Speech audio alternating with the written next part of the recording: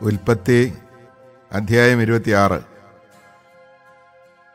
അബ്രാഹത്തിന്റെ കാലത്തുണ്ടായതിനു പുറമെ മറ്റൊരു ക്ഷാമം കൂടി ആ നാട്ടിലുണ്ടായി. ഇസഹാക്ക് ഗരാറിൽ ഫിലിസ്തീനയുടെ രാജാവായ അഭിമലേഖന്റെ അടുത്തേക്ക് പോയി. കർത്താവ് പ്രത്യക്ഷപ്പെട്ട് അവനോട് പറഞ്ഞു ഈജിപ്തിലേക്ക് പോകരുത്. ഞാൻ പറയുന്ന നാട്ടിൽ പാർക്കുക. ഈ നാട്ടിൽ തന്നെ കഴിഞ്ഞുകൂടുക. ഞാൻ നിന്റെ കൂടെ ഉണ്ടായിരിക്കും. നിന്നെ ഞാൻ അനുഗ്രഹിക്കുകയും ചെയ്യും. നിനക്കും നിന്റെ പിൻതലമുറക്കാർക്കും ഈ പ്രദേശമെല്ലാം ഞാൻ തരും. നിന്റെ പിതാവായ അബ്രഹത്തോട് ചെയ്ത വാഗ്ദാനം ഞാൻ നിറവേറ്റും. ആകാശത്തിലെ നക്ഷത്രങ്ങൾ പോലെ നിന്റെ സന്തതികളെ ഞാൻ വർദ്ധിപ്പിക്കും. ഈ ദേശമെല്ലാം അവർക്ക് ഞാൻ നൽകും. നിന്റെ സന്തതികളിലൂടെ ഭൂമിയിലെ ജനതകളെല്ലാം അനുഗ്രഹിക്കപ്പെടും. കാരണം അബ്രാഹം എന്റെ സ്വരം കേൾക്കുകയും എന്റെ നിർദ്ദേശങ്ങളും കൽപ്പനകളും പ്രമാണങ്ങളും നിയമങ്ങളും പാലിക്കുകയും ചെയ്തു. ഇസഹാക്ക് ഗരാറിൽ തന്നെ താമസിച്ചു. അന്നാട്ടുകാർ അവന്റെ ഭാര്യയെക്കുറിച്ച് ചോദിച്ചപ്പോൾ അവൾ എന്റെ സഹോദരിയാണ് എന്ന് അവൻ പറഞ്ഞു. അവൾ ഭാര്യയാണെന്ന് പറയാൻ അവന് പേടിയായിരുന്നു. കാരണം അവൾ അഴകുള്ളവളായിരുന്നതുകൊണ്ട് റബേക്കായ്ക്ക് വേണ്ടി നാട്ടുകാർ തന്നെ കൊല്ലുമെന്ന് അവൻ വിചാരിച്ചു. അവൻ അവിടെ പാർപ്പ് തുടങ്ങി. ഏറെ നാളുകൾക്ക് ശേഷം ഒരു ദിവസം ഫിലിസ്തീനയുടെ രാജാവായ അബിമലേക്ക് ജനാലയിലൂടെ നോക്കിയപ്പോൾ ഇസഹാക്ക് ഭാര്യ റബേക്കായെ ആലിംഗനം ചെയ്യുന്നത് കണ്ടു. അബിമലേക്ക് ഇസഹാക്കിനെ വിളിച്ചു ചോദിച്ചു അവൾ നിന്റെ ഭാര്യയാണല്ലോ. പിന്നെ എന്താണ് സഹോദരിയാണ് എന്ന് പറഞ്ഞത്.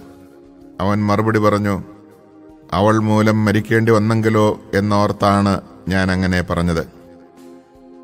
അബിമലേക്ക് ചോദിച്ചു നീ എന്തിനാണ് ഞങ്ങളോട് ഇത് ചെയ്തത്? ജനങ്ങളിൽ ആരെങ്കിലും നിന്റെ ഭാര്യയോടൊത്ത് ശയിക്കുകയും അങ്ങനെ വലിയൊരു അപരാധം നീ ഞങ്ങളുടെ മേൽ വരുത്തി വയ്ക്കുകയും ചെയ്യുമായിരുന്നല്ലോ. അതുകൊണ്ട് അഭിമലക്ക് ജനങ്ങൾക്കെല്ലാം താക്കീത് നൽകി. ഈ മനുഷ്യനെയോ അവന്റെ ഭാര്യയെയോ ആരെങ്കിലും തൊട്ടുപോയാൽ അവൻ വധിക്കപ്പെടും. ഇസഹാക്ക് ആ നാട്ടിൽ കൃഷി ഇറക്കുകയും അക്കൊല്ലം തന്നെ നൂറുമേനി വിളവെടുക്കുകയും ചെയ്തു. കർത്താവ് അവനെ അനുഗ്രഹിച്ചു. അവൻ അഭിവൃദ്ധിപ്പെട്ടുകൊണ്ടേയിരുന്നു. ക്രമേണ അവൻ വലിയ സമ്പന്നനാവുകയും ചെയ്തു. അവന് ധാരാളം ആടുമാടുകളും പരിചാരകരും ഉണ്ടായിരുന്നു. അതുകൊണ്ട് ഫിലിസ്തീർക്ക് അവനോട് അസൂയ തോന്നി. അവന്റെ പിതാവായ അബ്രാഹത്തിന്റെ വേലക്കാർ കുഴിച്ച കിണറുകളെല്ലാം ഫിലിസ്തീർ മണ്ണിട്ട് മൂടി. അബിമലക്ക് ഇസഹാക്കിനോട് പറഞ്ഞു ഞങ്ങളെ വിട്ടു പോവുക. നീ ഞങ്ങളെക്കാൾ കൂടുതൽ ശക്തനായിരിക്കുന്നു. ഇസഹാക്ക് അവിടെ നിന്ന് പുറപ്പെട്ട് ഗരാറിന്റെ താഴ്വരയിൽ കൂടാരമടിച്ചു. തന്റെ പിതാവായ അബ്രാഹത്തിന്റെ കാലത്ത് കുഴിച്ചതും അവന്റെ മരണശേഷം ഫിലിസ്തീർ നികത്തിക്കളഞ്ഞതുമായ കിണറുകളെല്ലാം ഇസഹാക്ക് വീണ്ടും കുഴിച്ചു. തന്റെ പിതാവ് കൊടുത്ത പേരുകൾ തന്നെ അവയ്ക്ക് നൽകുകയും ചെയ്തു. താഴ്വരയിൽ കിണർ കുഴിച്ചുകൊണ്ടിരിക്കെ ഇസഹാക്കിന്റെ വേലക്കാർ ഒരു നീരുറവ കണ്ടെത്തി. ഗരാറിലെ ഇടയന്മാർ ഇത് ഞങ്ങളുടെ ഉറവയാണ് എന്ന് പറഞ്ഞ് ഇസഹാക്കിന്റെ ഇടയന്മാരുമായി വഴക്കുണ്ടാക്കി. അവർ തന്നോട് വഴക്കിന് വന്നതുകൊണ്ട് അവൻ ആ കിണറിന് ഏസക്ക് എന്ന് പേരിട്ടു. അവർ വീണ്ടും ഒരു കിണർ കുഴിച്ചു. അതിനെ ചൊല്ലിയും വഴക്കുണ്ടായി. അതുകൊണ്ട് അതിനെ അവൻ സിത്തിന എന്ന് വിളിച്ചു. അവിടെ നിന്ന് മാറി അകലെ അവർ വേറൊരു കിണർ കുഴിച്ചു. അതിന്റെ പേരിൽ വഴക്കുണ്ടായില്ല. അവൻ അതിന് റഹോബോത്ത് എന്ന് പേരിട്ടു. കാരണം അവൻ പറഞ്ഞു കർത്താവ് ഞങ്ങൾക്ക് ഇടം തന്നിരിക്കുന്നു. ഭൂമിയിൽ ഞങ്ങൾ സമൃദ്ധിയുള്ളവരാകും. അവിടെ നിന്ന് അവൻ ബേർഷബായിലേക്ക് പോയി.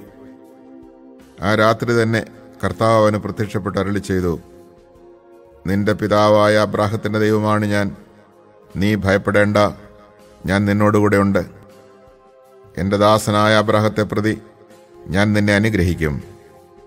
നിന്റെ സന്തതികളെ വർദ്ധിപ്പിക്കുകയും ചെയ്യും. അതിനാൽ അവൻ അവിടെ ഒരു ബലിപീഠം നിർമ്മിച്ചു. കർത്താവിന്റെ നാമം വിളിച്ച് അപേക്ഷിച്ചു. അവൻ അവിടെ കൂടാരമടിച്ചു.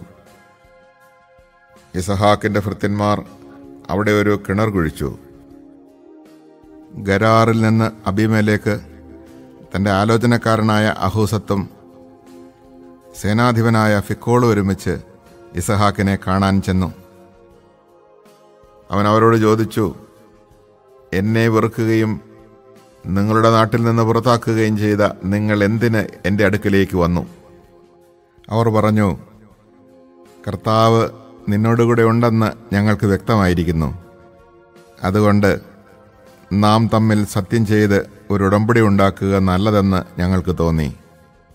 ഞങ്ങൾ നിന്നെ ഉപദ്രവിക്കാതിരിക്കുകയും നിനക്ക് നന്മ മാത്രം ചെയ്യുകയും സമാധാനത്തിൽ നിന്നെ പറഞ്ഞയക്കുകയും ചെയ്തതുപോലെ നീ ഞങ്ങളെ ഉപദ്രവിക്കാതിരിക്കണം. നീ ഇപ്പോൾ കർത്താവിനാൽ അനുഗ്രഹീതനാണ്. അവൻ അവർക്കൊരു വിരുന്നൊരുക്കി.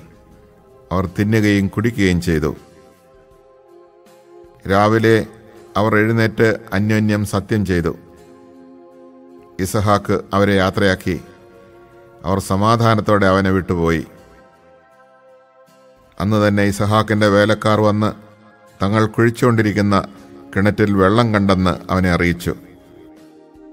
അവനതിന് ഷെബാ എന്ന് പേരിട്ടു. അതിനാൽ ഇന്നും ആ പട്ടണത്തിന് ബേർ ബേർഷെബ എന്നാണ് പേര്. നാൽപ്പത് വയസ്സായപ്പോൾ ഏസാവ് ഹിത്യനായ ബേരിയുടെ പുത്രി യൂതിത്തിനെയും ഹിത്യനായ ഏലോണിന്റെ പുത്രി ബാസ്മത്തിനെയും വിവാഹം ചെയ്തു. അവർ ഇസഹാക്കിന്റെയും റബേഖായുടെയും ജീവിതം ദുഃഖപൂർണമാക്കി.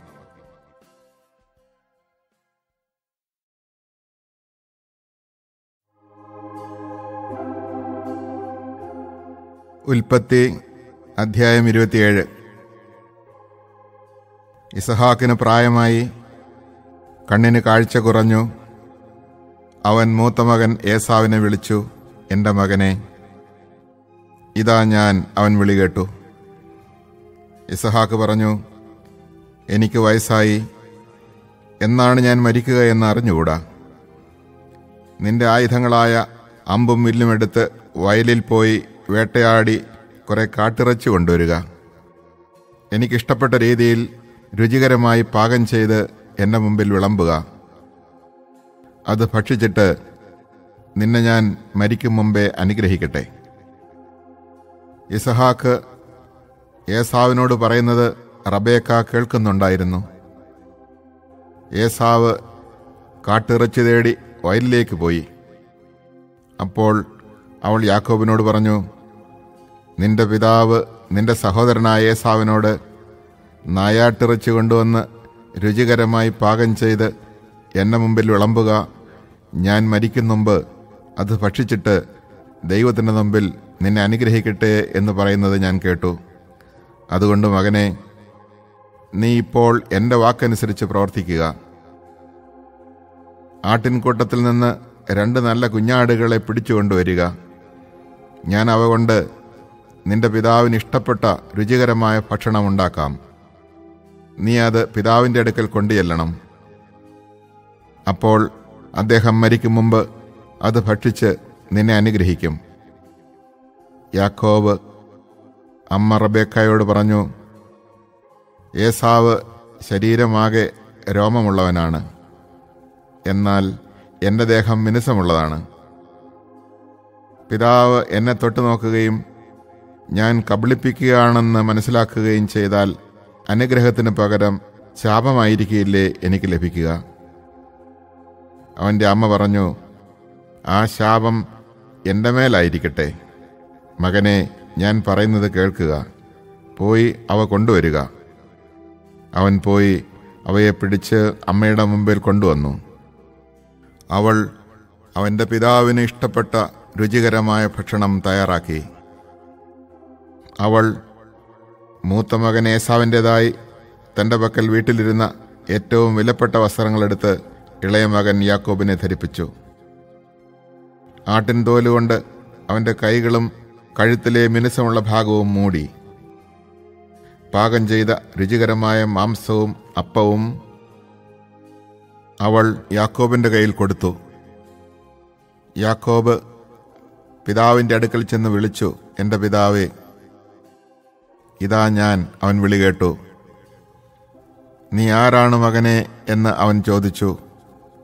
യാക്കോബ് മറുപടി പറഞ്ഞു അങ്ങയുടെ കടിഞ്ഞൂൽ പുത്രൻ ഏസാവാണ് ഞാൻ. അങ്ങ് ആവശ്യപ്പെട്ടതുപോലെ ഞാൻ ചെയ്തിരിക്കുന്നു. എഴുന്നേറ്റ് എന്റെ നയാട്ടിറച്ച് ഭക്ഷിച്ച് എന്നെ അനുഗ്രഹിച്ചാലും. എന്നാൽ ഇസഹാക്ക് ചോദിച്ചു എന്റെ മകനെ നിനക്ക് ഇത് ഇത്ര വേഗം എങ്ങനെ കിട്ടി? യാക്കോബ് പറഞ്ഞു അങ്ങയുടെ ദൈവമായ കർത്താവ് ഇതിനെ എന്റെ മുമ്പിൽ കൊണ്ടുവന്നു. അപ്പോൾ ഇസഹാക്ക് യാക്കോബിനോട് പറഞ്ഞു അടുത്തു വരിക മകനെ. ഞാൻ നിന്നെ തൊട്ടു നോക്കി. നീ എന്റെ മകനെ സാവ് തന്നെയോ എന്നറിയട്ടെ. യാക്കോബ് പിതാവായ ഇസഹാക്കിന്റെ അടുത്ത് ചെന്നു. അവനെ തടവി നോക്കിയിട്ട് ഇസഹാക്ക് പറഞ്ഞു സ്വരം യാക്കോബിന്റെതാണ് എന്നാൽ കൈകൾ ഏസാവിന്റേതും ഇസഹാക്ക് അവനെ തിരിച്ചറിഞ്ഞില്ല. കാരണം അവന്റെ കൈകൾ സഹോദരനായ ഏസാവിന്റെ കൈകൾ പോലെ രോമം നിറഞ്ഞതായിരുന്നു. ഇസഹാക്ക് അവനെ അനുഗ്രഹിച്ചു. അവൻ ചോദിച്ചു സത്യമായും നീ എന്റെ മകൻ ഏസാവ് തന്നെയാണോ? അതെ എന്ന് അവൻ മറുപടി പറഞ്ഞു. ഇസഹാക്ക് പറഞ്ഞു എന്റെ മകനെ നിന്റെ നായാട്ടിറച്ചി കൊണ്ടുവരിക. അത് തിന്നിട്ട് ഞാൻ നിന്നെ അനുഗ്രഹിക്കട്ടെ. ഇസഹാക്ക് അത് ഭക്ഷിക്കുകയും അവൻ കൊണ്ടുവന്ന വീഞ്ഞു കുടിക്കുകയും ചെയ്തു. ഇസഹാക്ക് അവനോട് പറഞ്ഞു നീ അടുത്തു വന്ന് എന്നെ ചുംബിക്കുക. അവൻ ചുംബിച്ചപ്പോൾ ഇസഹാക്ക് അവന്റെ ഉടുപ്പ് മണത്തു നോക്കി. അവനെ അനുഗ്രഹിച്ചു. കർത്താവ് കനിഞ്ഞ് അനുഗ്രഹിച്ച വയലിന്റെ മണമാണ് എന്റെ മകന്റേതെന്ന് അവൻ പറഞ്ഞു. ആകാശത്തിന്റെ മഞ്ഞും ഭൂമിയുടെ ഫലപുഷ്ടിയും ദൈവം നിനക്ക് നൽകട്ടെ. ധാന്യവും വീഞ്ഞും സമൃദ്ധമാകട്ടെ. ജനതകൾ നിനക്ക് സേവ ചെയ്യട്ടെ. രാജ്യങ്ങൾ നിന്റെ മുമ്പിൽ തലകുനിക്കട്ടെ. നിന്റെ സഹോദരർക്ക് നീ നാഥനായിരിക്കുക. നിന്റെ അമ്മയുടെ പുത്രന്മാർ നിന്റെ മുമ്പിൽ തലകുനിക്കട്ടെ. നിന്നെ ശപിക്കുന്നവൻ ശബ്ദനും അനുഗ്രഹിക്കുന്നവൻ അനുഗ്രഹീതനുമാകട്ടെ. ഇസഹാക്ക് യാക്കോബിനെ അനുഗ്രഹിക്കുകയും യാക്കോബ് അവന്റെ മുമ്പിൽ നിന്ന് പുറത്തു കടക്കുകയും ചെയ്തപ്പോൾ നായാട്ട് കഴിഞ്ഞ് ഏസാവ് തിരിച്ചെത്തി. അവനും പിതാവിന് ഇഷ്ടപ്പെട്ട ഭക്ഷണം തയ്യാറാക്കി. പിതാവിന്റെ അടുക്കൽ കൊണ്ടുവന്നിട്ട് പറഞ്ഞു പിതാവെ എഴുന്നേറ്റ്. അങ്ങയുടെ മകന്റെ നായാട്ടിറച്ച് ഭക്ഷിച്ച് എന്നെ അനുഗ്രഹിച്ചാലും. നീ ആരാണ്? ഇസഹാക്ക് ചോദിച്ചു.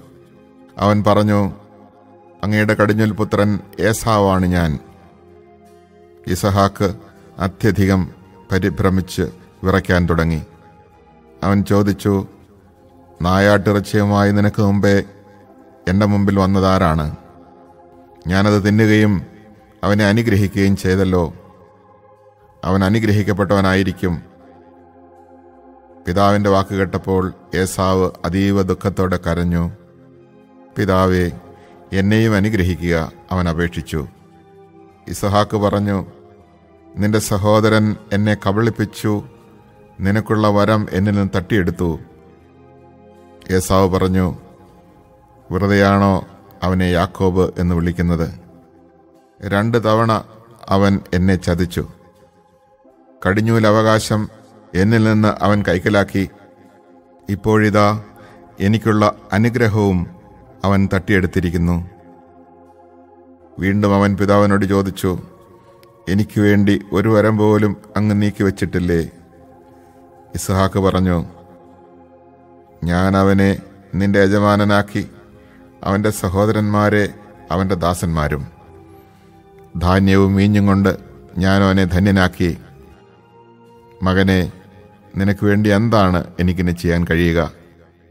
എന്റെ പിതാവേ ഒറ്റ വരമേ അങ്ങയുടെ പക്കലുള്ളോ? എന്നെയും അനുഗ്രഹിക്കുക എന്ന് പറഞ്ഞ് അവൻ പൊട്ടിക്കരഞ്ഞു. അപ്പോൾ ഇസഹാക്ക് പറഞ്ഞു ആകാശത്തിന്റെ മഞ്ഞിൽ നിന്നും ഭൂമിയുടെ ഫലപുഷ്ടിയിൽ നിന്നും നീ അകന്നിരിക്കും. വാളുകൊണ്ട് നീ ജീവിക്കും. നിന്റെ സഹോദരന് നീ ദാസ്യവൃത്തി ചെയ്യും. എന്നാൽ സ്വതന്ത്രനാകുമ്പോൾ ആ മുഖം നീ തകർത്ത് കളയും. പിതാവ് യാക്കോബിന് നൽകിയ അനുഗ്രഹം മൂലം ഏസാവ് യാക്കോബിനെ വെറുത്തു. അവൻ ആത്മകഥം ചെയ്തു. പിതാവിനെപ്പറ്റി വിലപിക്കാനുള്ള ദിവസങ്ങൾ അടുത്തു വരുന്നുണ്ട്. അപ്പോൾ ഞാൻ അവനെ കൊല്ലും. മൂത്ത മകനായ ഏസാവിന്റെ വാക്കുകൾ റബേഖായുടെ ചെവിയിലെത്തി. അവൾ ഇളയവനായ യാക്കോബിനെ വിളിച്ചു പറഞ്ഞു നിന്നെ കൊല്ലാമെന്നോർത്ത് നിന്റെ ജ്യേഷ്ഠൻ ആശ്വസിച്ചിരിക്കുകയാണ്. മകനെ ഞാൻ പറയുന്നത് കേൾക്കുക. ഹാരാനിലുള്ള എന്റെ സഹോദരനായ ലാബാന്റെ അടുത്തേക്ക് ഓടി രക്ഷപ്പെടുക. നിന്റെ ജ്യേഷ്ഠന്റെ രോഷമടങ്ങുവോളം നീ അവിടെ താമസിക്കുക. ജ്യേഷ്ഠന് നിന്നോടുള്ള കോപം അടങ്ങുകയും നീ ചെയ്തതൊക്കെ മറക്കുകയും ചെയ്യട്ടെ. അപ്പോൾ ഞാൻ ആളയച്ച് നിന്നെ ഇങ്ങോട്ട് വരുത്താം. ഒരു ദിവസം തന്നെ നിങ്ങൾ രണ്ടുപേരും എനിക്ക് നഷ്ടപ്പെടുന്നത് എന്തിന്? അത് കഴിഞ്ഞ് റെബേക്ക ഇസഹാക്കിനോട് പറഞ്ഞു ഈ ഹിത്യ സ്ത്രീകൾ മൂലം എനിക്ക് ജീവിതം മടുത്തു. ഈ നാട്ടുകാരായ ഇവരെ പോലെയുള്ള ഹിത്യ സ്ത്രീകളിൽ നിന്ന് ഒരുവേളെ യാക്കോവും വിവാഹം കഴിച്ചാൽ പിന്നെ ഞാൻ എന്തിന് ജീവിക്കണം?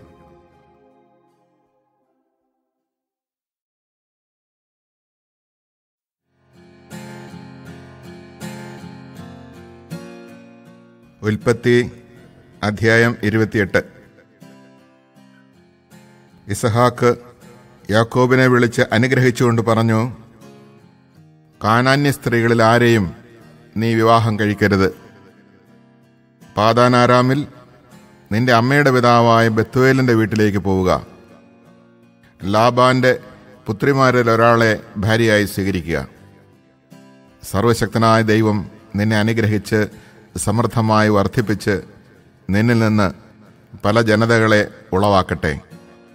അബ്രാഹത്തിന്റെ അനുഗ്രഹം നിനക്കും നിന്റെ സന്തതികൾക്കുമായി അവിടുന്ന് നൽകട്ടെ. നീ ഇപ്പോൾ പരദേശിയായി പാർക്കുന്നതും ദൈവം അബ്രാഹത്തിന് നൽകിയതുമായ ഈ നാട് നീ അവകാശപ്പെടുത്തുകയും ചെയ്യട്ടെ. അങ്ങനെ ഇസഹാക്ക് യാക്കോബിനെ പറഞ്ഞയച്ചു. അവൻ പാതാനാരാമിലുള്ള ലാബാന്റെ അടുക്കിലേക്ക് പോയി. അരമായനായ ബത്തുവേലിന്റെ മകനും യാക്കോബിന്റെയും ഏസാവിന്റെയും അമ്മ റബേക്കായുടെ സഹോദരനുമാണ് ലാബാൻ. ഇസഹാക്ക് യാക്കോബിനെ അനുഗ്രഹിച്ചതും പാതാനാരാമിൽ നിന്ന് ഭാര്യയെ കണ്ടുപിടിക്കുന്നതിന് അങ്ങോട്ട് അവനെ പറഞ്ഞയച്ചതും ഏസാവ് അറിഞ്ഞു അവനെ അനുഗ്രഹിച്ചപ്പോൾ കാനാന്യ സ്ത്രീകളിൽ നിന്ന് ഭാര്യയെ സ്വീകരിക്കരുത് എന്ന് അവൻ യാക്കോബിനോട് കൽപ്പിച്ചെന്നും തന്റെ മാതാപിതാക്കളെ അനുസരിച്ച് യാക്കോബ് പാതാനാരാമിലേക്ക് പോയെന്നും ഏസാവ് മനസ്സിലാക്കി. കാനാന്യ സ്ത്രീകളെ തന്റെ പിതാവായ ഇസഹാക്കിന് ഇഷ്ടമില്ലെന്ന് മനസ്സിലായപ്പോൾ ഏസാവ് അബ്രാഹത്തിന്റെ മകനായ ഇസ്മായിലിന്റെ അടുത്ത് ചെന്ന് അവന്റെ മകളും നബായോത്തിന്റെ സഹോദരിയുമായ മഹലത്തിനെ ഭാര്യയായി സ്വീകരിച്ചു. അവനുണ്ടായിരുന്ന മറ്റു ഭാര്യമാർക്ക് പുറമെയായിരുന്നു ഇവൾ. യാക്കോബ് ബേർഷബായിൽ നിന്ന് ഹാരാനിലേക്ക് പുറപ്പെട്ടു. സൂര്യൻ അസ്തമിച്ചപ്പോൾ അവൻ വഴിക്കൊരിടത്ത് തങ്ങുകയും രാത്രി അവിടെ ചെലവഴിക്കുകയും ചെയ്തു. ഒരു കല്ലെടുത്ത് തലയ്ക്ക് കീഴേ വെച്ച് അവൻ ഉറങ്ങാൻ കിടന്നു. അവനൊരു ദർശനമുണ്ടായി. ഭൂമിയിൽ ഉറപ്പിച്ചിരുന്ന ഒരു ഗോവണി അതിന്റെ അറ്റം ആകാശത്ത് മുട്ടിയിരുന്നു. ദൈവദൂതന്മാർ അതിലൂടെ കയറുകയും ഇറങ്ങുകയും ചെയ്തുകൊണ്ടിരുന്നു. ഗോവണിയുടെ മുകളിൽ നിന്നുകൊണ്ട് കർത്താവ് അരളി ചെയ്തു ഞാൻ നിന്റെ പിതാവായ അബ്രാഹത്തിന്റെയും ഇസഹാക്കിന്റെയും ദൈവമായ കർത്താവാണ്. നീ കിടക്കുന്ന ഈ മണ്ണ് നിനക്കും നിന്റെ സന്തതികൾക്കും ഞാൻ നൽകും. നിന്റെ സന്തതികൾ ഭൂമിയിലെ പൂഴി പോലെ എണ്ണമറ്റവരായിരിക്കും. കിഴക്കോട്ടും പടിഞ്ഞാറോട്ടും തെക്കോട്ടും വടക്കോട്ടും നിങ്ങൾ വ്യാപിക്കും. നിന്നിലൂടെയും നിന്റെ സന്തതികളിലൂടെയും ഭൂമിയിലെ ഗോത്രങ്ങളെല്ലാം അനുഗ്രഹിക്കപ്പെടും. ഇതാ ഞാൻ നിന്നോടുകൂടെ ഉണ്ട് നീ പോകുന്നിടത്തെല്ലാം ഞാൻ നിന്നെ കാത്തുരക്ഷിക്കും നിന്നെ ഈ നാട്ടിലേക്ക് തിരികെ കൊണ്ടുവരും. നിന്നോട് പറഞ്ഞതൊക്കെ നിറവേറ്റുന്നതുവരെ ഞാൻ നിന്നെ കൈവിടുകയില്ല. അപ്പോൾ യാക്കോബ് ഉറക്കത്തിൽ നിന്നുണർന്നു. അവൻ പറഞ്ഞു തീർച്ചയായും കർത്താവ് ഈ സ്ഥലത്തുണ്ട്. എന്നാൽ ഞാൻ അതറിഞ്ഞില്ല.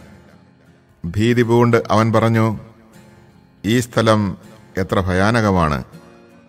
ഇത് ദൈവത്തിന്റെ ഭവനമല്ലാതെ മറ്റൊന്നുമല്ല.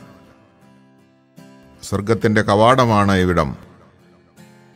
യാക്കോബ് അതിരാവിലെ എഴുന്നേറ്റ് തലയ്ക്ക് കീഴേ വെച്ചിരുന്ന കല്ലെടുത്ത് ഒരു തൂണായി കുത്തി നിർത്തി അതിന്മേൽ എണ്ണ ഒഴിച്ചു. അവൻ ആ സ്ഥലത്തിന് ബഥേൽ എന്ന് പേരിട്ടു. ലൂസ് എന്നായിരുന്നു ആ പട്ടണത്തിന്റെ ആദ്യത്തെ പേര്. അത് കഴിഞ്ഞ് യാക്കോബ് ഒരു പ്രതിജ്ഞ ചെയ്തു.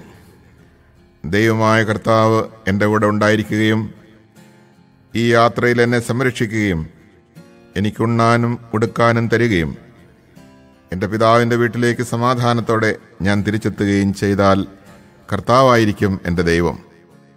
തൂണായി കുത്തി നിർത്തിയിരിക്കുന്ന ഈ കല്ല് ദൈവത്തിന്റെ ഭവനമായിരിക്കും. അവിടുന്ന് എനിക്ക് തരുന്നതിന്റെ എല്ലാം പത്തിലൊന്ന് ഞാൻ അവിടത്തേക്ക് സമർപ്പിക്കുകയും ചെയ്യും.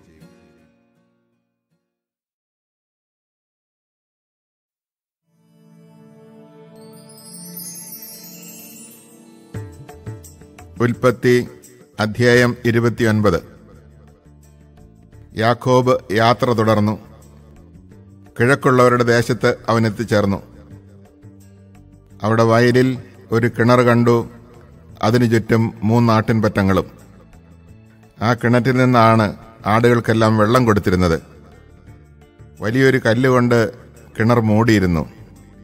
ആട്ടിൻപറ്റങ്ങളെല്ലാം എത്തിച്ചേരുമ്പോൾ അവർ കിണറ്റുവക്കത്ത് നിന്ന് കല്ലുരുട്ടി മാറ്റി ആടുകൾക്ക് വെള്ളം കൊടുക്കും. അത് കഴിഞ്ഞ് കല്ലുരുട്ടി വെച്ച് കിണറടയ്ക്കുകയും ചെയ്യും. യാക്കോബ് അവരോട് ചോദിച്ചു സഹോദരന്മാരെ നിങ്ങൾ എവിടെ നിന്ന് വരുന്നു? ഹാരാനിൽ നിന്ന് എന്ന് അവർ മറുപടി പറഞ്ഞു. അവൻ വീണ്ടും ചോദിച്ചു നിങ്ങൾ നാഹോറിന്റെ മകൻ ലാബാനെ അറിയുമോ? അറിയും എന്നവർ പറഞ്ഞു. അവന് സുഖമാണോ? അവൻ ചോദിച്ചു. അതെ അവർ പറഞ്ഞു. ഇതാ അവന്റെ മകൾ റാഹേൽ ആടുകളുമായി വരുന്നു. അവൻ പറഞ്ഞു പകൽ ഇനിയും ഏറെയുണ്ടല്ലോ. ആടുകളെ ആലയിലാക്കാൻ നേരമായിട്ടില്ല. ആടുകൾക്ക് വെള്ളം കൊടുത്ത് അവയെ കൊണ്ടുപോയി തീറ്റുക. അവർ പറഞ്ഞു അങ്ങനെയല്ല. ആട്ടിൻപറ്റങ്ങളെല്ലാം വന്നെത്തുമ്പോഴേ കല്ലുരുട്ടി മാറ്റി ആടുകൾക്ക് വെള്ളം കൊടുക്കാറുള്ളൂ. അവൻ അവരുമായി സംസാരിച്ചു കൊണ്ടിരിക്കെ റാഹേൽ തന്റെ പിതാവിന്റെ ആടുകളുമായി വന്നു. അവളാണ് അവയെ മേയിച്ചിരുന്നത്.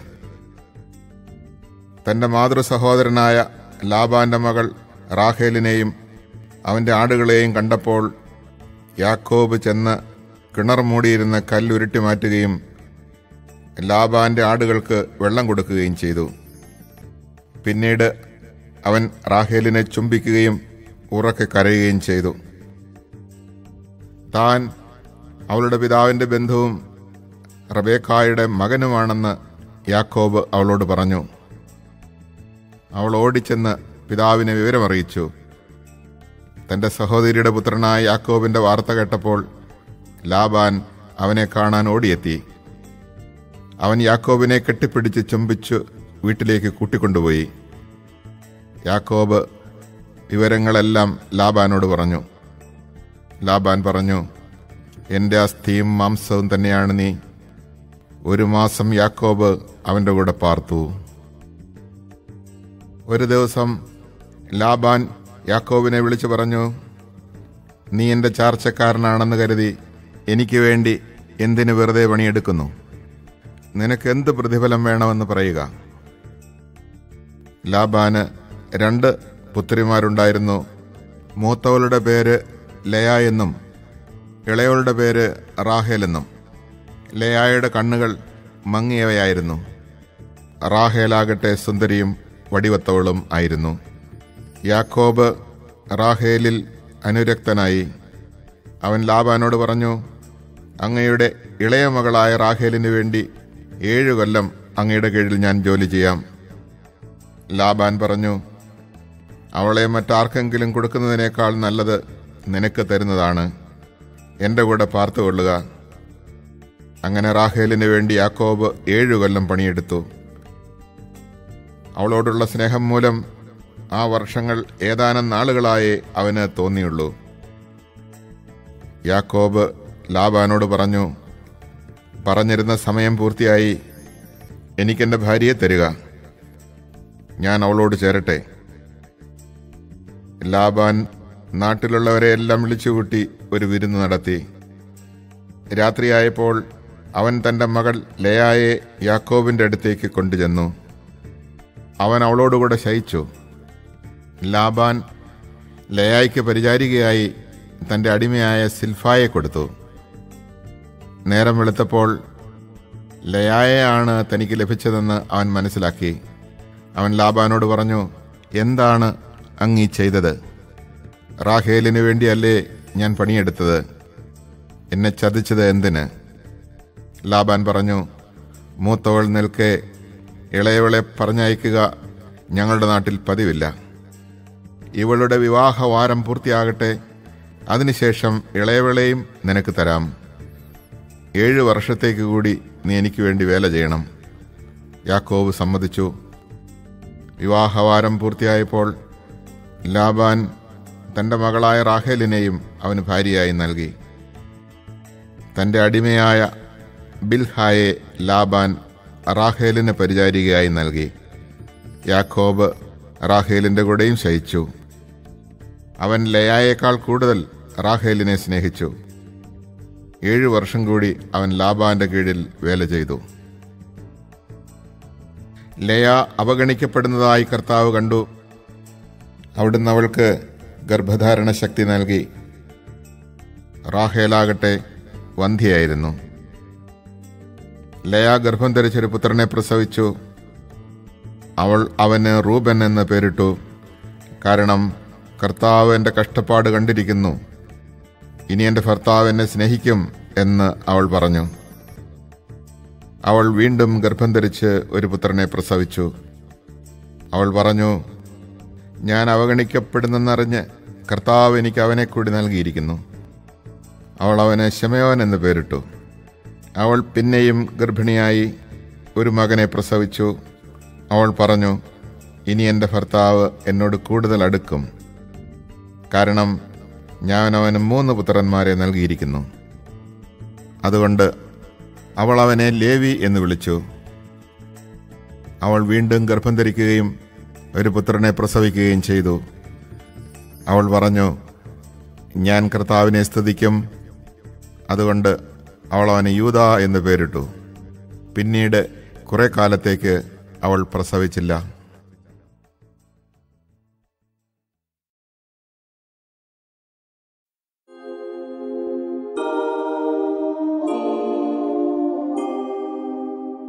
ഉൽപ്പത്തി അധ്യായം മുപ്പത്.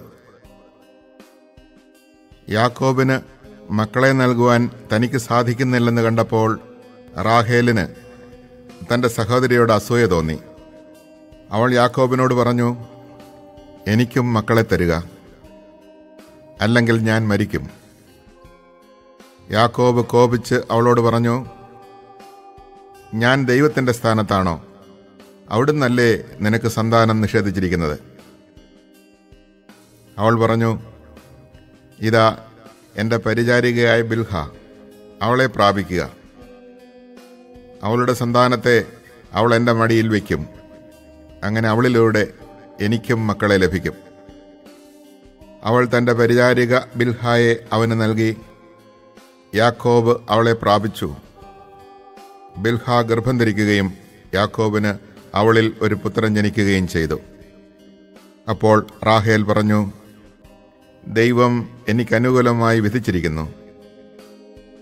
എന്റെ പ്രാർത്ഥന കേട്ട് എനിക്കൊരു പുത്രനെ നൽകിയിരിക്കുന്നു. അതുകൊണ്ട് അവൾ അവന് ദാൻ എന്ന് പേരിട്ടു.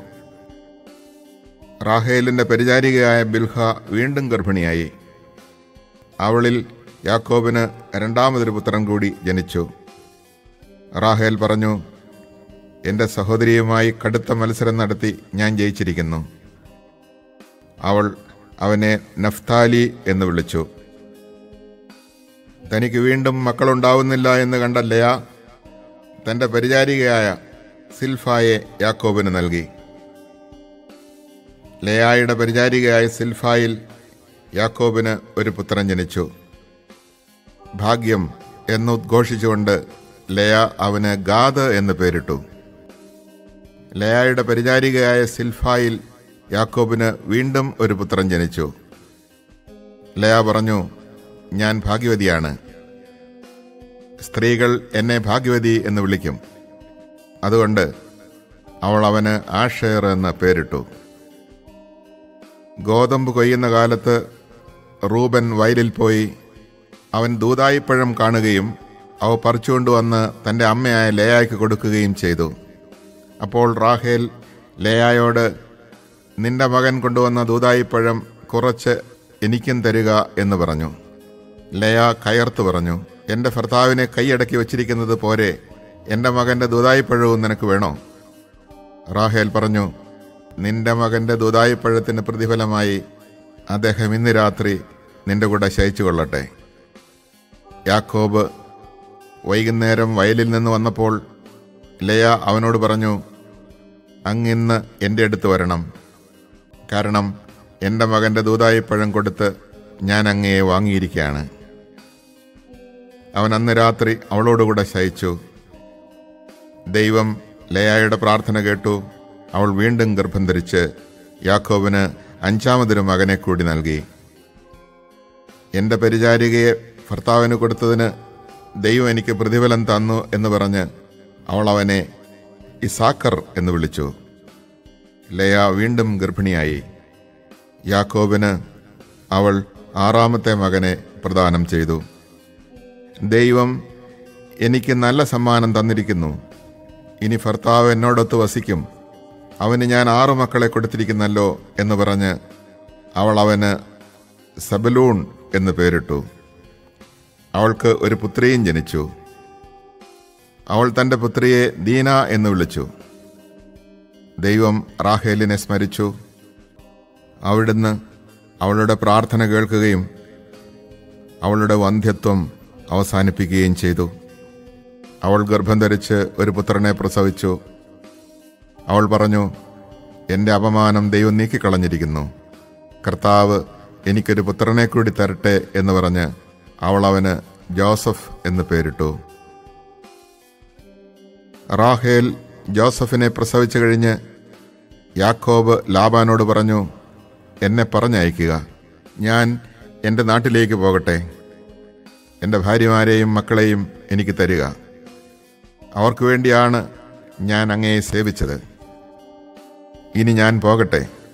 ഞാൻ ചെയ്ത സേവനം അങ്ങേക്കറിയാമല്ലോ. ലാബാൻ മറുപടി പറഞ്ഞു നിനക്കെന്നോട് താല്പര്യമുണ്ടെങ്കിൽ നീ പോകരുത്. നീ മൂലമാണ് കർത്താവ് എന്നെ അനുഗ്രഹിച്ചത് എന്നെനിക്കറിയാം.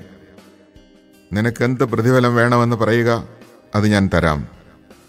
യാക്കോബ് അവനോട് പറഞ്ഞു ഞാൻ എപ്രകാരം അങ്ങയ്ക്ക് വേണ്ടി ജോലി ചെയ്തെന്നും എന്റെ മേൽനോട്ടത്തിൽ അങ്ങയുടെ ആടുമാടുകൾ എത്ര പെരുകിയെന്നും അങ്ങേക്കറിയാമല്ലോ ഞാൻ വരുന്നതിന് മുമ്പ് വളരെ കുറച്ച് ആടുകളെ അങ്ങയ്ക്കുണ്ടായിരുന്നുള്ളൂ. ഇപ്പോൾ അവ വളരെ പെരുകിയിരിക്കുന്നു. ഞാൻ പോയിടത്തെല്ലാം കർത്താവ് അങ്ങേ കടാക്ഷിച്ചിരിക്കുന്നു. ഇനി എന്റെ കുടുംബത്തിന് വേണ്ടി എന്നാണ് ഞാൻ എന്തെങ്കിലും സമ്പാദിക്കുക? ലാബാൻ ചോദിച്ചു ഞാൻ നിനക്ക് എന്ത് തരണം? യാക്കോബ് പറഞ്ഞു അങ്ങ് എനിക്കൊന്നും തരേണ്ട.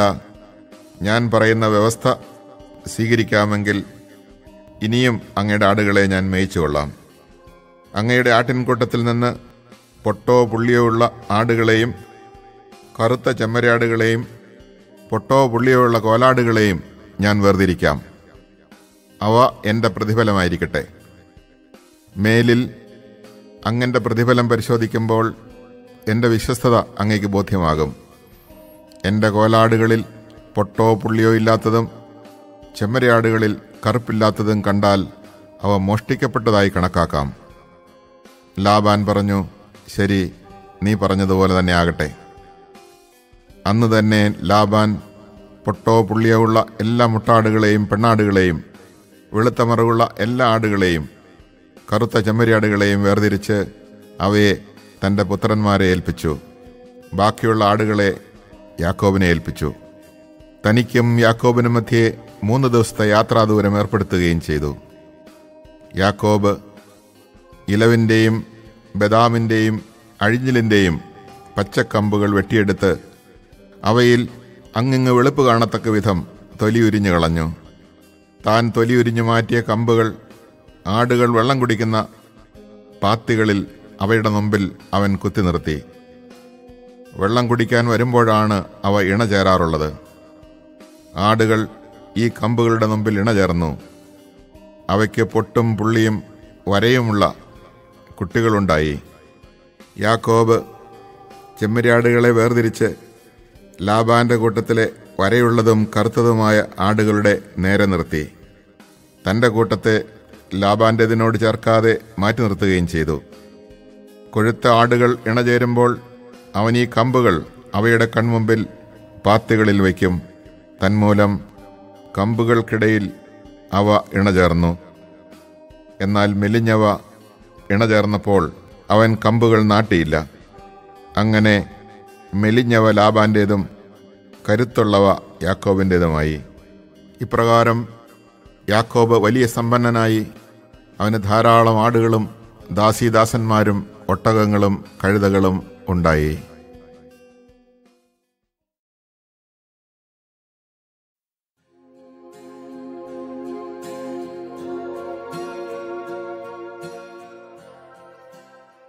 ഉൽപ്പത്തി അധ്യായം മുപ്പത്തിയൊന്ന്. ലാബാന്റെ മക്കൾ ഇങ്ങനെ പറയുന്നത് യാക്കോബ് കേട്ടു. നമ്മുടെ പിതാവിന്റെ സ്വത്തെല്ലാം യാക്കോബ് കൈവശപ്പെടുത്തി. നമ്മുടെ പിതാവിന്റെ മുതലുകൊണ്ടാണ് അവൻ ഈ സ്വത്തൊക്കെ സമ്പാദിച്ചത്. ലാബാന് തന്നോട് പണ്ടത്തെ പോലെ താല്പര്യമില്ലെന്ന് അവന്റെ മുഖഭാവത്തിൽ നിന്ന് യാക്കോബിന് മനസ്സിലായി. കർത്താവ് യാക്കോബിനോട് അരളി ചെയ്തു നിന്റെ പിതാക്കന്മാരുടെയും ചർച്ചക്കാരുടെയും നാട്ടിലേക്ക് തിരിച്ചു പോവുക. ഞാൻ നിന്നോടുകൂടെ ഉണ്ടായിരിക്കും. യാക്കോബ് റാഹേലിനെയും ലയായെയും താൻ ആടുമേയിച്ചിരുന്ന വയലിലേക്ക് വിളിപ്പിച്ചു. അവൻ അവരോട് പറഞ്ഞു മുമ്പത്തെ പോലെ അല്ല നിങ്ങളുടെ പിതാവിന് എന്നോടുള്ള മനോഭാവം. എന്നാൽ എന്റെ പിതാവിന്റെ ദൈവം എന്റെ കൂടെ ഉണ്ടായിരുന്നു. എന്റെ കഴിവ് മുഴുവനും ഉപയോഗിച്ച് നിങ്ങളുടെ പിതാവിന് വേണ്ടി ഞാൻ പണിയെടുത്തിട്ടുണ്ടെന്ന് നിങ്ങൾക്കറിയാമല്ലോ. എന്നിട്ടും നിങ്ങളുടെ പിതാവ് എന്നെ ചതിക്കുകയും പത്ത് തവണ എന്റെ കൂലിയിൽ മാറ്റം വരുത്തുകയും ചെയ്തു. പക്ഷേ എന്നെ ദ്രോഹിക്കാൻ ദൈവം അവനെ അനുവദിച്ചില്ല. പുള്ളിയുള്ള ആടുകളായിരിക്കും നിന്റെ കൂലി എന്ന് അവൻ പറഞ്ഞാൽ എല്ലാ ആടും പുള്ളിയുള്ളതിനെ പ്രസവിക്കും. അതല്ല വരയുള്ള ആടുകളായിരിക്കും നിനക്ക് കൂലി എന്നവൻ പറഞ്ഞാൽ ആടുകളൊക്കെ വരയുള്ളതിനെ പ്രസവിക്കും. അങ്ങനെ ദൈവം നിങ്ങളുടെ പിതാവിന്റെ ആടുകളെ അവനിൽ നിന്നെടുത്ത് എനിക്ക് തന്നിരിക്കുന്നു. ആടുകൾ ഇണചേരുന്ന കാലത്ത് എനിക്കുണ്ടായ സ്വപ്നത്തിൽ ഞാൻ തലയുയർത്തി നോക്കിയപ്പോൾ ഇണചേരുന്ന മുട്ടാടുകളൊക്കെ പൊട്ടും പുള്ളിയും വരയുമുള്ളവയായിരുന്നു. അപ്പോൾ ദൈവത്തിന്റെ ദൂതൻ സ്വപ്നത്തിൽ യാക്കോബേ എന്ന് വിളിച്ചു. ഇതാ ഞാൻ എന്ന് ഞാൻ വിളി കേട്ടു. ദൂതൻ പറഞ്ഞു തല ഉയർത്തി നോക്കുക. ഇണചേരുന്ന മുട്ടാടുകളെല്ലാം പൊട്ടും പുള്ളിയും വരെയുള്ളവയാണ്. ലാബാൻ നിന്നോട് ചെയ്യുന്നതൊക്കെ ഞാൻ കാണുന്നുണ്ട്. നീ കൽത്തൂണിന് അഭിഷേകം ചെയ്യുകയും വ്രതമെടുക്കുകയും ചെയ്ത സ്ഥലമായ ബഥേലിലെ ദൈവമാണ് ഞാൻ. എഴുന്നേറ്റ് ഇവിടം വിട്ട് നിന്റെ ചാർച്ചക്കാരുടെ നാട്ടിലേക്ക് തിരിച്ചു പോവുക. റാഹേലും ലയായും പറഞ്ഞു നമ്മുടെ പിതാവിന്റെ വീട്ടിൽ നമുക്ക് എന്തെങ്കിലും ഓഹരിയോ അവകാശമോ ഉണ്ടോ?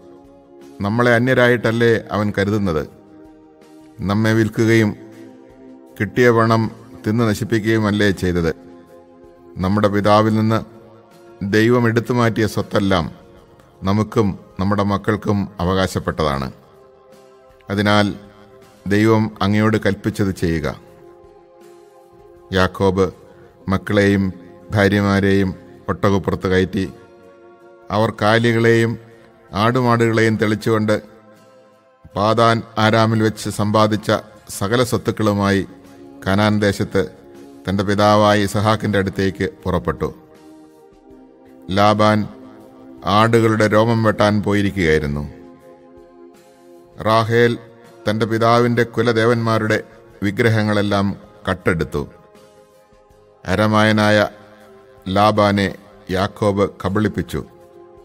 സ്ഥലം വിട്ടുപോകാൻ ഉദ്ദേശിക്കുന്ന കാര്യം അവനെ അറിയിച്ചില്ല.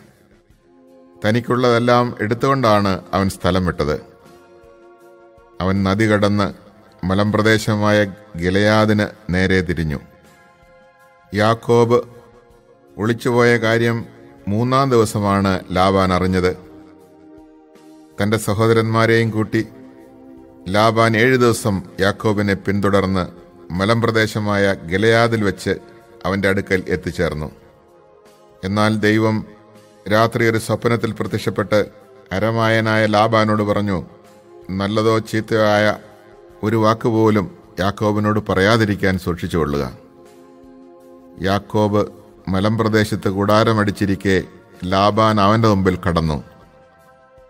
തന്റെ ചാർച്ചക്കാരുമൊത്ത് ലാബാനും ഗിലയാദിലെ മലമ്പ്രദേശത്ത് കൂടാരമടിച്ചു ലാബാൻ യാക്കോബിനോട് ചോദിച്ചു നീ എന്താണ് ഈ ചെയ്തത്? എന്നെ കബളിപ്പിച്ച് വാളാൽ നേടിയ തടവുകാരെ പോലെ എന്റെ പെൺമക്കളെ കൊണ്ടുപോകുന്നത് എന്തുകൊണ്ട്? എന്നെ കബളിപ്പിച്ച് എന്നോട് പറയാതെ ഒളിച്ചോടിയത് എന്തിനാണ്? ഞാൻ ആഹ്ലാദത്തോടെ പാട്ടുപാടി കിന്നരവും വീണയും വായിച്ച് നിങ്ങളെ യാത്രയാക്കുമായിരുന്നല്ലോ. എനിക്കെന്റെ പുത്രന്മാരെയും പുത്രിമാരെയും ചുംബിക്കുന്നതിന് അവസരം തരാഞ്ഞതെന്ത്? നീ ബുദ്ധിശൂന്യമായിട്ടാണ് പ്രവർത്തിച്ചത്. നിന്നെ ഉദ്രവിക്കാൻ എനിക്ക് കഴിയും. എന്നാൽ നല്ലതോ ചീത്തയോ ആയി യാതൊന്നും യാക്കോബിനോട് പറയാതിരിക്കാൻ സൂക്ഷിക്കുക എന്ന് നിങ്ങളുടെ പിതാവിന്റെ ദൈവം കഴിഞ്ഞ രാത്രി എന്നോട് പറഞ്ഞു. പിതാവിന്റെ വീട്ടിലെത്താനുള്ള തീവ്രമായ ആഗ്രഹം കൊണ്ടാണ് നീ പോന്നതെങ്കിൽ എന്റെ കുലദേവന്മാരെ കട്ടെടുത്തത് എന്തിന്? യാക്കോബ് ലാബാനോട് പറഞ്ഞു അങ്ങയുടെ പുത്രിമാരെ അങ്ങ് ബലം പ്രയോഗിച്ച് എന്നിൽ നിന്ന് പിടിച്ചെടുക്കുമെന്ന് ഞാൻ ഭയപ്പെട്ടു. അങ്ങയുടെ ദേവന്മാർ ആരുടെ കയ്യിൽ കാണുന്നുവോ അയാൾ മരിക്കട്ടെ. അങ്ങയുടേത് എന്തെങ്കിലും എന്റെ കൈവശമുണ്ടെങ്കിൽ നമ്മുടെ സഹോദരങ്ങളെ സാക്ഷി നിർത്തി തിരിച്ചെടുത്തുകൊള്ളുക. റാഹേൽ ദേവന്മാരെ മോഷ്ടിച്ച വിവരം യാക്കോബ് അറിഞ്ഞിരുന്നില്ല. ലാബാൻ യാക്കോബിന്റെയും ലേയായുടെയും രണ്ട് പരിചാരികമാരുടെയും കൂടാരങ്ങളിൽ പരിശോധിച്ചു. അവ അവിടെയെങ്ങും കണ്ടില്ല. ലേയായുടെ കൂടാരത്തിൽ നിന്ന് പുറത്തു കടന്ന് അവൻ റാഹേലിന്റെ കൂടാരത്തിലേക്ക് ചെന്നു. റാഹേൽ വിഗ്രഹങ്ങളെടുത്ത് ഒരു ഒട്ടക ഭാണ്ഡത്തിൽ ഒളിച്ച് അതിന്മേൽ കയറിയിരുന്നു. കൂടാരത്തിലെല്ലാം തിരഞ്ഞിട്ടും അവനൊന്നും കണ്ടെത്തിയില്ല. റാഹേൽ പിതാവിനോട് പറഞ്ഞു അങ്ങയുടെ മുമ്പിൽ എനിക്ക് എഴുന്നേൽക്കാൻ കഴിയാത്തതിനാൽ അങ്ങ് കോപിക്കരുതേ. എനിക്കിപ്പോൾ മാസമുറയാണ്. അവൻ തിരഞ്ഞെങ്കിലും വിഗ്രഹങ്ങൾ കണ്ടെത്തിയില്ല. അപ്പോൾ രോഷാകുലനായ യാക്കോബ് ലാബാനോട് കയർത്തു. അവൻ ചോദിച്ചു എന്റെ പേരിലുള്ള കുറ്റം എന്താണ്?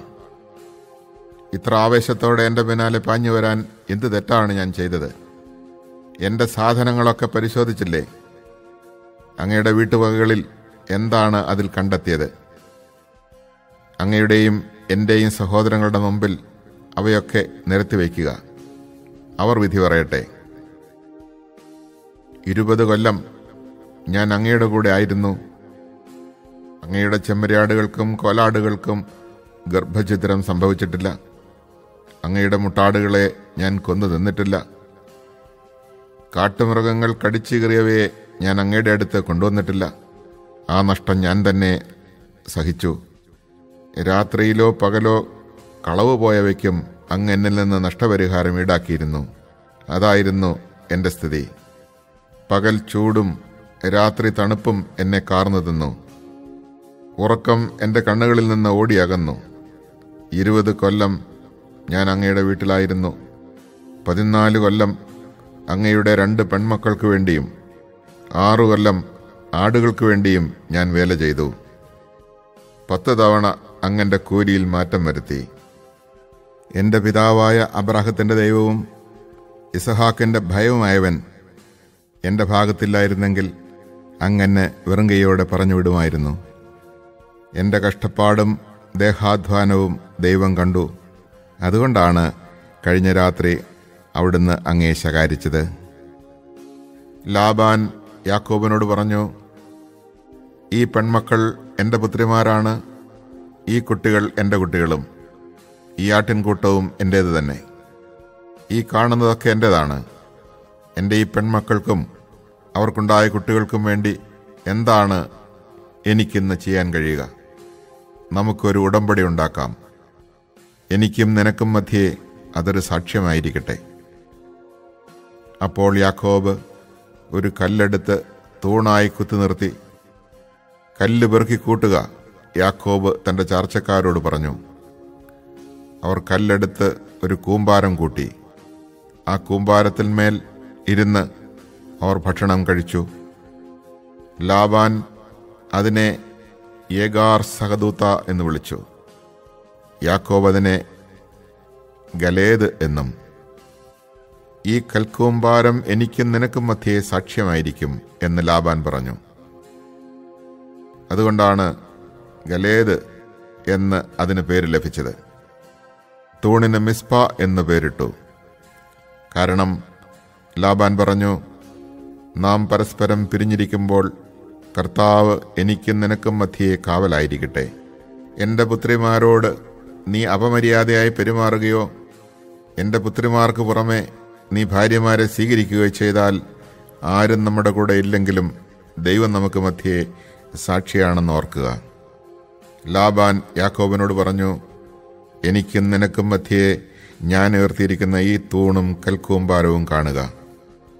നിന്നെ ഉപദ്രവിക്കുവാൻ ഈ കൂമ്പാരത്തിന് അപ്പുറത്തേക്ക് ഞാനും എന്നെ ഉപദ്രവിക്കുവാൻ ഈ കൂമ്പാരത്തിനും തൂണിനും ഇപ്പുറത്തേക്ക് നീയും കടക്കുകയില്ല എന്നതിന് ഈ കൂമ്പാരവും തൂണും സാക്ഷിയായിരിക്കട്ടെ. അബ്രാഹത്തിന്റെയും നാഹോറിന്റെയും അവരുടെ പിതാവിന്റെയും ദൈവം നമുക്ക് മധ്യേ വിധിയാളനായിരിക്കട്ടെ. യാക്കോബും തന്റെ പിതാവായ ഇസഹാക്ക് ഭയപ്പെട്ടിരുന്ന ദൈവത്തിന്റെ നാമത്തിൽ സത്യം ചെയ്തു. മലമുകളിൽ യാക്കോബ് ബലിയർപ്പിക്കുകയും അപ്പം ഭക്ഷിക്കാൻ തന്റെ ചാർച്ചക്കാരെ ക്ഷണിക്കുകയും ചെയ്തു. അവർ അപ്പം ഭക്ഷിച്ച് രാത്രി മുഴുവൻ മലമുകളിൽ കഴിച്ചുകൂട്ടി. ലാബാൻ അതിരാവിലെ എഴുന്നേറ്റ് തന്റെ മക്കളെയും മക്കളുടെ മക്കളെയും ചുംബിക്കുകയും അനുഗ്രഹിക്കുകയും ചെയ്തിട്ട് വീട്ടിലേക്ക് മടങ്ങി.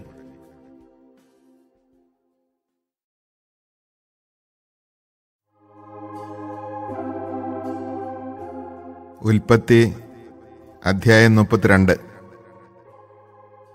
യാക്കോബ് യാത്ര തുടർന്നു. ദൈവത്തിന്റെ ദൂതന്മാർ വഴിക്ക് വെച്ച് അവനെ കണ്ടുമുട്ടി. അവരെ കണ്ടപ്പോൾ അവൻ പറഞ്ഞു ഇത് ദൈവത്തിന്റെ സൈന്യമാണ്. ആ സ്ഥലത്തിന് അവൻ മഹാനായും എന്ന് പേരിട്ടു. യാക്കോബ് ഏതോ നാട്ടിൽ സെയ്ർ ദേശത്ത് പാർത്തിരുന്ന സഹോദരനായ ഏസാവിന്റെ അടുത്തേക്ക് തനിക്ക് മുമ്പേ ദൂതന്മാരെ അയച്ചു. അവൻ അവരെ ചുമതലപ്പെടുത്തി എന്റെ യജമാനനായ ഏസാവിനോട് നിങ്ങൾ ഇങ്ങനെ പറയണം. അങ്ങയുടെ ദാസനായ യാക്കോബ് പറയുന്നു ഇതുവരെ ഞാൻ ലാബാന്റെ കൂടെ പാർക്കുകയായിരുന്നു. എനിക്ക് കാളകളും കഴുതകളും ആടുകളും വേലക്കാരും വേലക്കാരികളുമുണ്ട്. അങ്ങേക്ക് എന്നോട് ദയ തോന്നണം. അതിനാണ് ഞാൻ അങ്ങയുടെ അടുത്ത് ആളയച്ച് പറയുന്നത്. ദൂതന്മാർ തിരിച്ചു വന്ന് യാക്കോബിനോട് പറഞ്ഞു ഞങ്ങൾ അങ്ങയുടെ സഹോദരനായ ഏസാവിന്റെ അടുക്കൽ ചെന്നു. അവൻ നാനൂറ് ആളുകളുടെ അകമ്പടിയോടെ അങ്ങയെ കാണാൻ വരുന്നുണ്ട്. യാക്കോബ് വളരെയധികം ഭയപ്പെട്ട് അസ്വസ്ഥനായി.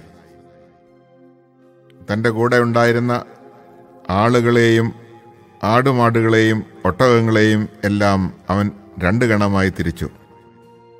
ഏസാവ് വന്ന് ഒരു ഗണത്തെ നശിപ്പിക്കുന്ന പക്ഷം മറ്റേ ഗണത്തിന് ഓടി രക്ഷപ്പെടാമല്ലോ എന്നവൻ ചിന്തിച്ചു. അവനിങ്ങനെ പ്രാർത്ഥിച്ചു എന്റെ പിതാക്കന്മാരായ അബ്രാഹത്തിന്റെയും ഇസഹാക്കിന്റെയും ദൈവമേ നിന്റെ നാട്ടിലേക്കും നിന്റെ ചാർച്ചക്കാരുടെ അടുത്തേക്കും തിരികെ പോവുക. ഞാൻ നിനക്ക് നന്മ ചെയ്യും എന്നരളി ചെയ്ത കർത്താവേ അങ്ങ് ഈ ദാസനോട് കാണിച്ച കാരുണ്യത്തിനും വിശ്വസ്തതയ്ക്കും ഞാൻ ഒട്ടും അർഹനല്ല. കേവലം ഒരു വടിയുമായിട്ടാണ് ഞാൻ ജോർദാൻ കടന്നത്. ഇപ്പോഴിതാ ഞാൻ രണ്ട് ഗണമായി വർദ്ധിച്ചിരിക്കുന്നു എന്റെ സഹോദരനായ ഏസാവിന്റെ കയ്യിൽ നിന്ന് എന്നെ രക്ഷിക്കണമെന്ന് ഞാൻ അങ്ങയോട് പ്രാർത്ഥിക്കുന്നു. അവൻ വന്ന് എന്നെയും കുഞ്ഞുങ്ങളെയും അമ്മമാരെയും നശിപ്പിച്ചേക്കുമെന്ന് ഞാൻ ഭയപ്പെടുന്നു. നിനക്ക് നന്മ ചെയ്ത് നിന്റെ സന്തതികളെ കടൽ തീരത്തെ മണൽത്തിരി പോലെ എണ്ണാനാവാത്ത വിധം വർദ്ധിപ്പിക്കും എന്ന് അവിടുന്ന് അരളി ചെയ്തിട്ടുണ്ടല്ലോ. അന്ന് രാത്രി അവൻ അവിടെ താവളമടിച്ചു. തന്റെ പക്കലുള്ളവയിൽ നിന്ന് അവൻ സഹോദരനായ ഏസാവിന് ഒരു സമ്മാനമൊരുക്കി. ഇരുന്നൂറ് പെൺകോലാടും ഇരുപത് ആൺകോലാടും. ഇരുന്നൂറ് പെണ്ണാടും ഇരുപത് മുട്ടാടും.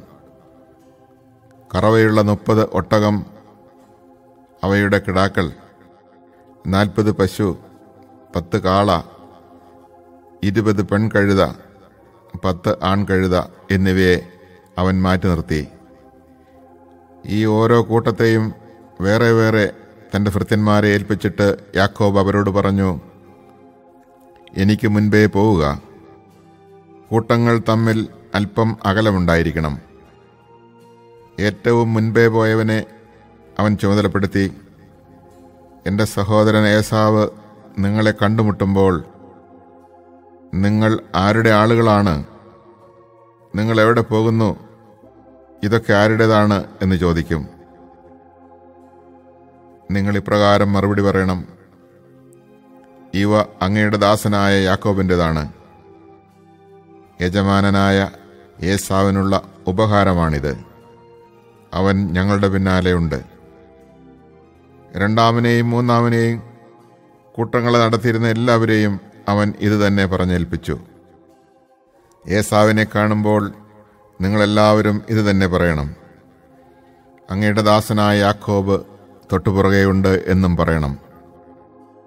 അവൻ ഇപ്രകാരം ചിന്തിച്ചു ഞാൻ മുൻകൂട്ടി അയച്ചിരിക്കുന്ന സമ്മാനം കൊണ്ട് എനിക്ക് അവനെ പ്രീതിപ്പെടുത്താനാവും.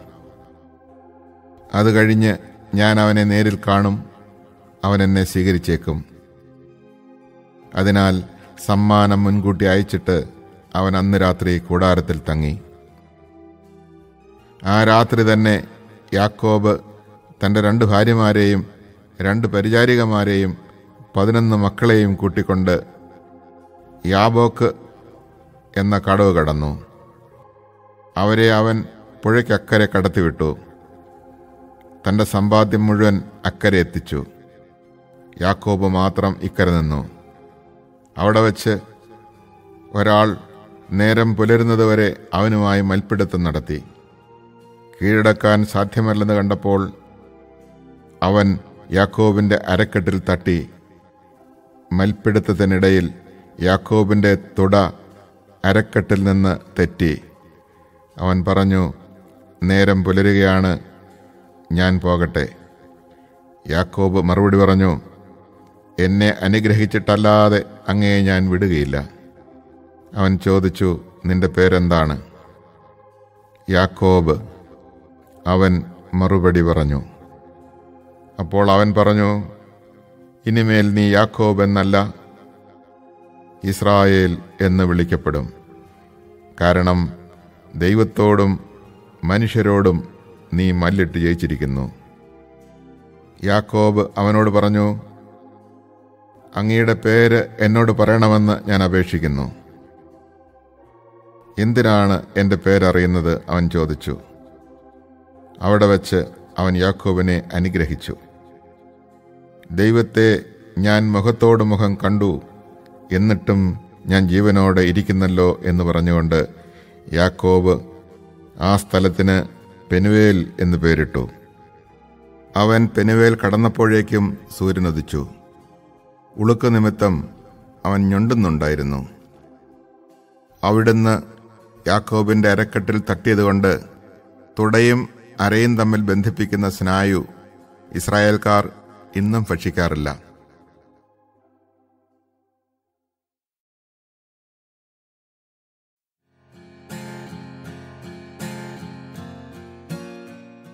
ഉൽപ്പത്തി അധ്യായം മുപ്പത്തി മൂന്ന് യാക്കോബ് തല ഉയർത്തി നോക്കിയപ്പോൾ ഏസാവ് നാനൂറ് പേരുടെ അകമ്പടിയോടെ വരുന്നത് കണ്ടു. ഉടനെ യാക്കോബ് മക്കളെ വേർതിരിച്ച് ലയായുടെയും റാഹേലിന്റെയും രണ്ട് പരിചാരികമാരുടെയും അടുക്കലായി നിർത്തി.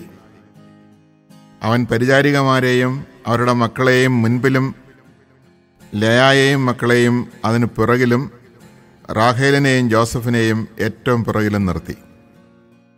അവൻ അവരുടെ മുമ്പേ നടന്നു. സഹോദരന്റെ അടുത്തെത്തോളം ഏഴ് തവണ നിലം മുട്ടെ താണു ഉണങ്ങി. ഏസാവാകട്ടെ ഓടിച്ചെന്ന് അവനെ കെട്ടിപ്പിടിച്ച് ചുംബിച്ചു. ഇരുവരും കരഞ്ഞു. ഏസാവ് തലയുയർത്തി നോക്കിയപ്പോൾ സ്ത്രീകളെയും കുട്ടികളെയും കണ്ടു. അവൻ ചോദിച്ചു നിന്റെ കൂടെ കാണുന്ന ഇവരൊക്കെ ആരാണ്? യാക്കോബ് മറുപടി പറഞ്ഞു അങ്ങയുടെ ഈ ദാസന് ദൈവം കനിഞ്ഞു നൽകിയിരിക്കുന്ന മക്കളാണ്. അപ്പോൾ പരിചാരികമാരും അവരുടെ മക്കളും അടുത്തിയെന്ന് ഏസാവിനെ വണങ്ങി. തുടർന്ന് ലയായും അവളുടെ മക്കളും അതിനുശേഷം ജോസഫും റാഹേലും അടുത്തിയെന്ന് താണു വണങ്ങി. ഏസാവ് ചോദിച്ചു ഞാൻ വഴിയിൽ കണ്ട പറ്റങ്ങൾ കൊണ്ട് നീ എന്താണ് ഉദ്ദേശിക്കുന്നത്? യാക്കോവ് പറഞ്ഞു എന്റെ യജമാനനായ അങ്ങയുടെ പ്രീതി നേടുക. ഏസാവ് പറഞ്ഞു സഹോദര എനിക്കതെല്ലാം വേണ്ടത്രയുണ്ട് നിന്റേത് നീ തന്നെ എടുത്തുകൊള്ളുക. യാക്കോബ് അപേക്ഷിച്ചു അങ്ങനെയല്ല. അങ്ങനിൽ സംപ്രീതനാണെങ്കിൽ എന്റെ കയ്യിൽ നിന്ന് ഈ സമ്മാനം സ്വീകരിക്കുക. കാരണം ദൈവത്തിന്റെ മുഖം കണ്ടാൽ എന്ന പോലെയാണ് ഞാൻ അങ്ങയുടെ മുഖം കണ്ടത്. അത്രയ്ക്ക് ദയോടെയാണ് അങ്ങനെ സ്വീകരിച്ചത്. അങ്ങയുടെ മുൻപിൽ കൊണ്ടുവന്നിരിക്കുന്ന ഈ സമ്മാനങ്ങൾ ദയവായി സ്വീകരിക്കുക. എന്തെന്നാൽ ദൈവം എന്നോട് കാരുണ്യം കാണിച്ചിരിക്കുന്നു. എല്ലാം എനിക്ക് വേണ്ടത്രയുണ്ട്. അവൻ നിർബന്ധിച്ചപ്പോൾ യേസാവ് അത് സ്വീകരിച്ചു. ഏസാവ് പറഞ്ഞു നമുക്ക് യാത്ര തുടരാം. ഞാൻ നിന്റെ മുൻപേ നടക്കാം. യാക്കോവ് പറഞ്ഞു അങ്ങേക്കറിയാമല്ലോ മക്കളൊക്കെ ക്ഷീണിച്ചിരിക്കുകയാണെന്ന്. കറവയുള്ള ആടുമാടുകൾ എന്റെ കൂടെയുണ്ട്. ഒരു ദിവസത്തേക്കാണെങ്കിലും കൂടുതലായി ഓടിച്ചാൽ അവ ചത്തുപോകും.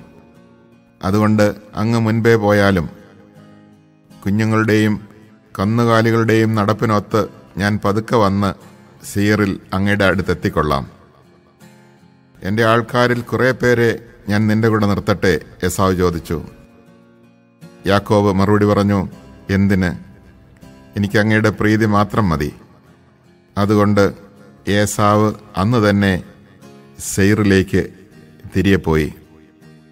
യാക്കോബാകട്ടെ സുക്കോത്തിലേക്ക് പോയി. അവിടെ വീട് പണിതു കന്നുകാലികൾക്ക് കൂടുകളും കെട്ടി. അതുകൊണ്ടാണ് ആ സ്ഥലത്തിന് സുക്കോത്ത് എന്നു പേരുണ്ടായത്.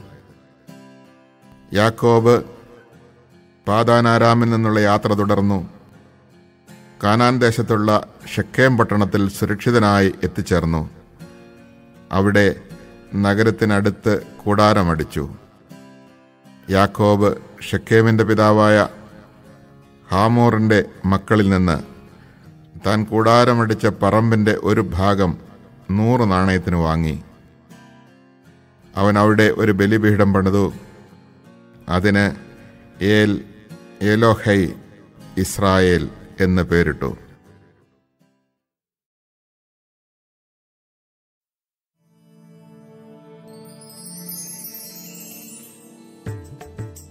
ഉൽപ്പത്തി അധ്യായം മുപ്പത്തിനാല്. യാക്കോബിന് ലയായിലുണ്ടായ മകൾ ദീന ആ നാട്ടിലുള്ള സ്ത്രീകളെ സന്ദർശിക്കാൻ പോയി. അവിടുത്തെ പ്രഭുവായിരുന്ന ഹാമോർ എന്ന ഹിവ്യന്റെ മകൻ ഷെക്കം അവളെ കണ്ടപ്പോൾ പിടിച്ചുകൊണ്ടുപോയി ബലാത്സംഗം ചെയ്ത് അപമാനിച്ചു. അവന്റെ ഹൃദയം യാക്കോബിന്റെ മകളായ ദീനയിൽ ലയിച്ചു ചേർന്നു. അവൻ അവളെ അതിരറ്റ് സ്നേഹിച്ചു. സ്നേഹവായ്പോടെ അവൻ അവളോട് സംസാരിച്ചു. ഷക്കേം തന്റെ പിതാവായ ഹാമോറിനോട് പറഞ്ഞു ആ പെൺകുട്ടിയെ എനിക്ക് ഭാര്യയായി തരണം. തന്റെ മകളായ ദീനയെ ഷക്കേം മാനഭംഗപ്പെടുത്തി എന്ന വിവരം യാക്കോബ് അറിഞ്ഞു. പുത്രന്മാരെല്ലാവരും വയലിൽ കാലികളുടെ കൂടെ ആയിരുന്നതുകൊണ്ട് അവർ തിരിച്ചെത്തും വരെ അവൻ ക്ഷമിച്ചിരുന്നു. ഷക്കേമിന്റെ പിതാവായ ഹാമോർ യാക്കോബിനോട് സംസാരിക്കാനായി വന്നു. വിവരമറിഞ്ഞ് യാക്കോബിന്റെ പുത്രന്മാർ വയലിൽ നിന്ന് തിരിച്ചെത്തി. അവർക്ക് രോഷവും അമർഷവും ഉണ്ടായി. കാരണം യാക്കോബിന്റെ മകളെ ബലാത്സംഗം ചെയ്തതുവഴി ഷക്കേം ഇസ്രായേലിന് നിഷിദ്ധമായ മ്ലേച്ഛതയാണ് പ്രവർത്തിച്ചത്. എന്നാൽ ഹാമോർ അവരോട് പറഞ്ഞു എന്റെ മകനായ ഷെക്കേമിന്റെ ഹൃദയം നിങ്ങളുടെ മകൾക്ക് വേണ്ടി ദാഹിക്കുന്നു. ദയചെയ്ത് അവളെ അവന് ഭാര്യയായി നൽകണം. ഞങ്ങളുമായി വിവാഹബന്ധത്തിൽ ഏർപ്പെടുക. നിങ്ങളുടെ പെൺകുട്ടികളെ ഞങ്ങൾക്ക് തരിക. ഞങ്ങളുടെ പെൺകുട്ടികളെ നിങ്ങളും സ്വീകരിക്കുക. ഞങ്ങളുടെ കൂടെ പാർക്കുക.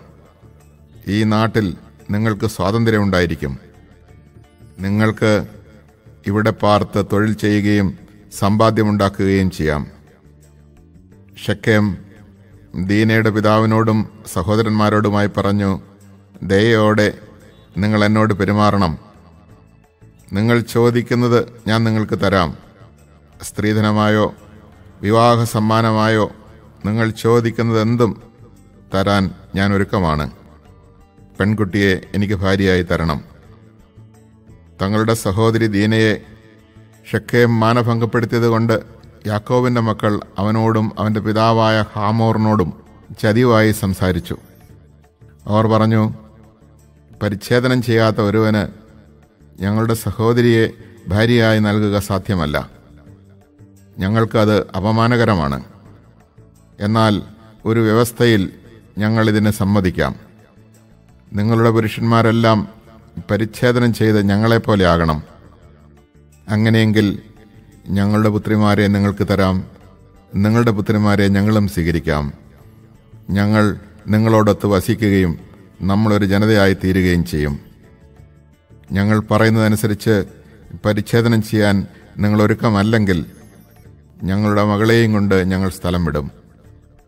അവരുടെ വ്യവസ്ഥ ഹാമോറിനും മകൻ ഷെഖേമിനും ഇഷ്ടപ്പെട്ടു. അങ്ങനെ ചെയ്യാൻ ആ ചെറുപ്പക്കാരൻ ഒട്ടും മടി കാണിച്ചില്ല. കാരണം യാക്കോബിന്റെ മകളിൽ അവൻ അത്രമേൽ അനുരക്തനായിരുന്നു. അവന്റെ കുടുംബത്തിൽ ഏറ്റവും മതിക്കപ്പെട്ടവനായിരുന്നു ഷെക്കേം. അതിനാൽ ഹാമോറും മകൻ ഷെക്കേമും നഗര കവാടത്തെങ്കിൽ ചെന്ന് അവരുടെ പട്ടണത്തിലെ പുരുഷന്മാരോട് ഇപ്രകാരം പറഞ്ഞു ഈ മനുഷ്യർ നമ്മോട് സൗഹാർദ്ദത്തിലാണ്. അവർ ഈ നാട്ടിൽ പാർത്ത് ഇവിടെ തൊഴിൽ ചെയ്യട്ടെ. ഈ നാട് അവരെക്കൂടി കൂടി ഉൾക്കൊള്ളാൻ മാത്രം വിശാലമാണല്ലോ. അവരുടെ പുത്രിമാരെ നമുക്ക് ഭാര്യമാരായി സ്വീകരിക്കാം. നമ്മുടെ പുത്രിമാരെ അവർക്ക് നൽകുകയും ചെയ്യാം. എന്നാൽ ഒരു വ്യവസ്ഥയിൽ മാത്രമേ ഇവർ നമ്മോടൊത്ത് പാർത്ത് ഒരു ജനതയാകാൻ സമ്മതിക്കുകയുള്ളൂ. നമ്മളുടെ പുരുഷന്മാരെല്ലാം അവരെ പോലെ പരിച്ഛേദനം ചെയ്യണം. അവരുടെ സമ്പത്തും കന്നുകാലികളും മറ്റ് മൃഗങ്ങളുമൊക്കെ നമ്മുടേതാവില്ലേ നമുക്കിത് സമ്മതിക്കാം. എങ്കിൽ അവർ നമ്മുടെ കൂടെ താമസിക്കും. പട്ടണത്തിലെ പുരുഷന്മാരെല്ലാം ഹാമോറിന്റെയും മകൻ ഷെക്കമിന്റെയും വാക്കുകൾ കേട്ട് പരിച്ഛേദനം ചെയ്തു. മൂന്നാം ദിവസം അവർ വേദനിച്ചിരുന്നപ്പോൾ ദീനയുടെ സഹോദരന്മാരും യാക്കോബിന്റെ പുത്രന്മാരുമായ ശമയോനും ലേവിയും വാളെടുത്ത് അപ്രതീക്ഷിതമായി നഗരത്തിൽ കടന്ന് പുരുഷന്മാരെയെല്ലാം വധിച്ചു. ഹാമോറിനെയും മകൻ ഷെക്കമിനെയും അവർ വാളിനിരയാക്കി. ഷെക്കേമിന്റെ വീട്ടിൽ നിന്ന് ദീനയെ വീണ്ടെടുത്ത് അവർ തിരിച്ചുപോയി. തങ്ങളുടെ സഹോദരിയെ മാനഭംഗപ്പെടുത്തിയതിന്റെ പേരിൽ യാക്കോവിന്റെ മക്കൾ മരിച്ചു കിടന്നവരുടെ ഇടയിലൂടെ ചെന്ന് നഗരം കൊള്ളയടിച്ചു. അവരുടെ ആടുമാടുകളെയും കഴുതകളെയും നഗരത്തിലും വയലിലും ഉണ്ടായിരുന്ന സകലത്തെയും അവർ അപഹരിച്ചു. അവരുടെ സ്വത്തും വീട്ടുവകകളൊക്കെയും യാക്കോബിന്റെ മക്കൾ കൈവശപ്പെടുത്തി. കുഞ്ഞുങ്ങളെയും സ്ത്രീകളെയും പിടിച്ചുകൊണ്ടുപോവുകയും ചെയ്തു. അപ്പോൾ യാക്കോബ് ശിമയോനെയും ലേവിയെയും വിളിച്ച് ഇങ്ങനെ പറഞ്ഞു ഇന്നാട്ടുകാരായ കാനാൻകാരുടെയും പെരീസ്യരുടെയും മുമ്പിൽ നിങ്ങൾ എനിക്ക് ദുഷ്കീർത്തി വരുത്തിയിരിക്കുന്നു. എനിക്ക് ആൾബലം കുറവാണ്. അവരൊന്നിച്ചുകൂടി എന്നെ ആക്രമിച്ചാൽ ഞാൻ തകർന്നു പോകും. ഞാനും കുടുംബവും നശിക്കും. അവർ ചോദിച്ചു ഒരു വേശ്യയോടെന്ന പോലെ അവൻ ഞങ്ങളുടെ സഹോദരിയോട് പെരുമാറിയതെന്തിന്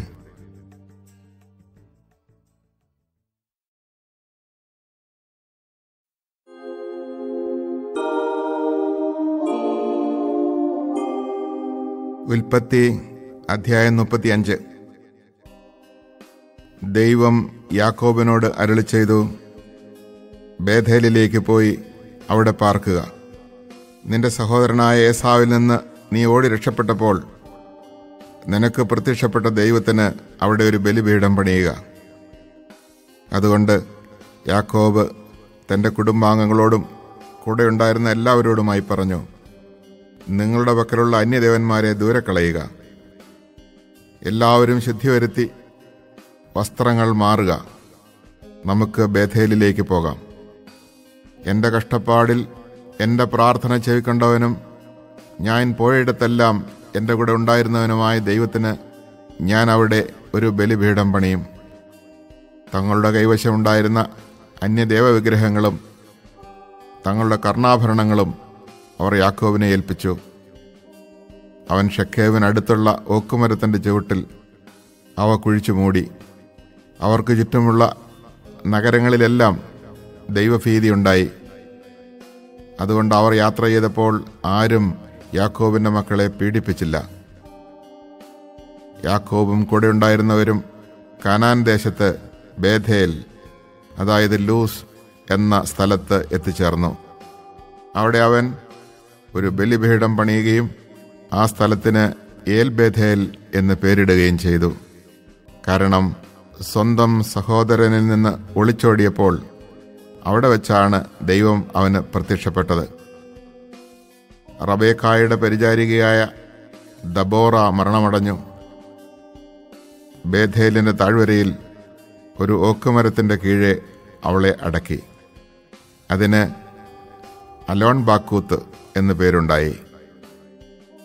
പാതാനാരാമിൽ നിന്ന് പോന്നപ്പോൾ ദൈവം യാക്കോബിന് വീണ്ടും പ്രത്യക്ഷപ്പെട്ട് അവനെ അനുഗ്രഹിച്ചു. ദൈവം അവനോട് അരളി ചെയ്തു യാക്കോബ് എന്നാണ് നിന്റെ പേര്. എന്നാൽ ഇനിമേൽ യാക്കോബ് എന്നല്ല ഇസ്രായേൽ എന്നായിരിക്കും നീ വിളിക്കപ്പെടുക. അതിനാൽ അവൻ ഇസ്രായേൽ എന്ന് വിളിക്കപ്പെട്ടു. ദൈവം അവനോട് വീണ്ടും അരളി ചെയ്തു ഞാൻ സർവശക്തനായ ദൈവമാണ്. നീ സന്താനപുഷ്ടിയുണ്ടായി പെരുകുക. ജനതയും ജനതയുടെ ഗണങ്ങളും നിന്നിൽ നിന്ന് ഉത്ഭവിക്കും. രാജാക്കന്മാരും നിന്നിൽ നിന്ന് ജന്മമെടുക്കും. അബ്രാഹത്തിനും ഇസഹാക്കിനും ഞാൻ നൽകിയ നാട് നിനക്കും നിന്റെ സന്താന പരമ്പരകൾക്കും ഞാൻ നൽകും. അനന്തരം ദൈവം അവനെ വിട്ടുപോയി. അവിടുന്ന് തന്നോട് സംസാരിച്ച സ്ഥലത്ത് യാക്കോബ് കല്ലുകൊണ്ട് ഒരു സ്തംഭമുയർത്തി അതിന്മേലൊരു പാനീയ ബലി അർപ്പിച്ച് എണ്ണ പകർന്നു. ദൈവം തന്നോട് സംസാരിച്ച സ്ഥലത്തിന് യാക്കോബ് ബേധേൽ എന്ന് പേരിട്ടു. ബേധേലിൽ നിന്ന് അവർ യാത്ര തുടർന്നു.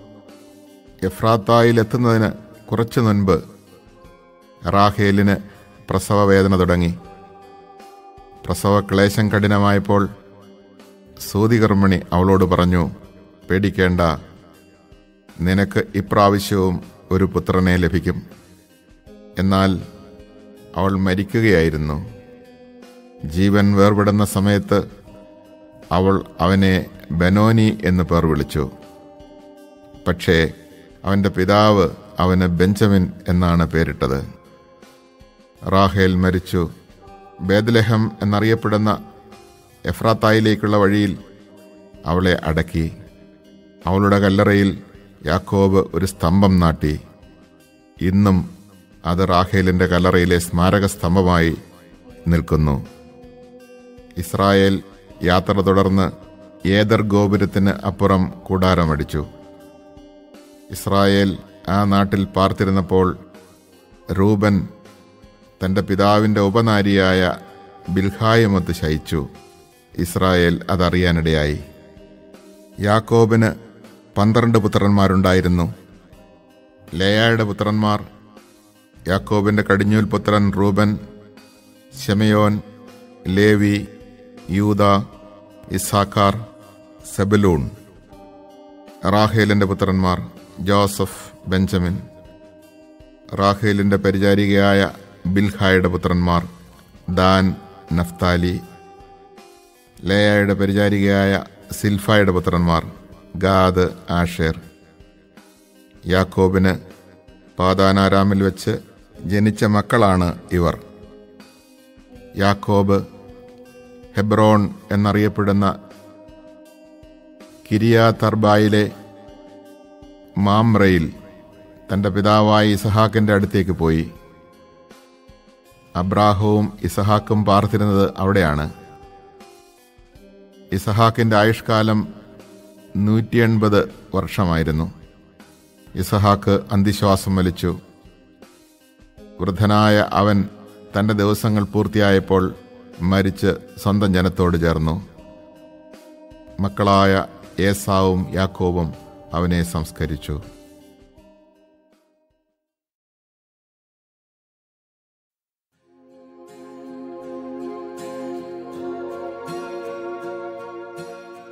ഉൽപ്പത്തി അധ്യായം മുപ്പത്തിയാറ്.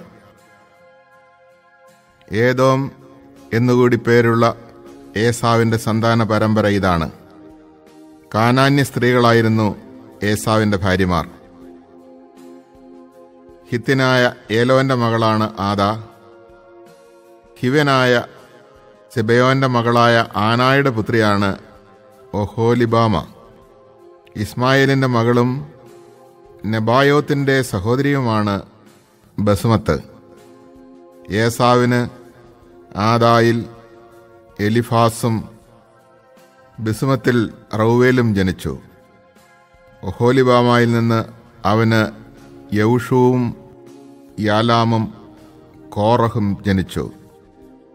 കാനാൻ ദേശത്ത് വച്ച് ഏസാവിനുണ്ടായ മക്കളാണ് ഇവർ. ഏസാവ് ഭാര്യമാരും പുത്രന്മാരും പുത്രിമാരും വീട്ടിലുള്ള എല്ലാവരുമൊത്ത് തന്റെ കാലികളും മൃഗങ്ങളും കാനാൻ ദേശത്ത് താൻ നേടിയ സ്വത്തുമായി സഹോദരനായ യാക്കോബിനെ വിട്ട് അകലെയുള്ള ഒരു ദേശത്തേക്ക് പോയി. കാരണം ഒന്നിച്ചു പാർക്കാൻ വയ്യാത്ത വിധം ഇരുവർക്കും അത്രയേറെ സമ്പത്തുണ്ടായിരുന്നു. അവരുടെ അധിവാസ ഭൂമിക്ക് സംരക്ഷിക്കുവാനാവാത്തവണ്ണം അത്രയധികമായിരുന്നു ആടുമാടുകൾ. അതുകൊണ്ട് ഏസാവ് സെയ്ർ എന്ന മലനാട്ടിൽ പാർത്തു. ഏസാവും ഏതോമും ഒരാൾ തന്നെ. സെയ്ർ മലയിലെ ഏതോമ്യരുടെ പിതാവായ ഏസാവിന്റെ സന്തതി പരമ്പര. ഏസാവിന്റെ പുത്രിമാരുടെ പേരുകൾ. ഏസാവിന് ഭാര്യയായ ആദായിലുണ്ടായ മകൻ എലിഫാസ്. ഭാര്യയായ ബസ്മത്തിലുണ്ടായ മകൻ റവുവേൽ എലിഫാസിന്റെ പുത്രന്മാർ തേമാൻ ഓമർ സെഫോ ഗത്താം കനസ്. ഏസാവിന്റെ മകൻ എലിഫാസിന് തിമ്ന എന്ന ഉപനാരി ഉണ്ടായിരുന്നു എലിഫാസിന് അവളിൽ അമലേക്ക് എന്നൊരു പുത്രൻ ജനിച്ചു. ഏസാവിന് ഭാര്യയായ ആദായിലുണ്ടായ സന്തതികളാണ് ഇവർ. റൌവേലിന്റെ പുത്രന്മാരാണ് നഹത്ത് സെറഹ് ഷമ്മ മിസാം എന്നിവർ. ഏസാവിന് ഭാര്യ ഭസ്മത്തിലുണ്ടായ സന്തതികളാണ് ഇവർ. സിബയോന്റെ പുത്രിയായ ആനായുടെ മകൾ ഒഹോലിബാമായിൽ ഏസാവിനുണ്ടായ പുത്രന്മാരാണ് യവൂഷും യാലാമും കോറഹും. ഏസാവിന്റെ മക്കളിൽ പ്രധാനർ ഇവരായിരുന്നു. ഏസാവിന്റെ കടിഞ്ഞൽ പുത്രനായ എലിഫാസിന്റെ മക്കൾ തേമാൻ ഓമർ സെഫോ കെനസ്. കോറഹ് ഗത്താം അമലേഖ് എന്നിവർ ഏതോ നാട്ടിൽ എരിഫാസിൽ നിന്നുണ്ടായ നായകന്മാരാണ്. ഇവരെല്ലാം ആദായുടെ പുത്രന്മാരാണ്. ഏസാവിന്റെ മകനായ റൌവേലിന്റെ പുത്രന്മാർ. പ്രമുഖരായ നഹത്ത് സേറഹ് ഷമ്മ മിസ ഏതോ നാട്ടിൽ റവുവേലിൽ നിന്നുണ്ടായ പ്രധാനപ്പെട്ടവരാണ് ഇവർ. ഇവർ ഏസാവിന്റെ ഭാര്യ ബസ്മത്തിന്റെ സന്തതികളാണ്. ഏസാവിന്റെ ഭാര്യ ഒഹോലിബാമയുടെ പുത്രന്മാർ. പ്രമുഖരായ യൌഷ് യലാം കോർഹ്. ഇവർ ഏസാവിന്റെ ഭാര്യയും ആനായുടെ മകളുമായ ഒഹോലിബാമയിൽ നിന്നുള്ള നായകന്മാരാണ്. ഇവർ ഏസാവിന്റെ സന്തതികളും ഏതോമിലെ പ്രമുഖന്മാരുമാണ്. അന്നാട്ടിൽ പാർത്തിരുന്നവരും സെയ്ർ എന്ന ഹോര്യന്റെ പുത്രന്മാരുമാണ് ലോത്താൻ ഷോബാൽ സെബയോൻ ആന ദീഷോൻ ഏസർ ദീഷാൻ ഇവർ ഏതോ നാട്ടിലെ സെയ്റിന്റെ പുത്രന്മാരും ഹോരിയയിലെ പ്രമാണികളുമാണ്. ലോത്താന്റെ പുത്രന്മാർ ഹോറി ഹേമ. ലോത്താന്റെ സഹോദരിയായിരുന്നു തിമ്ന ഷോബാലിന്റെ പുത്രന്മാർ അൽവാൻ മനഹത്ത് ഏബാൽ ഷെഫോ ഓനാം. സിബയോന്റെ പുത്രന്മാർ അയ്യ ആന. തന്റെ പിതാവായ സിബയോന്റെ കഴുതകളെ മേയ്ക്കുമ്പോൾ മരുഭൂമിയിൽ ചൂടുറവകൾ കണ്ടെത്തിയ ആന ഇവൻ തന്നെയാണ്. ദീഷോൻ ആനായുടെ പുത്രനും ഒഹോലിബാമ പുത്രിയുമായിരുന്നു. ഹിമുദാൻ യഷ്ബാൻ ഇത്രാൻ ഖറാൻ എന്നിവരായിരുന്നു ദീഷോന്റെ പുത്രന്മാർ. ഏസറിന്റെ പുത്രന്മാരായിരുന്നു ബിൽഹാനും സാവാനും അക്കാനും. ദീഷാന്റെ പുത്രന്മാരായിരുന്നു ഊസും ആരാനും.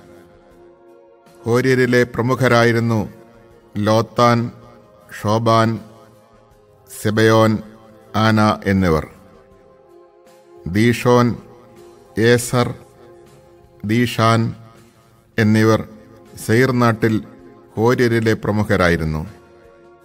ഇസ്രായേൽക്കാരുടെ ഇടയിൽ രാജഭരണം ആരംഭിക്കുന്നതിന് മുമ്പ് ഏതോം നാട്ടിലെ ഭരണാധികാരികൾ ഇവരായിരുന്നു.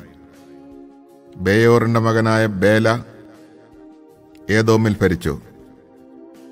അവന്റെ പട്ടണത്തിന്റെ പേര് ദിൻഹാബ എന്നായിരുന്നു. ബേല മരിച്ചപ്പോൾ ബസ്രായിലെ സേറഹിന്റെ മകനായ യോബാബ് രാജാവായി. യോബാബ് മരിച്ചപ്പോൾ തേമാന്യനായ ഹൂഷാം രാജാവായി. ഹൂഷാം മരിച്ചപ്പോൾ ബദാദിന്റെ പുത്രനായ ഹദാദ് രാജാവായി. അവൻ മൊവാബ് ദേശത്ത് വെച്ച് മിതിയാനെ തോൽപ്പിച്ചു. അവന്റെ പട്ടണത്തിന്റെ പേര് അവിത് എന്നായിരുന്നു. ഹദാദ് മരിച്ചപ്പോൾ മസ്രേക്കായിലെ സമല രാജാവായി. സമല മരിച്ചപ്പോൾ നദീതീരത്തുള്ള റഹോബോത്തിലെ സാവൂൾ രാജാവായി. സാവൂൾ മരിച്ചപ്പോൾ അക്ബോറിന്റെ മകനായ ബാൽഹാനാൻ രാജാവായി. അക്ബോറിന്റെ മകനായ ബാൽഹാനാൻ മരിച്ചപ്പോൾ ഹദാറാണ് തൽസ്ഥാനത്ത് ഭരിച്ചത്. അവന്റെ പട്ടണത്തിന്റെ പേര് പാവു എന്നായിരുന്നു. മെസാഹാബിന്റെ പൗത്രിയും മത്രേദിന്റെ പുത്രിയുമായ മെഹേത്തബേൽ ആയിരുന്നു അവന്റെ ഭാര്യ. കുടുംബവും വാസസ്ഥലവും പേരുമനുസരിച്ച് ഏസാവിൽ നിന്ന് ഉത്ഭവിച്ച പ്രമുഖർ തിമ്മന അൽവ യത്തത്ത് ഒഹോലിബാമ ഏല പിനോൻ കെനസ് തേമാൻ മിപ്സാർ മഗ്ദിയേൽ ഈറാം എന്നിവരായിരുന്നു. തങ്ങൾ കൈയടക്കിയ നാട്ടിലെ താമസ സ്ഥലമനുസരിച്ച് ഏതോംകാരുടെ പ്രമാണികൾ ഇവരായിരുന്നു. ഏസാവാണ് ഏതോംകാരുടെ പിതാവ്.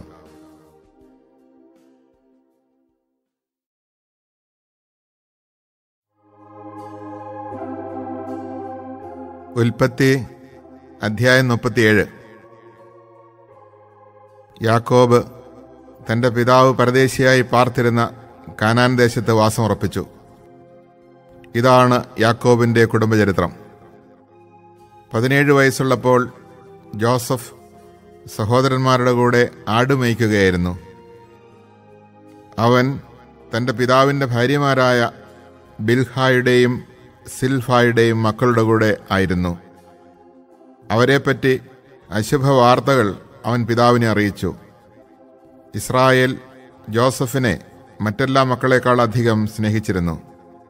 കാരണം അവൻ തന്റെ വാർദ്ധക്യത്തിലെ മകനായിരുന്നു.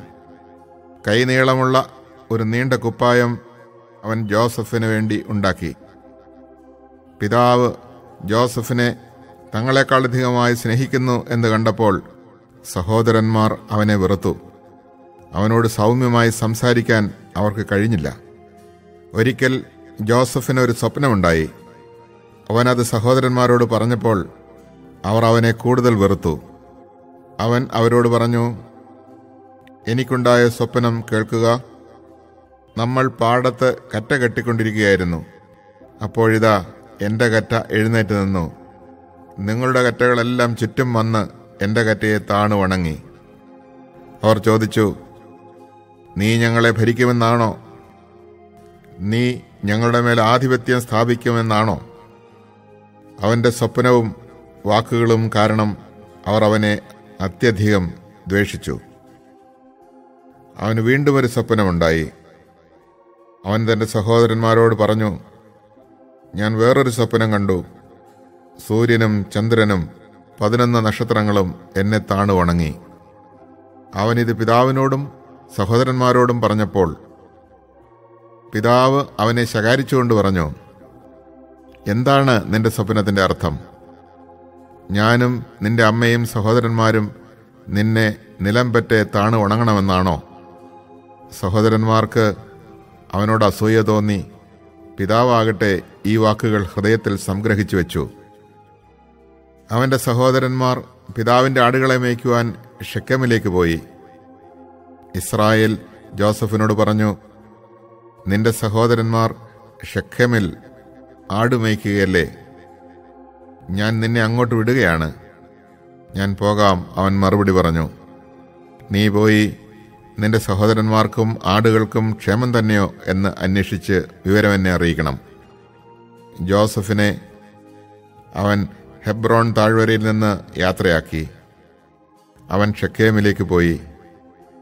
അവൻ വയലിൽ അലഞ്ഞു തിരിയുന്നത് കണ്ട ഒരാൾ അവനോട് ചോദിച്ചു നീ അന്വേഷിക്കുന്നത് എന്താണ്? അവൻ പറഞ്ഞു ഞാൻ എന്റെ സഹോദരന്മാരെ അന്വേഷിക്കുകയാണ്.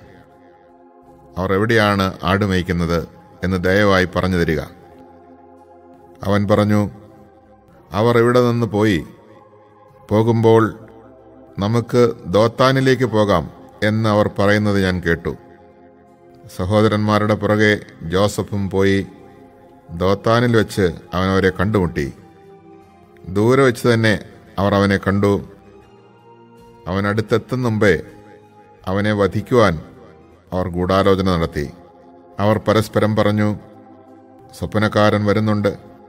വരുവിൻ നമുക്കവനെ കൊന്ന് കുഴിയിലെറിയാം.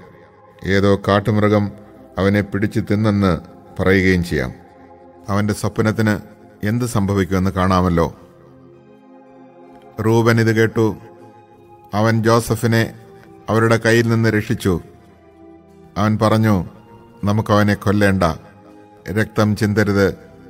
അവനെ നിങ്ങൾ മരുഭൂമിയിലെ ഈ കുഴിയിൽ തള്ളിയിടുക. പക്ഷേ ദേഹോപദ്രവം ഏൽപ്പിക്കരുത്. അവനെ അവരുടെ കയ്യിൽ നിന്ന് രക്ഷിച്ച് പിതാവിന് തിരിച്ചേൽപ്പിക്കാനാണ് രൂപൻ ഇങ്ങനെ പറഞ്ഞത്. അതിനാൽ ജോസഫ് അടുത്തെത്തിയപ്പോൾ സഹോദരന്മാർ അവൻ ധരിച്ചിരുന്ന കൈനീളമുള്ള പുറംകുപ്പായം ഊരിയെടുത്തു. അവനെ ഒരു കുഴിയിൽ തള്ളിയിട്ടു അത് വെള്ളമില്ലാത്ത പൊട്ടക്കിണറായിരുന്നു. അവർ ഭക്ഷണം കഴിക്കാനിരുന്നപ്പോൾ ഗിലയാദിൽ നിന്ന് വരുന്ന ഇസ്മായില്യരുടെ ഒരു യാത്രാസംഘത്തെ കണ്ടു. അവർ സുഗന്ധപ്പശയും പരിമളദ്രവ്യങ്ങളും കുന്തുരുക്കവും ഒട്ടകപ്പുറത്ത് കയറ്റി ഈജിപ്തിലേക്ക് പോവുകയായിരുന്നു. അപ്പോൾ യൂത തന്റെ സഹോദരന്മാരോട് പറഞ്ഞു നമ്മുടെ സഹോദരനെ കൊന്ന് അവന്റെ രക്തം മറച്ചു വെച്ചതുകൊണ്ട് നമുക്കെന്ത് പ്രയോജനമാണുണ്ടാവുക? വരുവിൻ നമുക്കവനെ ഇസ്മായേല്യർക്ക് വിൽക്കാം. അവനെ നമ്മൾ ഉപദ്രവിക്കേണ്ട. അവൻ നമ്മുടെ സഹോദരനാണ്. നമ്മുടെ തന്നെ മാംസം. അവന്റെ സഹോദരന്മാർ അതിന് സമ്മതിച്ചു. അപ്പോൾ കുറേ മിതിയാൻ കച്ചവടക്കാർ ആ വഴി കടന്നുപോയി. ജോസഫിന്റെ സഹോദരന്മാർ അവനെ കുഴിയിൽ നിന്ന് പൊക്കിയെടുത്ത് ഇരുപത് വെള്ളിക്കാശിന് ഇസ്മായേല്യർക്ക് വിറ്റു. അവർ അവനെ ഈജിപ്തിലേക്ക് കൊണ്ടുപോയി. റൂബൻ കുഴിയുടെ അടുത്തേക്ക് തിരിച്ചു ചെന്നു. എന്നാൽ ജോസഫ് കുഴിയിൽ ഇല്ലായിരുന്നു. അവൻ തന്റെ ഉടുപ്പ് വലിച്ചു കീറി സഹോദരന്മാരുടെ അടുത്ത് നിന്ന് വിലപിച്ചു കുട്ടിയെ കാണാനില്ല ഞാൻ ഇനി എവിടെ പോകും? അവർ ഒരാടിനെ കൊന്ന് ജോസഫിന്റെ കുപ്പായം എടുത്ത് അതിന്റെ രക്തത്തിൽ മുക്കി. കൈനീളമുള്ള ആ നീണ്ട കുപ്പായം തങ്ങളുടെ പിതാവിന്റെ അടുക്കൽ കൊണ്ടുചെന്നിട്ട് അവർ പറഞ്ഞു ഈ കുപ്പായം ഞങ്ങൾക്ക് കണ്ടുകിട്ടി. ഇത് അങ്ങയുടെ മകന്റേതാണോ അല്ലയോ എന്ന് നോക്കുക. അവനത് തിരിച്ചറിഞ്ഞു. അവൻ പറഞ്ഞു ഇതെന്റെ മകന്റെ കുപ്പായമാണ്. ഏതോ കാട്ടുമൃഗം അവനെ പിടിച്ചു തിന്നു. ജോസഫിനെ അത് കടിച്ചു കീറി കാണും. യാക്കോബ് തന്റെ വസ്ത്രം വലിച്ചു കീറി ചാക്കുടുത്ത് വളരെ നാൾ തന്റെ മകനെക്കുറിച്ച് വിലപിച്ചു. അവന്റെ പുത്രന്മാരും പുത്രിമാരും അവനെ ആശ്വസിപ്പിക്കുവാൻ ശ്രമിച്ചു. എന്നാൽ അവർക്ക് കഴിഞ്ഞില്ല. കരഞ്ഞുകൊണ്ട് തന്നെ പാതാളത്തിൽ എന്റെ മകന്റെ അടുത്തേക്ക് ഞാൻ പോകും എന്ന് പറഞ്ഞ് അവൻ തന്റെ മകനെ ഓർത്ത് വിലപിച്ചു. ഇതിനിടെ മിതിയാൻകാർ ജോസഫിനെ ഈജിപ്തിൽ ഫറവോയുടെ ഒരു ഉദ്യോഗസ്ഥനും കാവൽപ്പടയുടെ നായകനുമായ പൊത്തിഫറിന് വിറ്റു.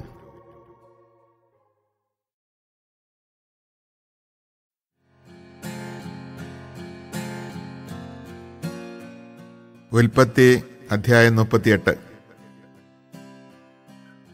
അക്കാലത്ത് യൂത തന്റെ സഹോദരന്മാരെ വിട്ട് ഹീറ എന്നു പേരായ ഒരു അതില്ലാങ്കാരന്റെ അടുത്തേക്ക് പോയി. അവിടെ അവൻ ഷൂവ എന്നു പേരായ ഒരു കാനാൻകാരന്റെ മകളെ കണ്ടു. അവളെ ഭാര്യയായി സ്വീകരിച്ച് അവളോട് ചേർന്നു.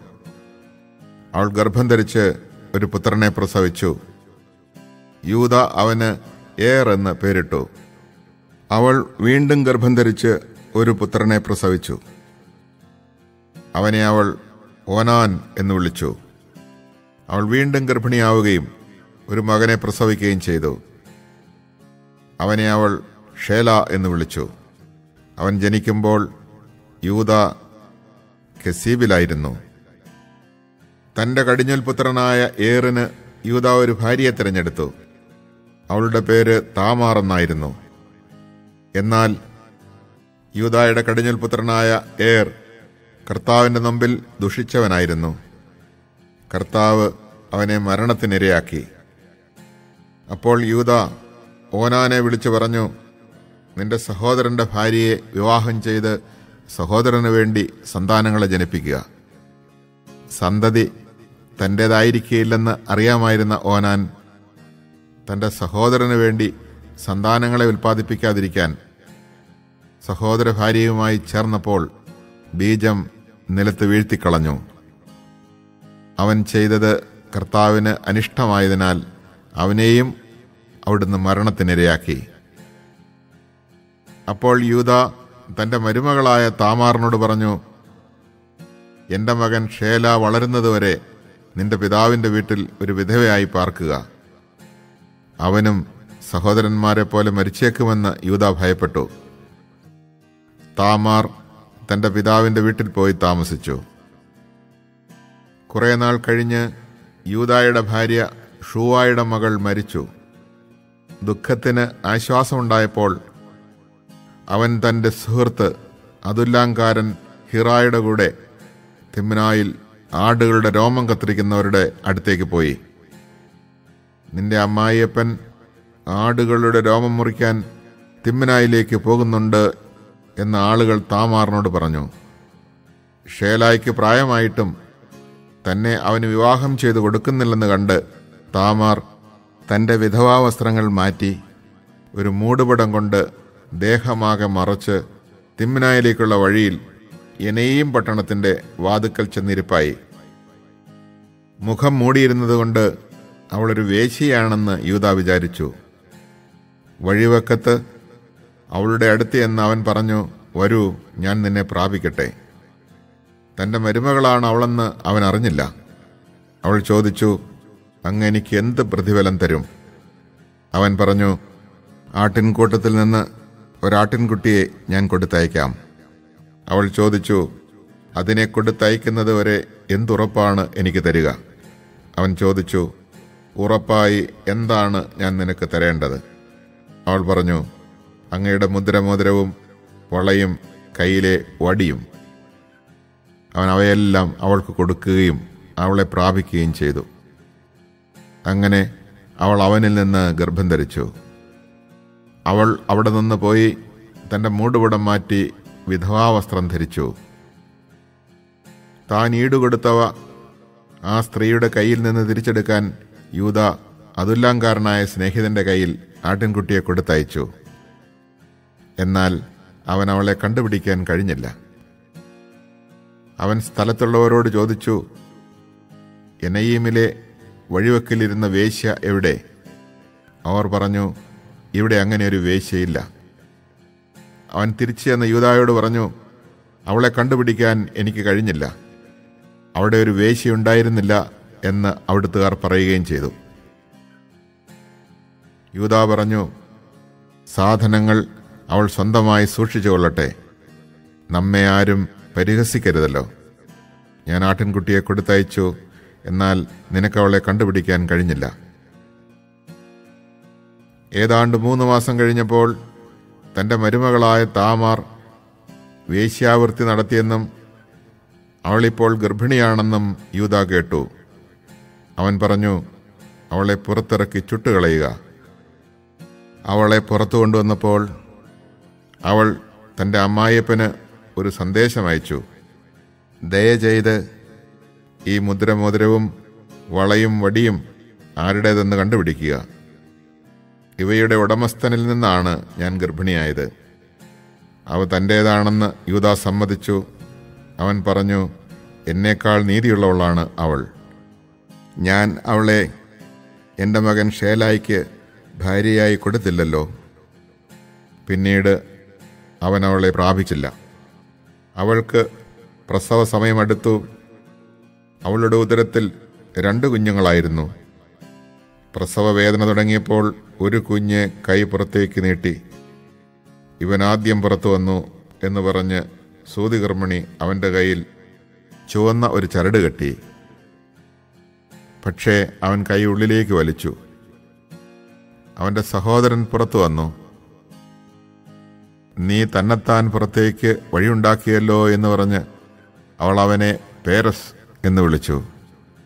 പിന്നീട് കയ്യിൽ ചുവന്ന ചരടുമായി അവന്റെ സഹോദരൻ പുറത്തു വന്നു. അവന് സേറഹ് എന്ന് പേരിട്ടു.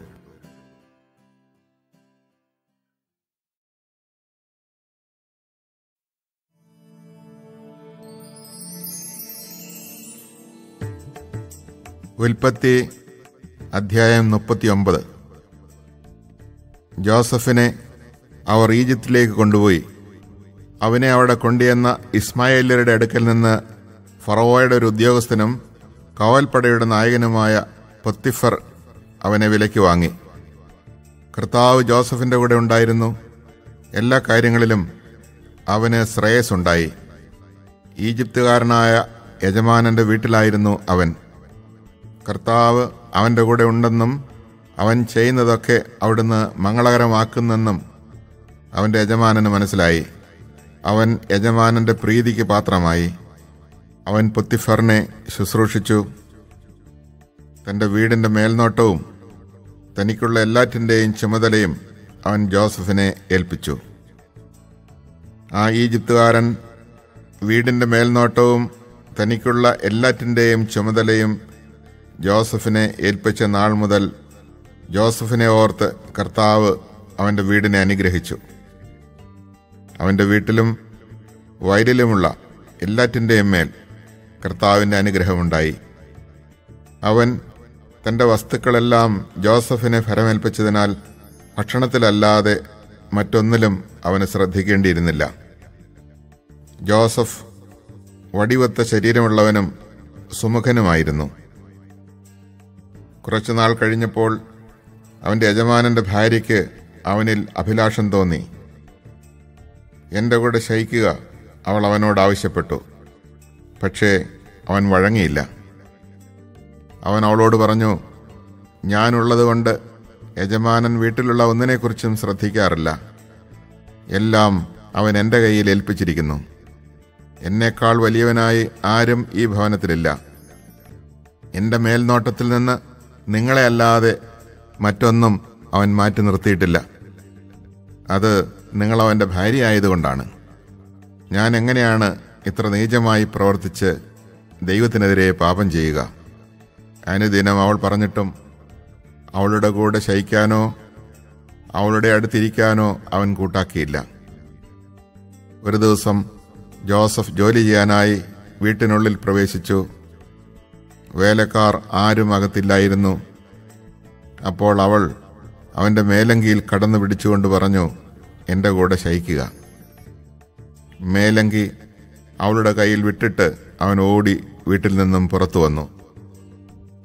കുപ്പായം തന്റെ കയ്യിൽ വിട്ടിട്ട് അവൻ വീട്ടിന് പുറത്തേക്ക് ഓടിയെന്ന് കണ്ടപ്പോൾ അവൾ വീട്ടിലുള്ളവരെ വിളിച്ചു പറഞ്ഞു നമുക്ക് അപമാനം വരുത്താൻ അവനിതാ ഒരു ഹെബ്രായനെ കൊണ്ടുവന്നിരിക്കുന്നു. എന്നോടൊത്ത് ശയിക്കാൻ അവൻ എന്നെ സമീപിച്ചു. എന്നാൽ ഞാൻ ഉച്ചത്തിൽ നിലവിളിച്ചു. എന്റെ നിലവിളി കേട്ടപ്പോൾ അവൻ പുറങ്കുപ്പായം എന്റെ അരികിലിട്ടിട്ട് ഓടി വീട്ടിൽ നിന്ന് പുറത്തു കിടന്നു. അവന്റെ യജമാനൻ തിരിച്ചു വരുവോളം അവൾ ആ കുപ്പായം സൂക്ഷിച്ചു. അവൾ അവനോട് ഇപ്രകാരം പറഞ്ഞു അങ്ങ് കൊണ്ടുവന്ന എബ്രായ വേലക്കാരൻ അപമാനിക്കാനായി എന്നെ സമീപിച്ചു. എന്നാൽ ഞാൻ ഉച്ചത്തിൽ നിലവിളിച്ചപ്പോൾ അവൻ പുറങ്കുപ്പായം ഉപേക്ഷിച്ചിട്ട് വീട്ടിൽ നിന്ന് ഓടി പുറത്തു കടന്നു. ഇതാണ് അങ്ങയുടെ വേലക്കാരൻ എന്നോട് ചെയ്തത്. തന്റെ ഭാര്യ പറഞ്ഞത് കേട്ടപ്പോൾ അവന്റെ യജമാനൻ രോഷാകുലനായി അവൻ ജോസഫിനെ രാജാവിന്റെ തടവുകാരെ ഇട്ടിരുന്ന കാരാഗ്രഹത്തിലാക്കി. അങ്ങനെ അവൻ കാരാഗ്രഹത്തിൽ കഴിച്ചുകൂട്ടി. കർത്താവ് ജോസഫിന്റെ കൂടെ ഉണ്ടായിരുന്നു. അവിടുന്ന് അവനോട് കാരുണ്യം കാണിച്ചു. അവന് കാരാഗ്രഹ സൂക്ഷിപ്പുകാരന്റെ പ്രീതി ലഭിക്കുവാൻ ഇടയാക്കുകയും ചെയ്തു. കാരാഗ്രഹ സൂക്ഷിപ്പുകാരൻ തടവുകാരുടെ എല്ലാം മേൽനോട്ടം ജോസഫിനെ ഏൽപ്പിച്ചു. അവിടെ എല്ലാം ജോസഫിന്റെ മേൽനോട്ടത്തിലാണ് നടന്നത്. ജോസഫിനെ ഫലമേൽപ്പിച്ച ഒരു കാര്യത്തിലും കാരാഗ്രഹ സൂക്ഷിപ്പുകാരൻ ഇടപെട്ടില്ല. കാരണം കർത്താവ് അവന്റെ കൂടെ ഉണ്ടായിരുന്നു. അവൻ ചെയ്തതൊക്കെ കർത്താവ് ശുഭമാക്കുകയും ചെയ്തു.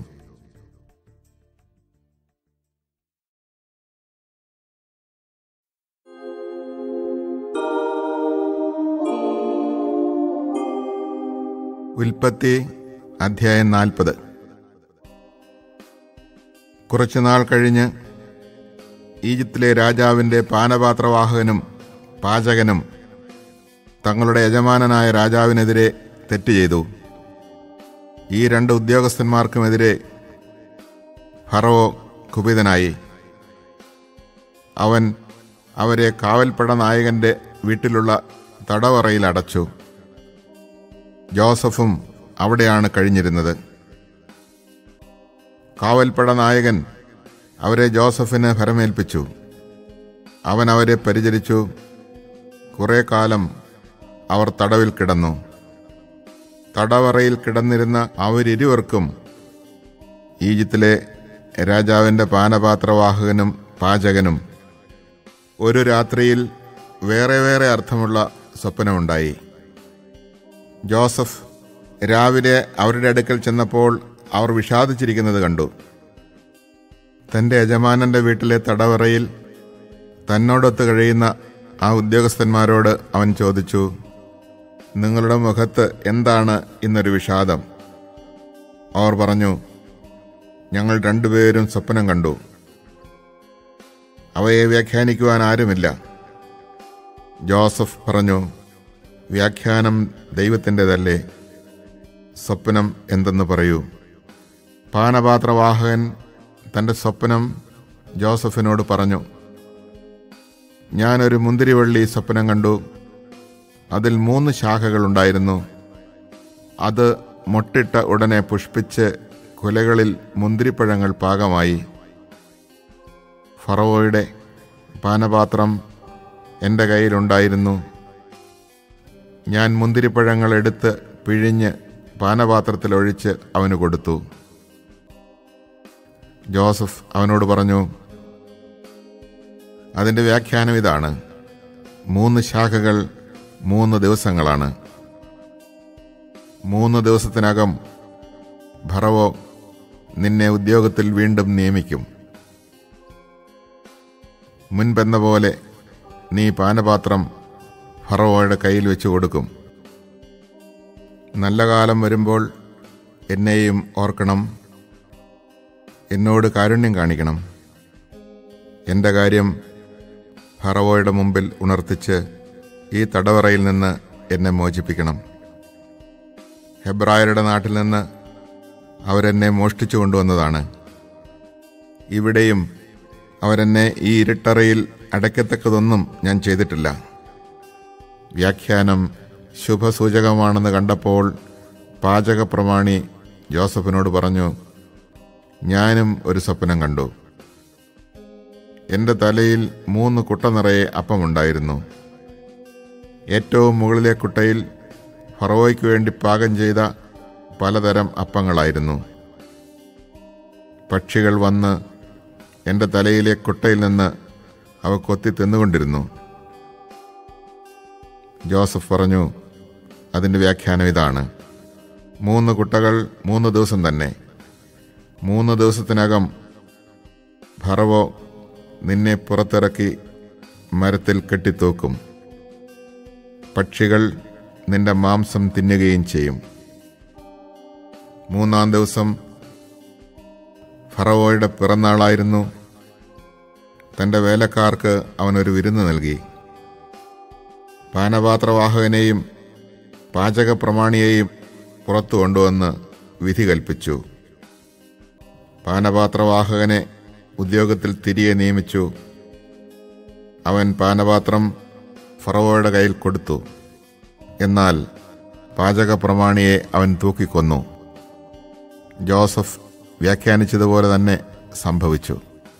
എന്നാൽ പാനപാത്രവാഹകൻ ജോസഫിനെ ഓർമ്മിച്ചില്ല. അവനെ മറന്നുകളഞ്ഞു.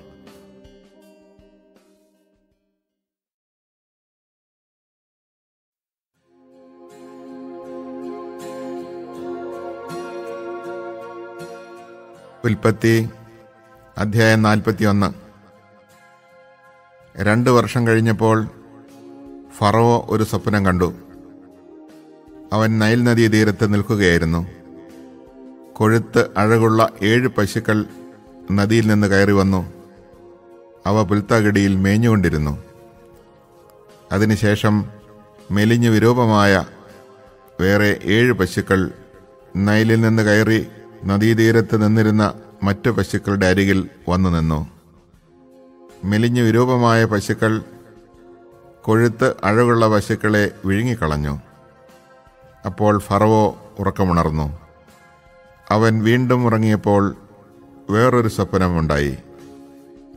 ഒരു തണ്ടിൽ പുഷ്ടിയും അഴകുമുള്ള ഏഴ് ധാന്യക്കതിരുകൾ വളർന്നു പൊങ്ങി. തുടർന്ന് ഏഴ് കതിരുകൾ കൂടി ഉയർന്നു വന്നു. അവ ശുഷ്കിച്ചവയും കിഴക്കൻ കാറ്റിൽ ഉണങ്ങിക്കരിഞ്ഞവയുമായിരുന്നു. ശോഷിച്ച ഏഴ് കതിരുകൾ പുഷ്ടിയും അഴകുമുള്ള കതിരുകളെ വിഴുങ്ങിക്കളഞ്ഞു.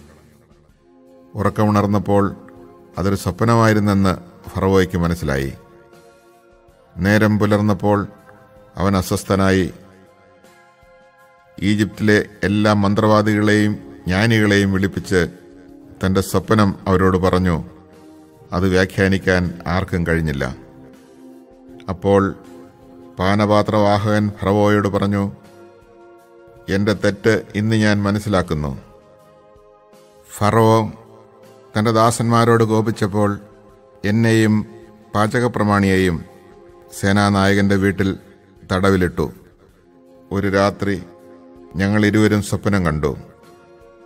വ്യത്യസ്തമായ അർത്ഥമുള്ള സ്വപ്നങ്ങൾ. ഞങ്ങളുടെ കൂടെ ഒരു ഹെബ്രായ യുവാവുണ്ടായിരുന്നു സേനാനായകന്റെ വേലക്കാരനായിരുന്നു അവൻ. ഞങ്ങളുടെ സ്വപ്നം അവനോട് പറഞ്ഞപ്പോൾ അവൻ അത് ഞങ്ങൾക്ക് വ്യാഖ്യാനിച്ചു തന്നു. ഇരുവർക്കും അവനവന്റെ സ്വപ്നത്തിനൊത്ത വ്യാഖ്യാനമാണ് തന്നത്. അവൻ ഞങ്ങൾക്ക് വ്യാഖ്യാനിച്ചു തന്നതുപോലെ തന്നെ സംഭവിച്ചു. എന്നെ അവിടുന്ന് ഉദ്യോഗത്തിൽ പുനഃസ്ഥാപിച്ചു. പാചക പ്രമാണിയെ തൂക്കിലിടുകയും ചെയ്തു. അപ്പോൾ ഫറോ ജോസഫിനെ ആളയച്ചു വരുത്തി. അവർ അവനെ തിടുക്കത്തിൽ ഇരുട്ടറയിൽ നിന്ന് പുറത്തു കൊണ്ടുവന്നു. അവൻ ക്ഷൗരം ചെയ്ത് ഉടുപ്പ് മാറി ഫറോയുടെ മുമ്പിൽ ഹാജരായി. ഫറവോ ജോസഫിനോട് പറഞ്ഞു ഞാനൊരു സ്വപ്നം കണ്ടു. അത് വ്യാഖ്യാനിക്കുവാൻ ആർക്കും കഴിയുന്നില്ല. നിനക്ക് സ്വപ്നം വ്യാഖ്യാനിക്കുവാൻ കഴിയുമെന്ന് ഞാൻ അറിഞ്ഞു. ജോസഫ് ഫറവോയോട് പറഞ്ഞു അത് എന്റെ കഴിവല്ല. എന്നാൽ ദൈവം ഫറവോയ്ക്ക് തൃപ്തികരമായ ഉത്തരം നൽകും. ഫറവോ ജോസഫിനോട് പറഞ്ഞു സ്വപ്നം ഇതാണ്. ഞാൻ നൈലിന്റെ തീരത്ത് നിൽക്കുകയായിരുന്നു. കൊഴുത്ത് അഴകുള്ള ഏഴ് പശുക്കൾ നൈലിൽ നിന്ന് കയറി വന്ന് പുൽത്തകിടിയിൽ മേയാൻ തുടങ്ങി. അവയ്ക്ക് പുറകെ മെലിഞ്ഞു വിരൂപമായ ഏഴ് പശുക്കളും കയറി വന്നു. അത്തരം പശുക്കളെ ഈജിപ്തിലെങ്ങും ഞാൻ കണ്ടിട്ടില്ല. ശോഷിച്ച് വിരൂപമായ ആ പശുക്കൾ ആദ്യത്തെ ഏഴ് കൊഴുത്ത പശുക്കളെ വിഴുങ്ങിക്കളഞ്ഞു. എന്നാൽ മെലിഞ്ഞ പശുക്കൾ അവയെ വിഴുങ്ങിയെന്ന് ആർക്കും മനസ്സിലാക്കാൻ കഴിയുമായിരുന്നില്ല. കാരണം മുൻപെന്ന പോലെ തന്നെ ശോഷിച്ചാണ് അവ കാണപ്പെട്ടത്. അപ്പോൾ ഞാൻ കണ്ണു തുറന്നു. വീണ്ടും സ്വപ്നത്തിൽ പുഷ്ടിയും അഴകുമുള്ള ഏഴ് കതിരുകൾ ഒരു തണ്ടിൽ വളർന്നു നിൽക്കുന്നത് ഞാൻ കണ്ടു. തുടർന്ന് ശുഷ്കിച്ചതും കിഴക്കൻ കാറ്റിൽ വാടിക്കരിഞ്ഞതുമായ ഏഴ് കതിരുകൾ പൊങ്ങി വന്നു. ശുഷ്കിച്ച കതിരുകൾ നല്ല കതിരുകളെ വിഴുങ്ങിക്കളഞ്ഞു. ഞാനിത് മന്ത്രവാദികളോട് പറഞ്ഞു എന്നാൽ അത് വ്യാഖ്യാനിച്ചു തരുവാൻ ആർക്കും കഴിഞ്ഞില്ല. അപ്പോൾ ജോസഫ് ഫറവോയോട് പറഞ്ഞു ഫറവോയുടെ സ്വപ്നങ്ങളുടെ അർത്ഥം ഒന്ന് തന്നെ. താൻ ഉടനെ ചെയ്യാൻ പോകുന്നത് എന്തെന്ന് ദൈവം ഫറവോയ്ക്ക് വെളിപ്പെടുത്തിയിരിക്കുന്നു. ഏഴ് നല്ല പശുക്കൾ ഏഴ് വർഷമാണ്. ഏഴ് നല്ല കതിരുകളും ഏഴ് വർഷം തന്നെ. സ്വപ്നങ്ങളുടെ അർത്ഥം ഒന്ന് തന്നെ. അവയ്ക്ക് പുറകെ വന്ന മെലിഞ്ഞതും വിരൂപവുമായ ഏഴ് പശുക്കളും ഏഴു വർഷമാണ്. കിഴക്കൻ കാറ്റിൽ ഉണങ്ങി വരേണ്ട പതിര് നിറഞ്ഞ ഏഴ് കതിരുകൾ ക്ഷാമത്തിന്റെ ഏഴു വർഷമാണ്. ഞാൻ അങ്ങയോട് പറഞ്ഞതുപോലെ ദൈവം ചെയ്യാൻ പോകുന്നത് എന്തെന്ന് അവിടുന്ന് ഫറവോയ്ക്ക് കാണിച്ചു തന്നിരിക്കുന്നു. ഈജിപ്റ്റ് മുഴുവനും സുഭിക്ഷത്തിന്റെ ഏഴ് വർഷങ്ങൾ വരാൻ പോകുന്നു. അതേ തുടർന്ന് ക്ഷാമത്തിന്റെ ഏഴ് വർഷങ്ങളുണ്ടാകും. സമൃദ്ധിയുടെ കാലം ഈജിപ്ത് രാജ്യം മറന്നുപോകും. ക്ഷാമം നാടിനെ കാർന്നതിനും പിന്നാലെ വരുന്ന ക്ഷാമം മൂലം സമൃദ്ധി ഈജിപ്തിന്റെ ഓർമ്മയിൽ പോലെ നിൽക്കില്ല. കാരണം ക്ഷാമം അത്രയ്ക്ക് രൂക്ഷമായിരിക്കും. സ്വപ്നം ആവർത്തിച്ചതിന്റെ അർത്ഥം ദൈവം ഇക്കാര്യം തീരുമാനിച്ചുറച്ചെന്നും ഉടനെ അത് നടപ്പിലാക്കുമെന്നുമാണ്. അതുകൊണ്ട് ഫറവോ വിവേകിയും ബുദ്ധിമാനുമായ ഒരാളെ കണ്ടുപിടിച്ച് ഈജിപ്തിന്റെ മുഴുവൻ അധിപനായി നിയമിക്കണം. ഫറവോ നാട്ടിലെങ്ങും മേൽനോട്ടക്കാരെ നിയമിച്ച് സമൃദ്ധിയുടെ ഏഴ് വർഷങ്ങളിലും വിളവിന്റെ അഞ്ചിലൊന്ന് ശേഖരിക്കണം. വരാൻ പോകുന്ന സമൃദ്ധിയുടെ വർഷങ്ങളിൽ അവർ ധാന്യം മുഴുവനും ശേഖരിച്ച് അത് ഫറവോയുടെ അധികാരത്തിന് കീഴ് നഗരങ്ങളിൽ ഭക്ഷണത്തിനായി സൂക്ഷിച്ചു വെക്കണം. ഈജിപ്തിൽ ഏഴു വർഷം നീണ്ടു നിൽക്കാൻ പോകുന്ന ക്ഷാമത്തെ നേരിടാനുള്ള കരുതൽ ധാന്യമായിരിക്കും അത്. അങ്ങനെ നാട് പട്ടിണി കൊണ്ട് നശിക്കാതിരിക്കും. ഈ നിർദ്ദേശം കൊള്ളാമെന്ന് ഫറോയ്ക്കും അവന്റെ സേവകന്മാർക്കും തോന്നി. ഫറോ സേവകന്മാരോട് പറഞ്ഞു ദൈവത്തിന്റെ ആത്മാവ് കുടികൊള്ളുന്ന ഇവനെപ്പോലെ മറ്റൊരു മനുഷ്യനെ കണ്ടെത്താൻ നമുക്ക് കഴിയുമോ? ഫറവോ ജോസഫിനോട് പറഞ്ഞു ദൈവം ഇക്കാര്യമെല്ലാം നിനക്ക് വെളിപ്പെടുത്തി തന്നിരിക്കുന്നതുകൊണ്ട് നിന്നെപ്പോലെ വിവേകിയും ബുദ്ധിമാനുമായ ഒരാൾ വേറെയില്ല. നീ എന്റെ വീടിന് മേലാളായിരിക്കും. എന്റെ ജനം മുഴുവനും നിന്റെ വാക്കനുസരിച്ച് പ്രവർത്തിക്കും. സിംഹാസനത്തിൽ മാത്രം ഞാൻ നിന്നേക്കാൾ വലിയവനായിരിക്കും. ഫറവോ തുടർന്നു ഇതാ ഈജിപ്ത് രാജ്യത്തിന് മുഴുവനും അധിപനായി നിന്നെ ഞാൻ നിയമിച്ചിരിക്കുന്നു. ഫറവോ തന്റെ കയ്യിൽ നിന്ന് മുദ്രമോതിരം ഊരിയെടുത്ത് ജോസഫിനെ അണിയിച്ചു. അവനെ പട്ടുവസ്ത്രങ്ങൾ ധരിപ്പിച്ചു. കഴുത്തിൽ ഒരു സ്വർണമാല ഇടുകയും ചെയ്തു. അവൻ തന്റെ രണ്ടാം രഥത്തിൽ ജോസഫിനെ എഴുന്നള്ളിച്ചു. മുട്ടുമടക്കുവൻ എന്ന് അവർ അവനു മുമ്പേ വിളിച്ചു പറഞ്ഞുകൊണ്ടിരുന്നു. അങ്ങനെ ഫറവോ അവനെ ഈജിപ്തിന് മുഴുവനും അധിപനാക്കി. ഫറവോ ജോസഫിനോട് പറഞ്ഞു ഞാൻ ഫറവോ ആണ്. നിന്റെ സമ്മതം കൂടാതെ ഈജിപ്ത് ദേശത്തിലെങ്ങും ആരും കയ്യോ കാലോ ഉയർത്തുകയില്ല. അവൻ ജോസഫിന് സാഫനത്ത് ഫാനയ എന്ന് പേരിട്ടു. ഓനിലെ പുരോഹിതനായ പൊത്തിഫറായുടെ മകൾ അസനത്തിനെ അവന് ഭാര്യയായി കൊടുക്കുകയും ചെയ്തു. ജോസഫ് ഈജിപ്ത് മുഴുവൻ സഞ്ചരിച്ചു. ഈജിപ്തിലെ രാജാവായ ഫറവോയുടെ സേവനത്തിൽ പ്രവേശിച്ചപ്പോൾ ജോസഫിന് മുപ്പത് വയസ്സായിരുന്നു. ഫറവോയുടെ മുമ്പിൽ നിന്ന് പോയി അവൻ ഈജിപ്ത് മുഴുവനും ചുറ്റി സഞ്ചരിച്ചു. സുഭിക്ഷത്തിന്റെ ഏഴ് വർഷം ഭൂമി സമർത്ഥമായി വിളവ് നൽകി. ഏഴു വർഷവും കൂടുതലുണ്ടായിരുന്ന ഭക്ഷ്യസാധനങ്ങളെല്ലാം അവൻ നഗരങ്ങളിൽ സംഭരിച്ചു വച്ചു. ഓരോ നഗരത്തിനും ചുറ്റുമുള്ള വയലുകളിലെ ഭക്ഷ്യം അതത് നഗരത്തിൽ തന്നെ സൂക്ഷിച്ചു. കടൽക്കരയിലെ മണൽ പോലെ കണക്കറ്റ ധാന്യം ജോസഫ് ശേഖരിച്ചു വെച്ചു. അതളക്കാൻ വയ്യാത്തതുകൊണ്ട് അവൻ അളവ് നിർത്തി. ക്ഷാമകാലം തുടങ്ങും മുമ്പ് ഊനിന്റെ പുരോഹിതനായ പൊത്തിഫറായുടെ മകൾ അസനത്തിൽ അവന് രണ്ട് പുത്രന്മാർ ജനിച്ചു. എന്റെ കഷ്ടപ്പാടും പിതാവിന്റെ വീടും എല്ലാം മറക്കാൻ ദൈവമിടയാക്കിയിരിക്കുന്നു എന്ന് പറഞ്ഞുകൊണ്ട് അവൻ തന്റെ കടിഞ്ഞൽ പുത്രനെ മനാസെ എന്ന് വിളിച്ചു. രണ്ടാമനെ അവൻ എഫ്രായിം എന്ന് വിളിച്ചു. എന്തെന്നാൽ കഷ്ടതകളുടെ നാട്ടിൽ ദൈവം എന്നെ സന്താനപുഷ്ടിയുള്ളവനാക്കിയിരിക്കുന്നു എന്ന് അവൻ പറഞ്ഞു. ഈജിപ്തിലെ സമൃദ്ധിയുടെ ഏഴു വർഷം അവസാനിച്ചു.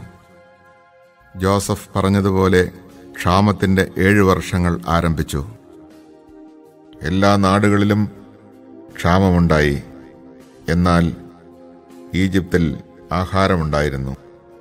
ഈജിപ്തിലെല്ലാം ക്ഷാമമായപ്പോൾ ജനങ്ങൾ ഫറോയുടെ അടുക്കൽ ആഹാരത്തിന് അപേക്ഷിച്ചു. അവൻ ഈജിപ്തുകാരോട് പറഞ്ഞു ജോസഫിന്റെ അടുത്തേക്ക് ചെല്ലുക. അവൻ നിങ്ങളോട് പറയുന്നത് പോലെ ചെയ്യുക. ദേശത്തെല്ലാം പട്ടിണി വ്യാപിച്ചപ്പോൾ ജോസഫ് കലവറകൾ തുറന്ന് ഈജിപ്തുകാർക്ക് ധാന്യം വിറ്റു. ഈജിപ്തിൽ പട്ടിണി വളരെ രൂക്ഷമായിരുന്നു. ജോസഫിന്റെ പക്കൽ നിന്ന് ധാന്യം വാങ്ങാൻ എല്ലാ ദേശങ്ങളിൽ നിന്ന് ആളുകൾ ഈജിപ്തിലെത്തി. ലോകത്തെല്ലാം പട്ടിണി അത്ര രൂക്ഷമായിരുന്നു.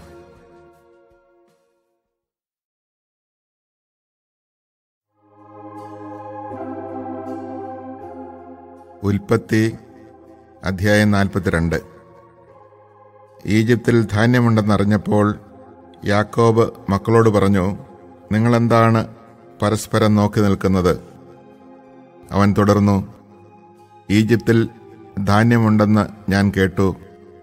നാം മരിക്കാതെ ജീവൻ നിലനിർത്താൻ വേണ്ടി അവിടെ പോയി നമുക്ക് വേണ്ട ധാന്യം വാങ്ങിക്കൊണ്ടുവരുവിൻ. ജോസഫിന്റെ പത്ത് സഹോദരന്മാർ ധാന്യം വാങ്ങാൻ ഈജിപ്തിലേക്ക് പോയി. എന്നാൽ യാക്കോബ് ജോസഫിന്റെ സഹോദരനായ ബെഞ്ചമിനെ സഹോദരന്മാരുടെ കൂടെ വിട്ടില്ല. അവൻ എന്തെങ്കിലും അപകടം പിണയുമെന്ന് അവൻ ഭയപ്പെട്ടു. അങ്ങനെ ഇസ്രായേലിന്റെ മക്കളും മറ്റുള്ളവരുടെ കൂടെ ധാന്യം വാങ്ങാൻ പോയി. കാരണം കാനാന ദേശത്തും ക്ഷാമമായിരുന്നു. ജോസഫായിരുന്നു ഈജിപ്തിലെ അധികാരി. അവനാണ് നാട്ടുകാർക്കൊക്കെ ധാന്യം വിറ്റിരുന്നത്. ജോസഫിന്റെ സഹോദരന്മാർ വന്ന് അവനെ നിലംപറ്റെ താണു വണങ്ങി ജോസഫ് സഹോദരന്മാരെ തിരിച്ചറിഞ്ഞു. പക്ഷേ അവൻ അപരിചിതരോടെന്ന പോലെ അവരോട് പെരുമാറുകയും പരുഷമായി സംസാരിക്കുകയും ചെയ്തു. നിങ്ങൾ എവിടെ നിന്ന് വരുന്നു? അവൻ ചോദിച്ചു. അവർ പറഞ്ഞു കാനാൻ ദേശത്ത് നിന്ന് ധാന്യം വാങ്ങാൻ വന്നവരാണ് ഞങ്ങൾ. ജോസഫ് തന്റെ സഹോദരന്മാരെ തിരിച്ചറിഞ്ഞെങ്കിലും അവർ അവനെ അറിഞ്ഞില്ല. അവരെക്കുറിച്ച് തനിക്കുണ്ടായ സ്വപ്നങ്ങൾ ജോസഫ് ഓർത്തു. അവൻ അവരോട് പറഞ്ഞു നിങ്ങൾ ചാരന്മാരാണ്. നാടിന്റെ ബലക്ഷയം എവിടെയെന്ന് കണ്ടുപിടിക്കാൻ വന്നവരാണ്. അവർ പറഞ്ഞു അല്ല യജമാനനെ. അങ്ങയുടെ ദാസർ ധാന്യം വാങ്ങാൻ വന്നവരാണ്. ഞങ്ങളെല്ലാവരും ഒരാളുടെ മക്കളാണ്. ഞങ്ങൾ സത്യസന്ധരാണ്. അങ്ങയുടെ ദാസന്മാർ ചാരന്മാരല്ല അവൻ പറഞ്ഞു അല്ല നാടിന്റെ ബലക്ഷയം എവിടെയെന്ന് കണ്ട് മനസ്സിലാക്കാനാണ് നിങ്ങൾ വന്നിരിക്കുന്നത്. അവർ പറഞ്ഞു അങ്ങയുടെ ദാസന്മാരായ ഞങ്ങൾ പന്ത്രണ്ട് സഹോദരന്മാരാണ്. കാനാൻ ദേശത്തുള്ള ഒരുവന്റെ പുത്രന്മാർ. ഏറ്റവും ഇളയവൻ ഇപ്പോൾ ഞങ്ങളുടെ പിതാവിന്റെ കൂടെയാണ്. ഒരാൾ ജീവിച്ചിരിപ്പില്ല. ജോസഫ് അവരോട് പറഞ്ഞു ഞാൻ പറഞ്ഞതാണ് വാസ്തവം. നിങ്ങൾ ചാരന്മാർ തന്നെ. ഫറവോയുടെ ജീവനെ പ്രതി സത്യം. നിങ്ങളുടെ ഏറ്റവും ഇളയ സഹോദരനെ ഇവിടെ കൊണ്ടുവന്നിട്ടല്ലാതെ നിങ്ങൾ ഈ നാട് വിട്ടു പോവുകയില്ല. ഇതുവഴി നിങ്ങളുടെ സത്യാവസ്ഥ ഞാൻ മനസ്സിലാക്കും. നിങ്ങളിൽ ഒരാളെ പറഞ്ഞയക്കുക. അവൻ ചെന്ന് നിങ്ങളുടെ സഹോദരനെ കൂട്ടിക്കൊണ്ടുവരട്ടെ. അതുവരെ നിങ്ങളെ ഞാൻ തടവിലിടും. അങ്ങനെ നിങ്ങളുടെ വാക്കുകൾ ശരിയാണെന്നും നിങ്ങൾ സത്യസന്ധരാണെന്നും തെളിയിക്കപ്പെടണം. അല്ലെങ്കിൽ ഫറവോയുടെ ജീവനാണേ സത്യം നിങ്ങൾ ചാരന്മാരാണ്. അവൻ അവരെയെല്ലാം മൂന്ന് ദിവസം തടവിൽ പാർപ്പിച്ചു. മൂന്നാം ദിവസം ജോസഫ് അവരോട് പറഞ്ഞു ഞാൻ പറയുന്നത് പോലെ ചെയ്യുക എങ്കിൽ നിങ്ങൾ ജീവിക്കും. കാരണം ദൈവഭയമുള്ളവനാണ് ഞാൻ. സത്യസന്ധരെങ്കിൽ സഹോദരന്മാരായ നിങ്ങളിൽ ഒരുവൻ ഇവിടെ തടവിൽ കിടക്കട്ടെ. മറ്റുള്ളവർ നിങ്ങളുടെ വീട്ടിലെ പട്ടിണി അകറ്റാൻ ധാന്യവും കൊണ്ടുപോകട്ടെ. നിങ്ങളുടെ ഇളയ സഹോദരനെ എന്റെ അടുക്കൽ കൊണ്ടുവരിക. അപ്പോൾ നിങ്ങൾ പറയുന്നത് നേരെന്ന തെളിയും നിങ്ങൾക്ക് മരിക്കേണ്ടി വരികയില്ല. അവർ അപ്രകാരം ചെയ്തു. അവർ തമ്മിൽ തമ്മിൽ പറഞ്ഞു ഇത് നമ്മുടെ സഹോദരനോട് നാം ചെയ്തതിന്റെ ഫലമാണ് തീർച്ച. അവൻ അന്ന് കേണപേക്ഷിച്ചിട്ടും അവന്റെ പ്രാണസങ്കടം കണ്ടിട്ടും നമ്മൾ അവന് ചെവി കൊടുത്തില്ല. അതുകൊണ്ടാണ് ഈ ദുരിതം നമുക്കിപ്പോൾ വന്നിരിക്കുന്നത്. അപ്പോൾ റൂബൻ പറഞ്ഞു കുട്ടിക്കെതിരെ തെറ്റ് ചെയ്യരുതെന്ന് ഞാൻ അന്ന് പറഞ്ഞില്ലേ? നിങ്ങളത് കേട്ടില്ല. അവന്റെ രക്തം ഇപ്പോൾ പകരം ചോദിക്കുകയാണ്. തങ്ങൾ പറഞ്ഞത് ജോസഫിന് മനസ്സിലായെന്ന് അവർ അറിഞ്ഞില്ല. കാരണം ഒരു ദ്വിഭാഷിയുടെ സഹായത്തോടെയാണ് അവർ ജോസഫുമായി സംസാരിച്ചത്. ജോസഫ് അവരുടെ അടുത്ത് നിന്ന് മാറിപ്പോയി കരഞ്ഞു. തിരിച്ചു വന്ന് അവരുമായി സംസാരിച്ചു. അവരുടെ കൂട്ടത്തിൽ നിന്ന് അവർ കാണുകെ ഷമിയാനെ പിടിച്ച് ബന്ധിച്ചു. അവരുടെ ചാക്കുകളിൽ ധാന്യം നിറയ്ക്കാനും ഓരോരുത്തന്റെ ചാക്കിലും അവനവന്റെ പണം തിരികെ വയ്ക്കുവാനും യാത്രയ്ക്ക് വേണ്ടത് കൊടുക്കാനും അവൻ കൽപ്പിച്ചു. ഭൃത്യർ അങ്ങനെ ചെയ്തു. ധാന്യം കഴുതപ്പുറത്ത് കയറ്റി അവർ യാത്ര തിരിച്ചു. വഴി അമ്പലത്തിൽ വെച്ച് കഴുതയ്ക്ക് തീറ്റ കൊടുക്കുവാൻ അവരിൽ ഒരാൾ ചാക്ക് തുറന്നപ്പോൾ താൻ കൊടുത്ത പണം ചാക്കിന്റെ മുകൾ ഭാഗത്തിരിക്കുന്നത് കണ്ടു. അവൻ സഹോദരന്മാരോട് പറഞ്ഞു എന്റെ പണം ചാക്കിൽ തിരികെ വച്ചിരിക്കുന്നു. ഇത് കേട്ടപ്പോൾ അവരുടെ ഹൃദയം സ്തംഭിച്ചുപോയി. പേടിച്ച് വിറച്ച് മുഖത്തോട് മുഖം നോക്കിക്കൊണ്ട് അവർ പറഞ്ഞു എന്താണ് ദൈവം നമ്മോട് ഈ ചെയ്തിരിക്കുന്നത്? കാനാൻ ദേശത്ത് തങ്ങളുടെ പിതാവായ യാക്കോബിന്റെ അടുത്ത് തിരിച്ചെത്തിയപ്പോൾ നടന്നതെല്ലാം അവർ അവനോട് പറഞ്ഞു നാടിന്റെ അധിപൻ ഞങ്ങളോട് വളരെ പരുഷമായി സംസാരിച്ചു. നാട്ടിൽ ചാരവൃത്തിക്കെത്തിയവരായി അവൻ ഞങ്ങളെ കണക്കാക്കി. ഞങ്ങൾ അവനോട് പറഞ്ഞു ഞങ്ങൾ സത്യസന്ധരാണ് ചാരന്മാരല്ല. ഒരേ പിതാവിന്റെ പുത്രന്മാരായ പന്ത്രണ്ട് സഹോദരന്മാരാണ് ഞങ്ങൾ. ഒരുവൻ ജീവിച്ചിരിപ്പില്ല. ഇളയവൻ കാനാൻ ദേശത്ത് പിതാവിന്റെ കൂടെ ഉണ്ട്. അപ്പോൾ നാടിന്റെ അധിപനായ ആ മനുഷ്യൻ പറഞ്ഞു നിങ്ങൾ സത്യസന്ധരാണോ എന്ന് എനിക്കറിയാൻ വേണ്ടി നിങ്ങളിൽ ഒരാളെ എന്റെ അടുത്ത് നിർത്തുവിൻ. മറ്റുള്ളവർ വീട്ടിലെ ക്ഷാമമകറ്റാൻ ധാന്യവും വാങ്ങിക്കൊണ്ടു പോകുവിൻ നിങ്ങളുടെ ഇളയ സഹോദരനെ എന്റെ അടുക്കൽ കൊണ്ടുവരിക. അപ്പോൾ നിങ്ങൾ ചാരന്മാരല്ല സത്യസന്ധരാണ് എന്ന് എനിക്ക് ബോധ്യമാകും. അപ്പോൾ നിങ്ങളുടെ സഹോദരനെ ഞാൻ വിട്ടുതരാം. നിങ്ങൾക്ക് ഈ നാട്ടിൽ കച്ചവടം നടത്തുകയുമാകാം. അവർ ചാക്കഴിച്ച് ധാന്യം കുടഞ്ഞപ്പോൾ ഓരോരുത്തന്റെയും പണക്കിഴി അവനവന്റെ ചാക്കിലുണ്ടായിരുന്നു. അവരും അവരുടെ പിതാവും ഇത് കണ്ട് ഭയപ്പെട്ടു. യാക്കോബ് വിലപിച്ചു എന്റെ മക്കളെ നിങ്ങൾ എനിക്ക് നഷ്ടപ്പെടുത്തി. ജോസഫ് നഷ്ടപ്പെട്ടു ശമയോനും പോയി. ഇനി നിങ്ങൾ ബെഞ്ചമിനെയും കൊണ്ടുപോകും എല്ലാം എനിക്ക് പ്രതികൂലമായിരിക്കുന്നു. റൂബൻ പിതാവിനോട് പറഞ്ഞു ഞാൻ അവനെ തിരികെ കൊണ്ടുവന്നില്ലെങ്കിൽ എന്റെ മക്കളെ രണ്ടുപേരെയും കൊന്നുകൊള്ളുക. അവനെ എന്റെ കയ്യിൽ ഏൽപ്പിക്കുക ഞാൻ അവനെ അങ്ങയുടെ അടുത്ത് തിരികെ കൊണ്ടുവന്നു കൊള്ളാം.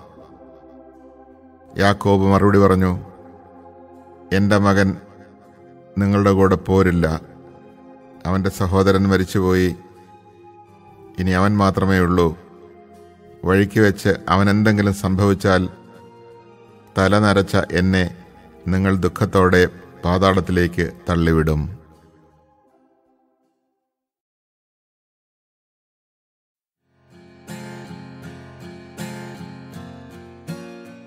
ഉൽപ്പത്തി അധ്യായം നാൽപ്പത്തി മൂന്ന് നാട്ടിൽ ക്ഷാമം കൊടുമ്പിരി കൊണ്ടു ഈജിപ്തിൽ നിന്ന് കൊണ്ടുവന്ന ധാന്യം തീർന്നപ്പോൾ അവരുടെ പിതാവ് പറഞ്ഞു നിങ്ങൾ വീണ്ടും പോയി കുറച്ച് ധാന്യം കൂടി വാങ്ങിക്കൊണ്ടുവരുവിൻ. അപ്പോൾ യൂത പറഞ്ഞു അനുജനെ കൂടാതെ വന്നാൽ നിങ്ങൾക്കെന്നെ കാണാൻ സാധിക്കയില്ല എന്ന് അവൻ ഞങ്ങളോട് തീർത്തു പറഞ്ഞിട്ടുണ്ട്. ഞങ്ങളുടെ സഹോദരനെ കൂടെ അയക്കാമെങ്കിൽ ഞങ്ങൾ പോയി ധാന്യം വാങ്ങിക്കൊണ്ടുവരാം. അങ്ങ് അവനെ അയക്കുന്നില്ലെങ്കിൽ ഞങ്ങൾ പോകുന്നില്ല. കാരണം അനുജനെ കൂടാതെ വന്നാൽ നിങ്ങൾക്കെന്നെ കാണാൻ സാധിക്കയില്ല എന്ന് അവൻ പറഞ്ഞിട്ടുണ്ട്. ഇസ്രായേൽ ചോദിച്ചു നിങ്ങൾക്ക് ഒരു സഹോദരൻ കൂടിയുണ്ടെന്ന് അവനോട് പറഞ്ഞ് എന്നെ ദ്രോഹിച്ചതെന്തിന്?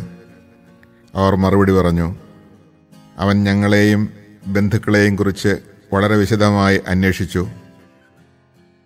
നിങ്ങളുടെ പിതാവ് ജീവിച്ചിരിക്കുന്നു. നിങ്ങൾക്ക് വേറെ സഹോദരനുണ്ടോ? അവന് ഞങ്ങൾ മറുപടി നൽകുകയും ചെയ്തു. എന്നാൽ സഹോദരനെയും കൂട്ടിക്കൊണ്ടുവരുവൻ എന്ന് അവൻ പറയുമെന്ന് ഞങ്ങൾക്ക് ഊഹിക്കുവാൻ കഴിയുമായിരുന്നു. അപ്പോൾ യൂതാ പിതാവായ ഇസ്രായേലിനോട് പറഞ്ഞു നമ്മൾ അങ്ങും ഞങ്ങളും നമ്മുടെ കുഞ്ഞുങ്ങളും മരിക്കാതെ ജീവനോടെ ഇരിക്കണമെങ്കിൽ അവനെ എന്റെ കൂടെ അയക്കുക. ഞങ്ങൾ ഉടനെ പുറപ്പെടാം. അവന്റെ ചുമതല ഞാൻ ഏറ്റുകൊള്ളാം. എന്റെ കയ്യിൽ നിന്ന് അങ്ങേക്ക് അവനെ ആവശ്യപ്പെടാം. അവനെ അങ്ങയുടെ മുമ്പിൽ തിരികെ കൊണ്ടുവരുന്നില്ലെങ്കിൽ ആ കുറ്റം എന്നും എന്റെ മേലായിരിക്കട്ടെ. നമ്മൾ ഇത്രയും താമസിക്കാതിരുന്നെങ്കിൽ ഇതിനകം രണ്ടാം പ്രാവശ്യം പോയി തിരിച്ചു വരാമായിരുന്നു. അപ്പോൾ അവരുടെ പിതാവായ ഇസ്രായേൽ പറഞ്ഞു കൂടിയേ തീരൂ എങ്കിൽ അപ്രകാരം ചെയ്യുക. നാട്ടിലെ വിശിഷ്ടോൽപ്പന്നങ്ങൾ കുറേശ്ശെ എടുത്ത് അവന് സമ്മാനമായി കൊണ്ടുപോവുക. തൈലം തേൻ സുഗന്ധദ്രവ്യങ്ങൾ മീറ ബോഡനണ്ടി ബദാം പരിപ്പ് എന്നിവയെല്ലാം. പണം ഇരട്ടി എടുത്തുകൊള്ളണം. നിങ്ങളുടെ ചാക്കുകളിൽ വെച്ച് തിരിച്ചയച്ച പണവും കൊണ്ടുപോവുക.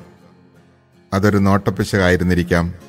നിങ്ങളുടെ സഹോദരനെയും കൂട്ടിക്കൊണ്ട് അവന്റെ അടുത്തേക്ക് പോയിക്കൊള്ളുക. സർവശക്തനായ ദൈവം അവന്റെ മുമ്പിൽ നിങ്ങളോട് കാരുണ്യം കാണിക്കട്ടെ. അവൻ നിങ്ങളുടെ സഹോദരനെയും ബെഞ്ചമിനെയും തിരിച്ചയക്കട്ടെ. മക്കൾ എനിക്ക് നഷ്ടപ്പെടണമെന്നാണെങ്കിൽ അങ്ങനെയുമാകട്ടെ. സമ്മാനവും ഇരട്ടി തുകയും എടുത്ത് ബെഞ്ചമിനോടുകൂടി അവർ ഈജിപ്തിലെത്തി ജോസഫിന്റെ മുമ്പിൽ ഹാജരായി. അവരുടെ കൂടെ ബെഞ്ചമിനെ കണ്ടപ്പോൾ ജോസഫ് വീട്ടുകാര്യസ്ഥനെ വിളിച്ചു പറഞ്ഞു ഇവരെ വീട്ടിലേക്ക് കൂട്ടിക്കൊണ്ടുപോവുക. ഒരു മൃഗത്തെ കൊന്ന് സദ്യ ഒരുക്കുക. ഇവർ ഇന്നുച്ചയ്ക്ക് എന്റെ കൂടെ ആയിരിക്കും ഭക്ഷണം കഴിക്കുക. ജോസഫ് പറഞ്ഞതുപോലെ അവൻ അവരെ വീട്ടിലേക്ക് കൂട്ടിക്കൊണ്ടുപോയി. വീട്ടിലെത്തിയപ്പോൾ അവർക്ക് പേടിയായി. അവർ പറഞ്ഞു കഴിഞ്ഞ തവണ ചാക്കിൽ തിരികെ വെച്ചിരുന്ന പണം കാരണമാണ് അവൻ നമ്മെ ഇവിടെ കൊണ്ടുവന്നിരിക്കുന്നത്. അവസരമുണ്ടാക്കി നമ്മെ കീഴ്പ്പെടുത്തി അടിമകളാക്കുകയും നമ്മുടെ കഴുതകളെ പിടിച്ചെടുക്കുകയുമാണ് അവന്റെ ഉദ്ദേശം. അതുകൊണ്ട് അവർ വീട്ടുവാതുക്കൽ വെച്ച് ജോസഫിന്റെ കാര്യസ്ഥനെ സമീപിച്ച് സംസാരിച്ചു. അവർ പറഞ്ഞു യജമാനനെ മുൻപൊരിക്കൽ ധാന്യം വാങ്ങുന്നതിന് ഞങ്ങളിവിടെ വന്നിരുന്നു. മടക്കയാത്രയിൽ വഴിയമ്പലത്തിൽ വെച്ച് ചാക്കഴിച്ചപ്പോൾ ഞങ്ങൾ ഓരോരുത്തരും കൊടുത്ത പണം ഞങ്ങളുടെ ചാക്കിൽ തന്നെ ഇരിക്കുന്നു. ഞങ്ങളത് തിരികെ കൊണ്ടുവന്നിട്ടുണ്ട്. ധാന്യം വാങ്ങാൻ ഞങ്ങൾ വേറെ പണവും കൊണ്ടുവന്നിട്ടുണ്ട്. പണം ചാക്കിൽ തിരികെ വെച്ചത് ആരെന്ന് ഞങ്ങൾക്കറിഞ്ഞുകൂടാ? അവൻ പറഞ്ഞു ശാന്തരായിരിക്കുവിൻ ഭയപ്പെടേണ്ട. നിങ്ങളുടെയും നിങ്ങളുടെ പിതാവിന്റെയും ദൈവമാണ് നിങ്ങളുടെ ചാക്കുകളിൽ നിധി നിക്ഷേപിച്ചത്. നിങ്ങളുടെ പണം ഞാൻ കൈപ്പറ്റിയതാണ്. അവൻ ഷമയോനെ അവരുടെ അടുത്തേക്ക് കൊണ്ടുവന്നു. അനന്തരം അവരെ ജോസഫിന്റെ വീട്ടിനുള്ളിൽ കൊണ്ടുവന്ന് അവർക്ക് വെള്ളം കൊടുത്തു. അവർ കാൽ കഴുകി കഴുതകൾക്കും തീറ്റി കൊടുത്തു. ഉച്ചയ്ക്ക് ജോസഫ് വരുന്നതിന് മുമ്പ് അവർ സമ്മാനം ഒരുക്കി വെച്ചു. കാരണം അവിടെ ആയിരിക്കും തങ്ങൾ ഭക്ഷണം കഴിക്കുക എന്ന് അവർ അറിഞ്ഞിരുന്നു. ജോസഫ് വീട്ടിൽ വന്നപ്പോൾ അവർ തങ്ങളുടെ പക്കലുണ്ടായിരുന്ന സമ്മാനം അവന്റെ അടുത്ത് കൊണ്ടുവന്നു അവർ അവനെ താണു വീണു വണങ്ങി അവൻ അവരോട് കുശലം ചോദിച്ചു. നിങ്ങളുടെ പിതാവിന് സുഖം തന്നെയോ? നിങ്ങൾ പറഞ്ഞ ആ വൃദ്ധൻ ഇപ്പോഴും ജീവിച്ചിരിക്കുന്നു. അവർ പറഞ്ഞു അങ്ങയുടെ ദാസനായ ഞങ്ങളുടെ പിതാവിന് സുഖം തന്നെ. അദ്ദേഹം ജീവനോടെ ഇരിക്കുന്നു. അവർ കുനിഞ്ഞ് അവനെ വണങ്ങി. അവൻ തലയുയർത്തി നോക്കിയപ്പോൾ തന്റെ സഹോദരൻ ബെഞ്ചമിനെ കണ്ടു തന്റെ അമ്മയുടെ മകൻ. അവൻ പറഞ്ഞു ഇവനാണോ നിങ്ങൾ പറഞ്ഞ ഇളയ സഹോദരൻ? മകനെ ദൈവം നിന്നോട് കരുണ കാണിക്കട്ടെ. തന്റെ സഹോദരനെ പ്രതി ഹൃദയം തേങ്ങിയപ്പോൾ ജോസഫ് കരയാൻ ഒരിടം നോക്കി കിടപ്പറയിൽ പ്രവേശിച്ച് അവൻ കരഞ്ഞു. അവൻ മുഖം കഴുകി പുറത്തു വന്ന് തന്നെ തന്നെ നിയന്ത്രിച്ചുകൊണ്ട് പറഞ്ഞു ഭക്ഷണം വിളമ്പുക. അവനും അവർക്കും അവന്റെ കൂടെയുള്ള ഈജിപ്തുകാർക്കും അവർ വേറെ വേറെയാണ് വിളമ്പിയത്. കാരണം ഈജിപ്തുകാർ യഹൂദരുടെ കൂടെ ഭക്ഷണം കഴിക്കാറില്ല. അത് ഈജിപ്തുകാർക്ക് നിഷിദ്ധമായിരുന്നു. മൂത്തവൻ മുതൽ ഇളയവൻ വരെ മൂപ്പനുസരിച്ച് അവർ അവന്റെ മുമ്പിലിരുന്നു. അവർ അമ്പരന്ന് അന്യനും നോക്കി. ജോസഫ് തന്റെ ആഹാരത്തിൽ നിന്ന് ഓരോ പങ്ക് അവർക്ക് കൊടുത്തു. എന്നാൽ ബെഞ്ചമിന്റെ പങ്ക് മറ്റുള്ളവരുടേതിന്റെ അഞ്ചിരട്ടിയായിരുന്നു. അവർ കുടിച്ച് അവനോടൊപ്പം ഉല്ലസിച്ചു.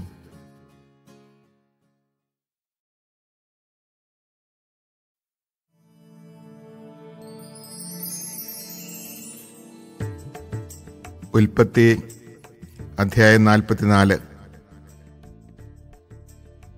ജോസഫ് വീട്ടുകാര്യസ്ഥനെ വിളിച്ചു പറഞ്ഞു അവരുടെ ചാക്കുകളിലെല്ലാം അവർക്ക് കൊണ്ടുപോകാവുന്നിടത്തോളം ധാന്യം നിറയ്ക്കുക. ഓരോരുത്തരുടെയും പണം അവരവരുടെ ചാക്കിന്റെ മുകൾ ഭാഗത്ത് വയ്ക്കണം. ഇളയവന്റെ ചാക്കിന്റെ മുകൾ ഭാഗത്ത് ധാന്യവിലയായ പണത്തിന്റെ കൂടെ എന്റെ വെള്ളിക്കപ്പും വയ്ക്കുക. അവൻ ജോസഫ് പറഞ്ഞതുപോലെ ചെയ്തു. നേരം പുലർന്നപ്പോൾ അവൻ അവരെ തങ്ങളുടെ കഴുതകളോടുകൂടി യാത്രയാക്കി. അവർ നഗരം വിട്ട് അധികം കഴിയുന്ന മുമ്പ് ജോസഫ് കാര്യസ്ഥനെ വിളിച്ചു പറഞ്ഞു ഉടനെ അവരുടെ പിറകെ എത്തുക. അവരുടെ അടുത്തെത്തുമ്പോൾ അവരോട് പറയുക നിങ്ങൾ നന്മയ്ക്ക് പകരം തിന്മ ചെയ്തത് എന്തുകൊണ്ട്? നിങ്ങൾ എന്റെ വെള്ളിക്കപ്പ് കട്ടെടുത്തത് എന്തിന്? ഇതിൽ നിന്നല്ലേ എന്റെ യജമാനൻ പാനം ചെയ്യുന്നത്? ഇതുപയോഗിച്ചല്ലേ അദ്ദേഹം പ്രവചനം നടത്തുന്നത്? നിങ്ങൾ ചെയ്തത് തെറ്റായിപ്പോയി.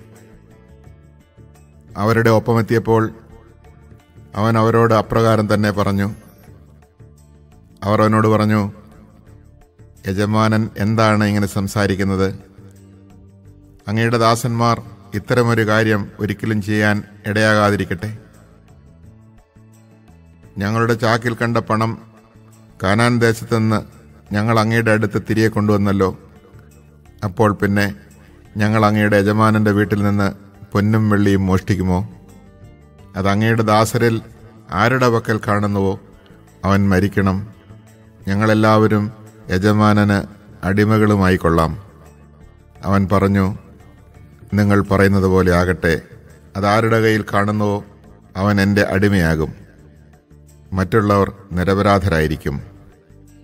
ഉടൻ തന്നെ ഓരോരുത്തരും താൻ താങ്കളുടെ ചാക്ക് താഴെ ഇറക്കി കെട്ടഴിച്ചു. മൂത്തവൻ മുതൽ ഇളയവൻ വരെ എല്ലാവരെയും അവൻ പരിശോധിച്ചു. ബെഞ്ചമിന്റെ ചാക്കിൽ കപ്പ് കണ്ടെത്തി. അവർ തങ്ങളുടെ വസ്ത്രം വലിച്ചേറി ഓരോരുത്തരും ചുമട് കഴുതപ്പുറത്ത് കയറ്റി പട്ടണത്തിലേക്ക് തന്നെ മടങ്ങി. യൂതായും സഹോദരന്മാരും ജോസഫിന്റെ വീട്ടിലെത്തി. അവൻ അപ്പോഴും അവിടെ ഉണ്ടായിരുന്നു. അവർ അവന്റെ മുമ്പിൽ കമിഴ്ന്നു വീണു. ജോസഫ് അവരോട് ചോദിച്ചു എന്ത് പ്രവൃത്തിയാണ് നിങ്ങൾ ചെയ്തത്? എന്നെപ്പോലെ ഒരുവന് ഊഹിച്ചറിയാൻ കഴിയുമെന്ന് നിങ്ങൾക്കറിഞ്ഞുകൂടെ? യൂത അവനോട് പറഞ്ഞു ഞങ്ങൾ എന്താണ് യജമാനനോട് പറയുക? ഞങ്ങൾ നിരപരാധരാണെന്ന് എങ്ങനെ തെളിയിക്കും? ദൈവം അങ്ങയുടെ ദാസരുടെ കുറ്റം കണ്ടുപിടിച്ചിരിക്കുന്നു. ഇതാ ഞങ്ങൾ അവിടുത്തെ അടിമകളാണ്. ഞങ്ങളും കപ്പ് കൈവശമുണ്ടായിരുന്നവനും എന്നാൽ അവൻ പറഞ്ഞു ഞാൻ ഒരിക്കലും അങ്ങനെ ചെയ്യുകയില്ല. കപ്പ് കൈവശം വരുന്നവൻ മാത്രം എനിക്ക് അടിമയായിരുന്നാൽ മതി. മറ്റുള്ളവർക്ക് സമാധാനമായി പിതാവിന്റെ അടുത്തേക്ക് പോകാം. അപ്പോൾ യൂത അവന്റെ അടുത്ത് എന്ന് പറഞ്ഞു എന്റെ യജമാനനെ ഒരു വാക്കുകൂടി പറഞ്ഞുകൊള്ളട്ടെ. എന്റെ നേരെ അങ്ങ് കോപിക്കരുതേ. അങ്ങ് ഫറവോയ്ക്ക് സമനാണല്ലോ. യജമാനനായ അങ്ങ് ദാസന്മാരോട് നിങ്ങൾക്ക് പിതാവോ സഹോദരനോ ഉണ്ടോ എന്ന് ചോദിച്ചു. അപ്പോൾ ഞങ്ങൾ യജമാനനോട് പറഞ്ഞു ഞങ്ങൾക്ക് വൃദ്ധനായ പിതാവും പിതാവിന്റെ വാർദ്ധക്യത്തിലെ മകനായ ഒരു കൊച്ചു സഹോദരനുമുണ്ട് അവന്റെ സഹോദരൻ മരിച്ചുപോയി. അവന്റെ അമ്മയുടെ മക്കളിൽ അവൻ മാത്രമേ ശേഷിച്ചിട്ടുള്ളൂ. പിതാവിന് അവൻ വളരെ പ്രിയപ്പെട്ടവനാണ്. അപ്പോൾ അങ്ങ് അങ്ങയുടെ ദാസരോട് അവനെ എന്റെ അടുത്ത് കൂട്ടിക്കൊണ്ടുവരിക എനിക്ക് അവനെ കാണണം എന്ന് പറഞ്ഞു. ഞങ്ങൾ അങ്ങയോട് ഉണർത്തിച്ചു. ബാലന് പിതാവിനെ വിട്ടുപോരാൻ വയ്യ. കാരണം അവൻ പോന്നാൽ പിതാവ് മരിച്ചു പോകും നിങ്ങളുടെ സഹോദരൻ കൂടെ വരുന്നില്ലെങ്കിൽ നിങ്ങൾ ഇനി എന്നെ കാണുകയില്ല എന്ന് അങ്ങ് പറഞ്ഞു. അങ്ങയുടെ ദാസനായ ഞങ്ങളുടെ പിതാവിന്റെ അടുത്തെത്തിയപ്പോൾ അങ്ങ് പറഞ്ഞതെല്ലാം ഞങ്ങൾ അവനെ അറിയിച്ചു. പിതാവ് ഞങ്ങളോട് വീണ്ടും പോയി കുറേ ധാന്യം കൂടി വാങ്ങിക്കൊണ്ടുവരുവാൻ ആവശ്യപ്പെട്ടു. ഞങ്ങൾക്ക് പോകാൻ വയ്യ. എന്നാൽ ഇളയ സഹോദരനെ കൂടി അയക്കുന്ന പക്ഷം ഞങ്ങൾ പോകാം. ബാലൻ കൂടെ ഇല്ലെങ്കിൽ ഞങ്ങൾക്ക് അവനെ കാണാൻ സാധിക്കില്ല എന്ന് ഞങ്ങൾ പിതാവിനോട് പറഞ്ഞു. അപ്പോൾ അങ്ങയുടെ ദാസനായ ഞങ്ങളുടെ പിതാവ് പറഞ്ഞു എന്റെ ഭാര്യ രണ്ട് പുത്രന്മാരെ എനിക്ക് നൽകി എന്ന് നിങ്ങൾക്കറിയാമല്ലോ. ഒരുവൻ എന്നെ വിട്ടുപോയി. അപ്പോൾ ഞാൻ പറഞ്ഞു തീർച്ചയായും അവനെ വന്യമൃഗം ചീന്തിക്കീറി കാണും. പിന്നെ അവനെ ഞാൻ കണ്ടിട്ടില്ല. ഇവനെയും കൊണ്ടുപോയിട്ട് ഇവൻ എന്തെങ്കിലും പിണഞ്ഞാൽ വൃദ്ധനായ എന്നെ ദുഃഖത്തോടെ നിങ്ങൾ പാതാളത്തിൽ ആഴ്ത്തുകയായിരിക്കും ചെയ്യുക. അവന്റെ ജീവൻ ബാലന്റെ ജീവനുമായി ബന്ധിക്കപ്പെട്ടിരിക്കൊണ്ട് ഞാൻ അവനെ കൂടാതെ പിതാവിന്റെ അടുത്ത് ചെന്നാൽ ബാലൻ ഇല്ലെന്ന് കാണുമ്പോൾ അവൻ മരിക്കും. വൃദ്ധനായ പിതാവിനെ ദുഃഖത്തോടെ ഞങ്ങൾ പാതാളത്തിൽ ആഴ്ത്തുകയായിരിക്കും ചെയ്യുക. കൂടാതെ ഞാൻ അവനെ അങ്ങയുടെ പക്കൽ തിരിച്ചെത്തിക്കുന്നില്ലെങ്കിൽ ജീവിതകാലം മുഴുവനും ഞാൻ അങ്ങയുടെ സമക്ഷം കുറ്റക്കാരനായിരിക്കും എന്ന് പറഞ്ഞ് അങ്ങയുടെ ദാസനായ ഞാൻ ബാലനെക്കുറിച്ച് പിതാവിന്റെ മുമ്പിൽ ഉത്തരവാദിത്തം ഏറ്റെടുക്കുകയും ചെയ്തിട്ടുണ്ട്. അതിനാൽ ബാലന് പകരം അങ്ങയുടെ അടിമയായി നിൽക്കുവാൻ എന്നെ അനുവദിക്കണമെന്ന് ഞാൻ അപേക്ഷിക്കുന്നു. ബാലൻ സഹോദരന്മാരുടെ കൂടെ തിരിച്ചു പോയിക്കൊള്ളട്ടെ. അവനെ കൂടാതെ ഞാൻ എങ്ങനെ പിതാവിന്റെ അടുത്ത് ചെല്ലും? അവന് സംഭവിക്കുന്ന ദുരന്തം ഞാൻ എങ്ങനെ സഹിക്കും?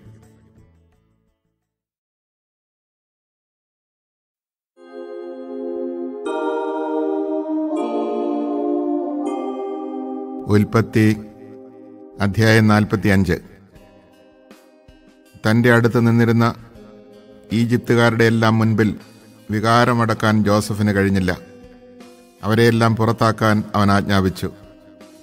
അതിനാൽ ജോസഫ് സഹോദരന്മാർക്ക് തന്നെ തന്നെ വെളിപ്പെടുത്തിയപ്പോൾ മറ്റാരും അടുത്തുണ്ടായിരുന്നില്ല. അവൻ ഉറക്കെ കരഞ്ഞു.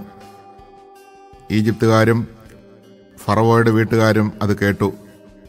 ജോസഫ് സഹോദരന്മാരോട് പറഞ്ഞു ഞാൻ ജോസഫാണ്. എന്റെ പിതാവ് ഇപ്പോഴും ജീവിച്ചിരിക്കുന്നുവോ? അവരാകെ സ്തംഭിച്ചുപോയി. അവർക്ക് സംസാരിക്കാൻ കഴിഞ്ഞില്ല. അവൻ അവരോട് എന്റെ അടുത്തേക്ക് വരിക എന്ന് പറഞ്ഞു. അവർ അടുത്ത് ചെന്നപ്പോൾ അവൻ പറഞ്ഞു നിങ്ങൾ ഈജിപ്തുകാർക്ക് വിറ്റ നിങ്ങളുടെ സഹോദരൻ ജോസഫാണ് ഞാൻ. എന്നെ ഇവിടെ വിറ്റതോർത്ത് നിങ്ങൾ വിഷമിക്കുകയോ വിഷാദിക്കുകയോ വേണ്ട. കാരണം ജീവൻ നിലനിർത്താൻ വേണ്ടി ദൈവമാണ് എന്നെ നിങ്ങൾക്ക് മുമ്പേ ഇങ്ങോട്ട് അയച്ചത്. നാട്ടിലാകെ ക്ഷാമം തുടങ്ങിയിട്ട് രണ്ടു കൊല്ലമായി. ഉഴവും കൊയ്ത്തുമില്ലാത്ത അഞ്ച് വർഷം ഇനിയുമുണ്ട്. നിങ്ങൾക്ക് ഭൂമിയിൽ സന്തതികളെ നിലനിർത്താനും വിസ്മയകരമായ രീതിയിൽ രക്ഷ നൽകാനും വേണ്ടി ദൈവം എന്നെ നിങ്ങൾക്ക് മുൻപേ ഇങ്ങോട്ട് അയച്ചതാണ്. അതുകൊണ്ട് നിങ്ങളല്ല ദൈവമാണ് എന്നെ ഇങ്ങോട്ട് അയച്ചത്. അവിടുന്ന് തന്നെ ഫറോയ്ക്ക് പിതാവും അവന്റെ വീടിന് നാഥനും ഈജിപ്ത് ദേശത്തിന് അധിപനുമാക്കിയിരിക്കുന്നു. നിങ്ങൾ തിടുക്കത്തിൽ പിതാവിന്റെ അടുത്ത് എന്ന് അവനോട് പറയുക ദൈവം എന്നെ ഈജിപ്തിന് മുഴുവനും നാഥനാക്കിയിരിക്കുന്നു. എന്റെ അടുത്ത് വരണം ഒട്ടും താമസിക്കരുത് എന്ന് അങ്ങയുടെ മകൻ ജോസഫ് പറയുന്നു. അങ്ങേക്ക് ഗോഷനിൽ പാർക്കാം. അങ്ങന്റെ അടുത്തായിരിക്കും. അങ്ങയോടൊപ്പം അങ്ങയുടെ മക്കളും മക്കളുടെ മക്കളും ആടുമാടുകളും അങ്ങേക്കുള്ള സകലതും. അവിടെ അങ്ങയെ ഞാൻ പോറ്റിക്കൊള്ളാം. ക്ഷാമം അഞ്ചു കൊല്ലം കൂടി നീണ്ടു നിൽക്കും. അങ്ങും കുടുംബവും അങ്ങേക്കുള്ളവരും പട്ടിണിയിൽ അകപ്പെടാതിരിക്കും. ഞാനാണ് നിങ്ങളോട് സംസാരിക്കുന്നതെന്ന് നിങ്ങളും എന്റെ സഹോദരനായ ബെഞ്ചമിനും നേരിൽ കാണുന്നുണ്ടല്ലോ.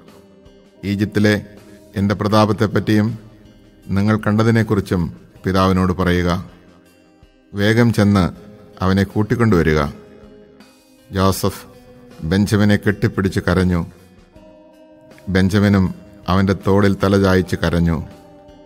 അവൻ തന്റെ സഹോദരന്മാരെല്ലാവരെയും ചുംബിക്കുകയും കെട്ടിപ്പിടിച്ച് കരയുകയും ചെയ്തു. അപ്പോൾ അവർ അവനോട് സംസാരിച്ചു. ജോസഫിന്റെ സഹോദരന്മാർ വന്നിട്ടുണ്ട് എന്ന വാർത്ത ഫറവോയുടെ വീട്ടിലെത്തിയപ്പോൾ ഫറവോയും ദാസന്മാരും സന്തോഷിച്ചു. ഫറവോ ജോസഫിനോട് പറഞ്ഞു നിന്റെ സഹോദരന്മാരോട് ഇപ്രകാരം ചെയ്യാൻ പറയുക. മൃഗങ്ങളുടെ മേൽ ചുമട് കയറ്റി കാനാൻ ദേശത്ത് ചെന്ന് പിതാവിനെയും വീട്ടുകാരെയും കൂട്ടി എന്റെ അടുത്ത് വരിക. ഈജിപ്തിലെ ഏറ്റവും നല്ല ഭൂമി നിങ്ങൾക്ക് ഞാൻ തരാം. മണ്ണിന്റെ ഫലസമൃദ്ധി നിങ്ങൾക്ക് അനുഭവിക്കുകയും ചെയ്യാം. അവരോട് പറയുക നിങ്ങളുടെ കുഞ്ഞുങ്ങൾക്കും ഭാര്യമാർക്കും വേണ്ടി ഈജിപ്തിൽ നിന്ന് രഥങ്ങൾ കൊണ്ടുപോവുക. നിങ്ങളുടെ പിതാവിനെ കൂട്ടിക്കൊണ്ടുവരിക. നിങ്ങളുടെ വസ്തുവകകളെപ്പറ്റി ഉത്കണ്ഠ വേണ്ട ഈജിപ്തിലെ ഏറ്റവും നല്ലതൊക്കെ നിങ്ങളുടേതായിരിക്കും. ഇസ്രായേലിന്റെ മക്കൾ അങ്ങനെ ചെയ്തു. ഫറവോയുടെ കൽപ്പനയനുസരിച്ച് ജോസഫ് അവർക്ക് രഥങ്ങളും യാത്രയ്ക്ക് വേണ്ട വകകളും കൊടുത്തു. അവൻ അവർക്ക് ഓരോരുത്തർക്കും പുതിയ വസ്ത്രങ്ങൾ നൽകി. ബെഞ്ചമിനാകട്ടെ മുന്നൂറ് വെള്ളി നാണയവും അഞ്ച് വസ്ത്രവും കൊടുത്തു. അവൻ പത്ത് കഴുതകളുടെ പുറത്ത് ഈജിപ്തിലെ വിശിഷ്ട വസ്തുക്കളും പത്ത് പെൺകഴുതകളുടെ പുറത്ത് ധാന്യവും അപ്പവും യാത്രയ്ക്ക് വേണ്ട വകകളും തന്റെ പിതാവിന് കൊടുത്തയച്ചു. അങ്ങനെ അവൻ സഹോദരന്മാരെ യാത്രയാക്കി. അവർ പുറപ്പെട്ടപ്പോൾ അവൻ പറഞ്ഞു വഴിക്ക് വെച്ച് ശണ്ഠ കൂടരുത്. ഈജിപ്തിൽ നിന്ന് പുറപ്പെട്ട് അവർ കാനാൻ ദേശത്ത് തങ്ങളുടെ പിതാവായ യാക്കോബിന്റെ അടുത്തെത്തി. അവർ അവനോട് പറഞ്ഞു ജോസഫ് ജീവിച്ചിരിക്കുന്നു. അവൻ ഈജിപ്ത് മുഴുവന്റെയും ഭരണാധികാരിയാണ്. അവൻ സ്തബ്ധനായിപ്പോയി അവൻ അവരെ വിശ്വസിച്ചില്ല. എന്നാൽ ജോസഫ് പറഞ്ഞതൊക്കെ അവരിൽ നിന്ന് കേൾക്കുകയും തന്നെ കൊണ്ടുപോകുവാൻ ജോസഫ് അയച്ച രഥങ്ങൾ കാണുകയും ചെയ്തപ്പോൾ അവരുടെ പിതാവായ യാക്കോബിന് ഉന്മേഷം വീണ്ടു കിട്ടി. അവൻ പറഞ്ഞു എനിക്ക് തൃപ്തിയായി. എന്റെ മകൻ ജോസഫ് ജീവിച്ചിരിപ്പുണ്ട്. മരിക്കും മുമ്പ് ഞാൻ പോയി അവനെ കാണും.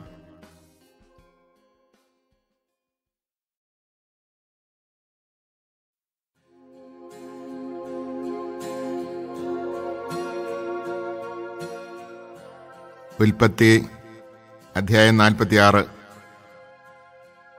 തന്റെ സ്വത്തുക്കളെല്ലാം ശേഖരിച്ച് ഇസ്രായേൽ യാത്ര തിരിച്ചു. ബേർഷബായിലെത്തിയപ്പോൾ അവൻ തന്റെ പിതാവായ ഇസഹാക്കിന്റെ ദൈവത്തിന് ബലികൾ അർപ്പിച്ചു. രാത്രിയിലുണ്ടായ ദർശനങ്ങളിലൂടെ ദൈവം ഇസ്രായേലിനോട് സംസാരിച്ചു.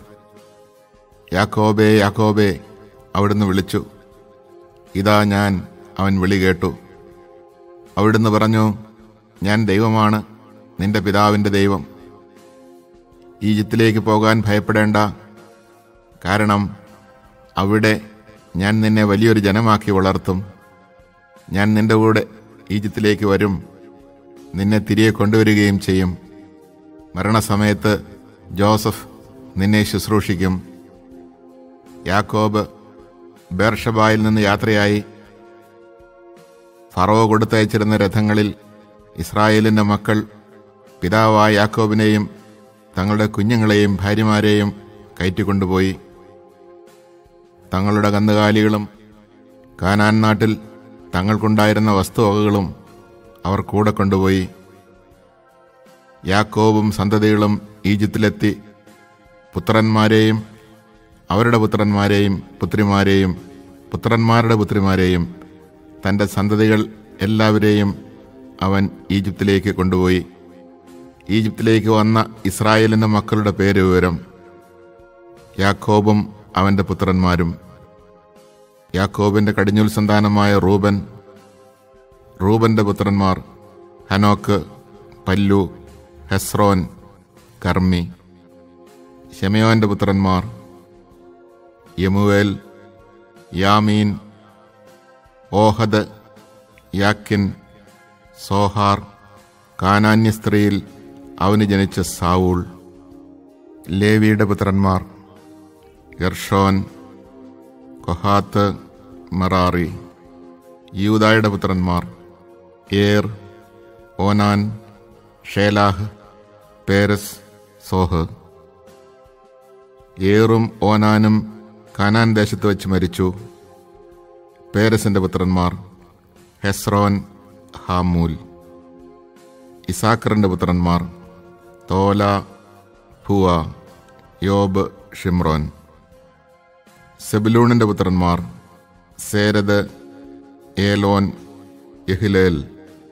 പാതാനാരാമിൽ വെച്ച് യാക്കോബിന് ലയായിൽ ജനിച്ച പുത്രന്മാരാണ് ഇവർ. അവളിൽ അവന് ദീന എന്ന പുത്രിയും ജനിച്ചു. അവന്റെ സന്താനങ്ങളുടെ ആകെ എണ്ണം മുപ്പത്തിമൂന്നായിരുന്നു. ഗാദിന്റെ പുത്രന്മാർ സിഫിയോൻ ഹഗി ഷൂനി എസ്ബോൻ ഏരി അരോദി അരേലി. ആഷേറിന്റെ പുത്രന്മാർ ഇമ്ന ഇഷ്വ ഇഷ്വി ബറിയ. അവരുടെ സഹോദരി സേറഹ്. ബെറിയായുടെ പുത്രന്മാർ ഹേബർ മൽക്കിയേൽ. ലാബാൻ തന്റെ മകളായ ലേയായ്ക്ക് പരിചാരികയായി കൊടുത്ത സിൽഫയുടെ മക്കളാണ് ഇവർ. യാക്കോബിന് സിൽഫയിൽ പതിനാറ് മക്കളുണ്ടായി. യാക്കോബിന്റെ ഭാര്യയായ റാഹേലിന്റെ മക്കൾ ജോസഫ് ബെഞ്ചമിൻ. ജോസഫിന് ഈജിപ്തിൽ വെച്ച് ഓനിലെ പുരോഹിതനായ പൊത്തിഫറായുടെ പുത്രി അസ്നത്തിൽ മനാസയും എഫ്രായിമും ജനിച്ചു. ബെഞ്ചമിന്റെ പുത്രന്മാർ Bela Becher Ashbel Gera Naaman Ehi Rosh Muppim Huppim Ard യാക്കോബിന് റാഹേലിൽ ജനിച്ച മക്കളാണ് ഈ പതിനാല് പേരും.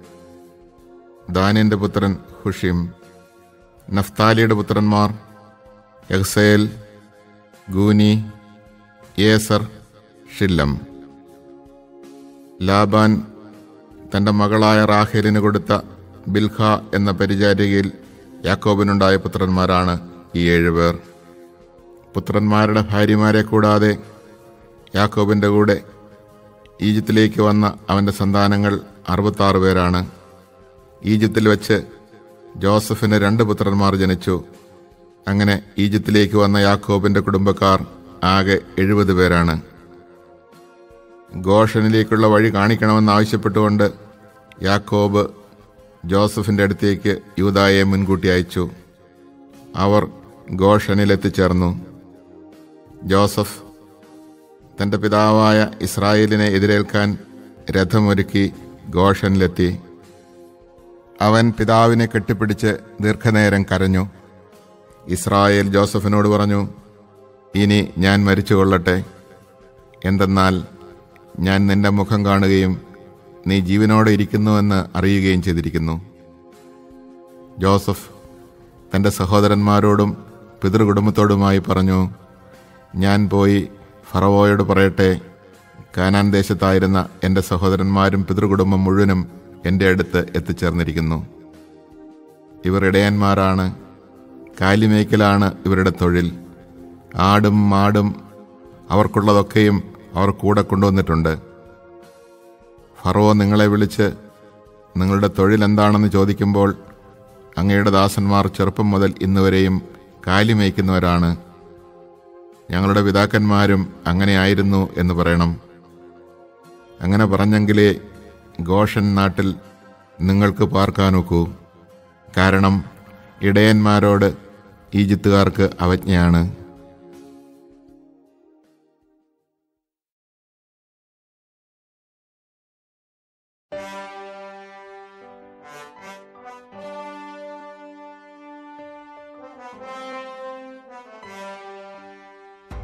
ഉൽപ്പത്തി അധ്യായം നാൽപ്പത്തിയേഴ്.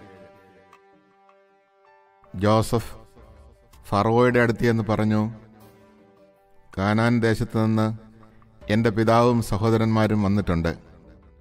അവരുടെ ആടുമാടുകളും അവർക്കുള്ള സകലതും കൂടെ കൊണ്ടുവന്നിട്ടുണ്ട്. അവരിപ്പോൾ ഗോഷൻ ദേശത്താണ്. തന്റെ സഹോദരന്മാരിൽ അഞ്ചു പേരെ അവൻ ഫറവോയുടെ മുമ്പിൽ കൊണ്ടുവന്നു അവന്റെ സഹോദരന്മാരോട് ഫറവ ചോദിച്ചു നിങ്ങളുടെ തൊഴിലെന്താണ്? അവർ പറഞ്ഞു അങ്ങയുടെ ദാസന്മാർ ഇടയന്മാരാണ്. ഞങ്ങളുടെ പിതാക്കന്മാരും അങ്ങനെയായിരുന്നു. അവർ തുടർന്നു പറഞ്ഞു ഇവിടെ താമസിക്കാനാണ് ഞങ്ങൾ വന്നിരിക്കുന്നത്. കാനാൻ ദേശത്ത് ക്ഷാമം രൂക്ഷമായതുകൊണ്ട് അങ്ങയുടെ ദാസരുടെ കാലികൾക്ക് അവിടെ തീറ്റയില്ല. ദയചെയ്ത് ഗോഷൻ ദേശത്ത് താമസിക്കാൻ ഞങ്ങളെ അനുവദിക്കണം. അപ്പോൾ ഫറവോ ജോസഫിനോട് പറഞ്ഞു നിന്റെ പിതാവും സഹോദരന്മാരും നിന്റെ അടുത്തേക്ക് വന്നിരിക്കുന്നു. ഈജിപ്ത് ദേശം മുഴുവനും നിനക്ക് അധീനമാണ്. നാട്ടിൽ ഏറ്റവും നല്ല സ്ഥലത്ത് നിന്റെ പിതാവിനെയും സഹോദരന്മാരെയും പാർപ്പിക്കുക. അവർ ഗോഷൻ ദേശത്ത് താമസിക്കട്ടെ. അവരിൽ കാര്യശേഷിയുള്ളവരെ നിനക്കറിയാമെങ്കിൽ എന്റെ കാലികളെ അവരെ ഭരമേൽപ്പിക്കുക. അതിനുശേഷം ജോസഫ് തന്റെ പിതാവായ യാക്കോബിനെ ഫറവോയുടെ മുമ്പിൽ കൊണ്ടുവന്നു യാക്കോ ഫറോയെ അനുഗ്രഹിച്ചു. നിങ്ങൾക്ക് വയസ്സെത്രയായി? ഫറോ ചോദിച്ചു. എന്റെ ദേശാന്തരവാസകാലം നൂറ്റി മുപ്പത് വർഷമായിരിക്കുന്നു. അത് ഹ്രസ്വവും കഷ്ടപ്പാടുകൾ നിറഞ്ഞതുമായിരുന്നു. എന്റെ പിതാക്കന്മാരുടെ ദേശാന്തരവാസകാലത്തോളം ആയിട്ടില്ല അത്. ഫറോയെ അനുഗ്രഹിച്ചതിന് ശേഷം യാക്കോബ് അവന്റെ അടുത്ത് നിന്ന് പോയി. ഫറവോ കൽപ്പിച്ചതുപോലെ ജോസഫ് തന്റെ പിതാവിനും സഹോദരന്മാർക്കും ഈജിപ്തിലെ ഒരു ദേശം അവകാശമായി നൽകി അവരെ അവിടെ പാർപ്പിച്ചു. നാട്ടിലെ ഏറ്റവും നല്ല ദേശമായ റംസേസാണ് അവൻ അവർക്ക് കൊടുത്തത്. ജോസഫ് തന്റെ പിതാവിനും സഹോദരന്മാർക്കും പിതാവിന്റെ വീട്ടുകാർക്കുമെല്ലാം അംഗസംഖ്യ അനുസരിച്ച് ആഹാരം കൊടുത്തു പോന്നു. ഒരു ദേശത്തും ആഹാരം കിട്ടാനില്ലായിരുന്നു. ക്ഷാമം അത്ര രൂക്ഷമായി. ഈജിപ്തും കാനാൻ ദേശവും ക്ഷാമം മൂലം കഷ്ടപ്പെട്ടു. ഈജിപ്തിലെയും കാനാൻ ദേശത്തിലെയും പണം മുഴുവൻ ആളുകൾ വാങ്ങിയ ധാന്യത്തിന്റെ വിലയായി ജോസഫ് ശേഖരിച്ചു. അത് ഫറവോയുടെ ഭവനത്തിലെത്തിച്ചു. ഈജിപ്തിലും കാനാനിലുമുള്ള പണമൊക്കെയും തീർന്നപ്പോൾ ഈജിപ്തുകാർ ജോസഫിന്റെ അടുത്ത് വന്ന് പറഞ്ഞു ഞങ്ങൾക്ക് ആഹാരം തരിക. അങ്ങയുടെ മുമ്പിൽ കിടന്ന് ഞങ്ങൾ മരിക്കാൻ ഇടയാക്കരുത്. ഞങ്ങളുടെ പണമെല്ലാം തീർന്നുപോയി. ജോസഫ് പറഞ്ഞു പണം തീർന്നെങ്കിൽ കന്നുകാലികളെ തരിക. കാലികൾക്ക് പകരമായി ഞാൻ ആഹാരം തരാം. തങ്ങളുടെ കന്നുകാലികളെ അവർ ജോസഫിന്റെ അടുക്കൽ കൊണ്ടുവന്നു. കുതിരകൾക്കും ആടുമാടുകൾക്കും കഴുതകൾക്കും പകരമായി അവൻ അവർക്ക് ആഹാരം കൊടുത്തു. അവൻ അവരുടെ കന്നുകാലികൾക്കെല്ലാം പകരമായി അവർക്ക് ഒരു വർഷത്തേക്ക് ആഹാരം നൽകി. അടുത്ത വർഷം അവർ ജോസഫിന്റെ അടുത്ത് എന്ന് പറഞ്ഞു പണം തീർന്ന കാര്യം യജമാനനിൽ നിന്ന് ഞങ്ങൾ ഒളിച്ചു വയ്ക്കുന്നില്ല. ഞങ്ങളുടെ കന്നുകാലികളും അങ്ങയുടേതായി.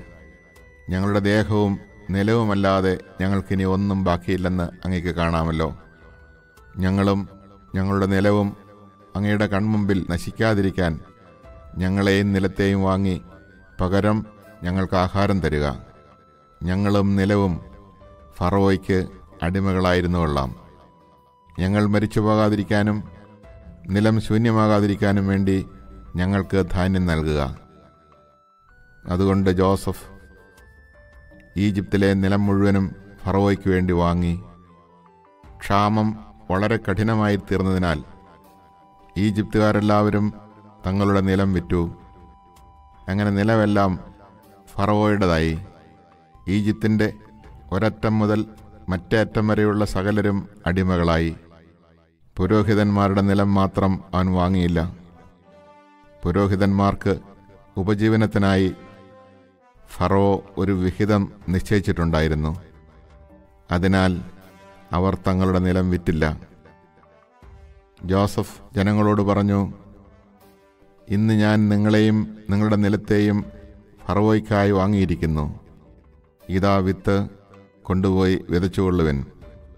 കൊയ്യുമ്പോൾ അഞ്ചിലൊന്ന് ഫറവോയ്ക്ക് കൊടുക്കണം. അഞ്ചിൽ നാലും നിങ്ങളുടേതായിരിക്കും. വിത്തിനായും നിങ്ങൾക്കും വീട്ടുകാർക്കും കുഞ്ഞുങ്ങൾക്കുമുള്ള ആഹാരത്തിനായും അതെടുത്തുകൊള്ളുക. അവർ പറഞ്ഞു അങ്ങ് ഞങ്ങളുടെ ജീവൻ രക്ഷിച്ചു. യജമാനന് ഞങ്ങളിൽ കൃപയുണ്ടാകണം. ഞങ്ങൾ ഫറവോയുടെ അടിമകളായിരുന്നു കൊള്ളാം അങ്ങനെ ജോസഫ് ഈജിപ്തിലെ നിലത്തെ സംബന്ധിച്ച് അഞ്ചിലൊന്ന് ഫറവോയ്ക്ക് എന്നൊരു നിയമമുണ്ടാക്കി. അതിന്നും നിലനിൽക്കുന്നു. പുരോഹിതന്മാരുടെ നിലം മാത്രം ഫറവോയുടേതായില്ല. ഇസ്രായേൽ ഈജിപ്തിലെ ഗോഷൻ ദേശത്ത് പാർത്തു. അവർക്കവിടെ ധാരാളം സ്വത്തുണ്ടായി. അവർ സന്താന സമൃദ്ധിയുള്ളവരായി പെരുകി. യാക്കോബ് ഈജിപ്തിൽ പതിനേഴ് വർഷം ജീവിച്ചു. യാക്കോബിന്റെ ആയുഷ്കാലം നൂറ്റി നാൽപ്പത്തിയേഴ് വർഷമായിരുന്നു. മരണസമയമെടുത്തപ്പോൾ ഇസ്രായേൽ ജോസഫിനെ വിളിച്ചു പറഞ്ഞു നിനക്ക് എന്നിൽ പ്രീതിയുണ്ടെങ്കിൽ എന്നോട് വിശ്വസ്തമായും സത്യസന്ധമായും പ്രവർത്തിക്കാമെന്ന് എന്റെ തുടയ്ക്ക് കീഴെ കൈവച്ച് സത്യം ചെയ്യുക. എന്നെ ഈജിപ്തിൽ സംസ്കരിക്കരുത്. എനിക്ക് എന്റെ പിതാക്കന്മാരോടൊപ്പം വിശ്രമിക്കുന്നതിന് എന്നെ ഈജിപ്തിൽ നിന്ന് കൊണ്ടുപോയി അവരുടെ ശ്മശാനത്തിൽ അടക്കുക. ജോസഫ് സമ്മതിച്ചു. അങ്ങ് പറഞ്ഞതുപോലെ ഞാൻ ചെയ്യാം. എന്നോട് സത്യം ചെയ്യുക. അവൻ ആവശ്യപ്പെട്ടു. ജോസഫ് സത്യം ചെയ്തു. അപ്പോൾ ഇസ്രായേൽ കട്ടിൽ തലയ്ക്കൽ ശിരസ് നമിച്ചു.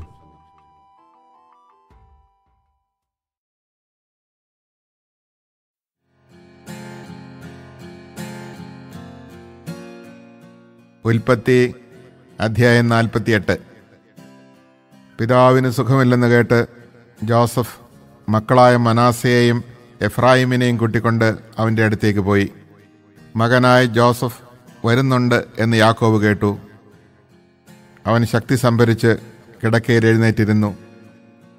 യാക്കോബ് ജോസഫിനോട് പറഞ്ഞു സർവശക്തനായ ദൈവം കാനാൻ ദേശത്തുള്ള ലൂസിൽ വെച്ച് എനിക്ക് പ്രത്യക്ഷപ്പെട്ട് എന്നെ അനുഗ്രഹിച്ചു. അവിടുന്ന് അരളി ചെയ്തു ഞാൻ നിന്നെ സന്താന സമൃദ്ധിയുള്ളവനാക്കി നിന്റെ സംഖ്യ വർദ്ധിപ്പിക്കും. നിന്നിൽ നിന്ന് ഞാൻ ജനതതികളെ പുറപ്പെടുവിക്കും. നിനക്ക് ശേഷം ഈ നാട് നിന്റെ സന്തതികൾക്ക് ഞാൻ നിത്യാവകാശമായി നൽകും. ഞാൻ ഈജിപ്തിൽ നിന്റെ അടുത്തെത്തുന്നതിന് മുമ്പ് ഈജിപ്തിൽ വെച്ച് നിനക്കുണ്ടായ പുത്രന്മാരിരുവരും എഫ്രായിമും മനാസയും എന്റേതാണ് റൂബനും ശമയോനും എന്ന പോലെ അവരെന്റേതായിരിക്കും അവർക്ക് ശേഷം നിനക്കുണ്ടാകുന്ന സന്തതികൾ നിന്റേതായിരിക്കും അവർക്ക് ലഭിക്കുന്ന അവകാശം അവരുടെ സഹോദരങ്ങളുടെ പേരിലായിരിക്കും അറിയപ്പെടുക.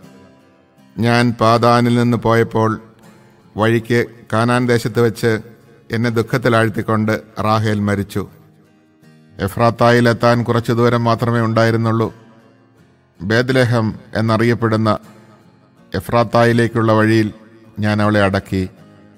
ജോസഫിന്റെ പുത്രന്മാരെ കണ്ടപ്പോൾ ഇസ്രായേൽ ഇവരാരാണ് എന്ന് ചോദിച്ചു. ജോസഫ് പറഞ്ഞു ഇവർ എന്റെ മക്കളാണ് ഇവിടെ വച്ച് ദൈവം എനിക്ക് തന്നവർ. അവൻ പറഞ്ഞു അവരെ എന്റെ അടുക്കൽ കൊണ്ടുവരിക ഞാൻ അവരെ അനുഗ്രഹിക്കട്ടെ. ഇസ്രായേലിന് പ്രായം കൊണ്ട് കണ്ണുകൾ മങ്ങി കാഴ്ച നഷ്ടപ്പെട്ടിരുന്നു. ജോസഫ് അവരെ അവന്റെ അടുത്ത് കൊണ്ടുചെന്നു. അവൻ അവരെ കെട്ടിപ്പിടിച്ച് ചുംബിച്ചു. ഇസ്രായേൽ ജോസഫിനോട് പറഞ്ഞു നിന്റെ മുഖം കാണുമെന്ന് ഞാൻ വിചാരിച്ചിരുന്നില്ല. എന്നാൽ ഇതാ നിന്റെ മക്കളെ കൂടി കാണാൻ ദൈവം എന്നെ അനുവദിച്ചിരിക്കുന്നു. അപ്പോൾ ജോസഫ് കുട്ടികളെ അവന്റെ അടുത്ത് നിന്ന് മാറ്റിയിട്ട് നിലം പറ്റ കുനിഞ്ഞ് നമസ്കരിച്ചു. ജോസഫ് എഫ്രായിമിനെ തന്റെ വലത്ത് കൈകൊണ്ട് പിടിച്ച് ഇസ്രായേലിന്റെ ഇടത്ത് കൈക്ക് നേരെയും മനാസയെ ഇടത്ത് കൈകൊണ്ട് പിടിച്ച് ഇസ്രായേലിന്റെ വലത് കൈക്ക് നേരെയും നിർത്തി അവന്റെ അടുത്തേക്ക് കൊണ്ടുചെന്നു. എന്നാൽ ഇസ്രായേൽ കൈകൾ പിണച്ച് വലം കൈ ഇളയവനായ എഫ്രായിമിന്റെ തലയിലും ഇടം കൈ മനാസയുടെ തലയിലും ആണ് വെച്ചത്.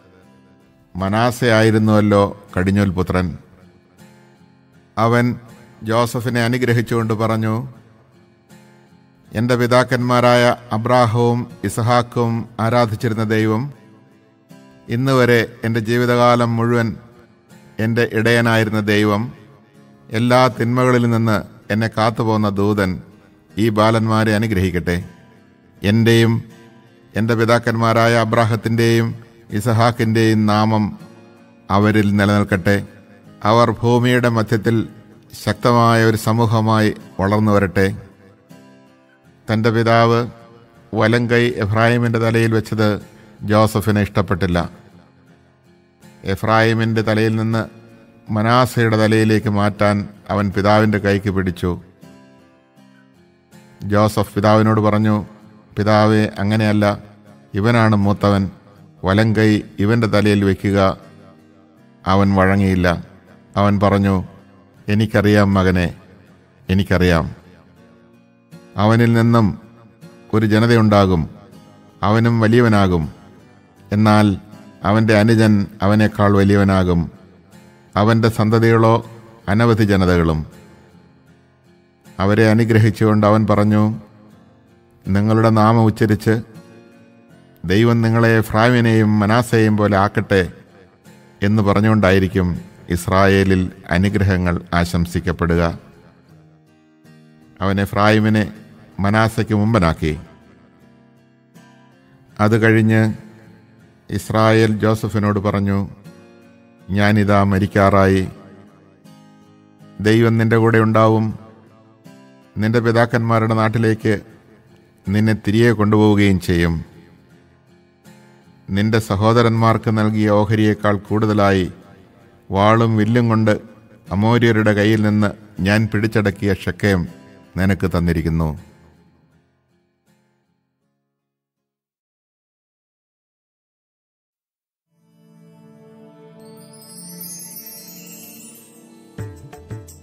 ഉൽപ്പത്തി അധ്യായം നാൽപ്പത്തി ഒൻപത്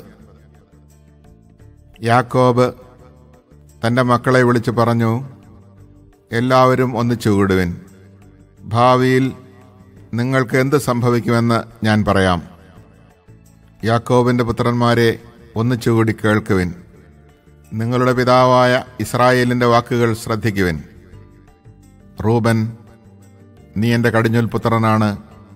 എന്റെ ശക്തിയും എന്റെ പൗരുഷത്തിന്റെ ആദ്യഫലവും. അഹങ്കാരത്തിലും ശക്തിയിലും നീ മുൻപൻ തന്നെ. വെള്ളം പോലെ അസ്ഥിരനായ നീ മുൻപനായി വാഴില്ല. എന്തെന്നാൽ നീ പിതാവിന്റെ കിടക്കയിൽ കയറി അത് അശുദ്ധമാക്കി. എന്റെ ശയയിൽ കയറി നീ എന്നെ ദ്രോഹിച്ചുവല്ലോ. ശമയോനും ലേവിയും കൂടപ്പിറപ്പുകളാണ്. അവരുടെ വാളുകൾ അക്രമത്തിന്റെ ആയുധങ്ങളാണ്. അവരുടെ ഗൂഢാലോചനകളിൽ എന്റെ മനസ്സ് പങ്കുകൊള്ളാതിരിക്കട്ടെ. അവരുടെ സമ്മേളനത്തിൽ എന്റെ ആത്മാവ് പങ്കുചേരാതിരിക്കട്ടെ. എന്തെന്നാൽ തങ്ങളുടെ കോപത്തിൽ അവർ മനുഷ്യരെ കൊന്നു. ക്രൂരതയിൽ അവർ കാളകളുടെ കുതിഞ്ഞരമ്പ് വെട്ടി. അവരുടെ ഉഗ്രമായ കോപവും ക്രൂരമായ ക്രോധവും ശപിക്കപ്പെടട്ടെ. ഞാൻ അവരെ യാക്കോബിൽ വിഭജിക്കും ഇസ്രായേലിൽ ചിതറിക്കുകയും ചെയ്യും.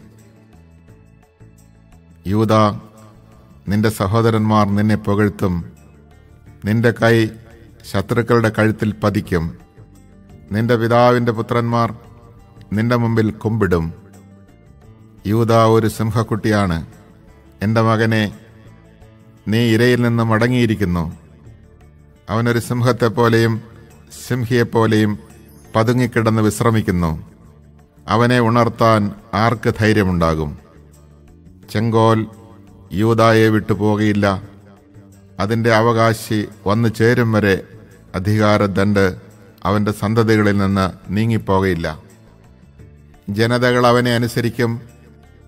അവൻ തന്റെ കഴുതയെ മുന്തിരിവള്ളിയിലും കഴുതക്കുട്ടിയെ വിശിഷ്ടമായ മുന്തിരിച്ചെടിയിലും കെട്ടിയിടും. തന്റെ ഉടുപ്പ് വീഞ്ഞിലും മേലങ്കി മുന്തിരിച്ചാറിലും കഴുകും. അവന്റെ കണ്ണുകൾ വീഞ്ഞിനേക്കാൾ ചെമന്നും പല്ലുകൾ പാലിനേക്കാൾ വെളുത്തുമിരിക്കും. സെബിലൂണാകട്ടെ കടൽ തീരത്ത് വസിക്കും. അവൻ കപ്പലുകൾക്ക് അഭയകേന്ദ്രമായിരിക്കും. സീതോനായിരിക്കും അവന്റെ അതിർത്തി. ഇസാക്കർ ഒരു കരുത്തുറ്റ കഴുതയാണ്. അവൻ ചുമടുകൾക്കിടയിൽ കിടക്കുന്നു. വിശ്രമസ്ഥലം നല്ലതെന്നും ദേശം മനോഹരമെന്നും അവൻ കണ്ടു. അതുകൊണ്ട് അവൻ ചുമട് കയറ്റാൻ ചുമൽ കുനിച്ചു കൊടുത്തു കൂലിവേല ചെയ്യുന്ന ഒരു ദാസനായി തീർന്നു. ഇസ്രായേലിലെ മറ്റു ഗോത്രങ്ങളെപ്പോലെ ദാൻ സ്വന്തം ജനങ്ങൾക്ക് ന്യായം നടത്തി കൊടുക്കും. ദാൻ വഴിവെക്കിലെ സർപ്പവും പാതയിലെ അണലിയുമായിരിക്കും. അവൻ കുതിരയുടെ കുതികാലിൽ കടിക്കും കുതിരക്കാരൻ മലർന്നു വീഴുകയും ചെയ്യും. കർത്താവെ ഞാൻ അങ്ങയുടെ രക്ഷ കാത്തിരിക്കുന്നു.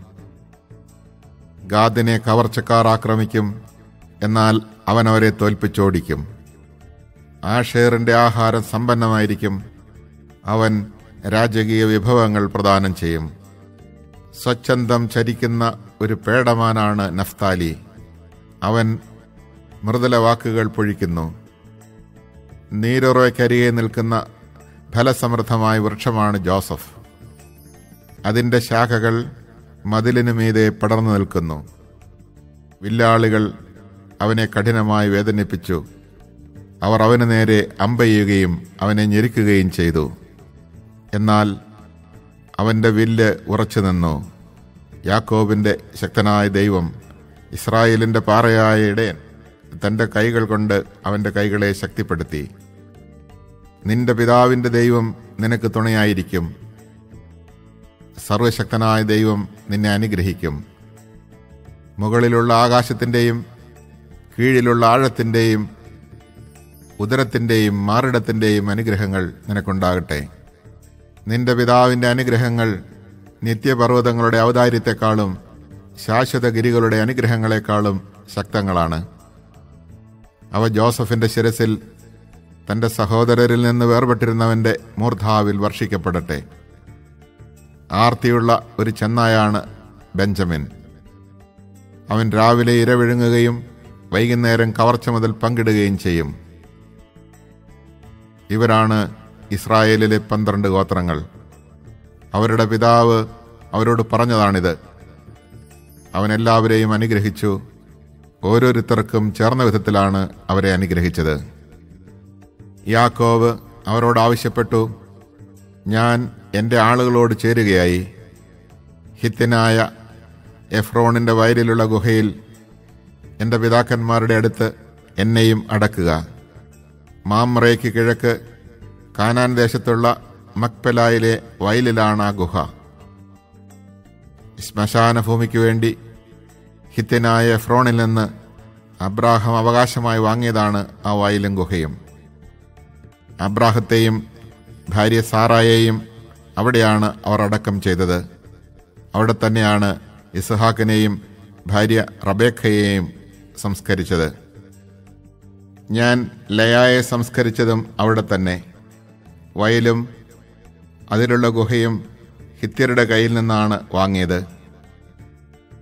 തനിക്ക് പറയാനുണ്ടായിരുന്നത് പറഞ്ഞു തീർന്നപ്പോൾ യാക്കോബ് കിടക്കയിലേക്ക് ചാഞ്ഞു.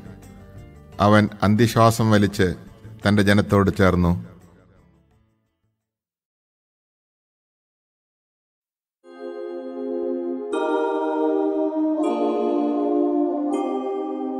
ഉൽപ്പത്തി അധ്യായം അൻപത്.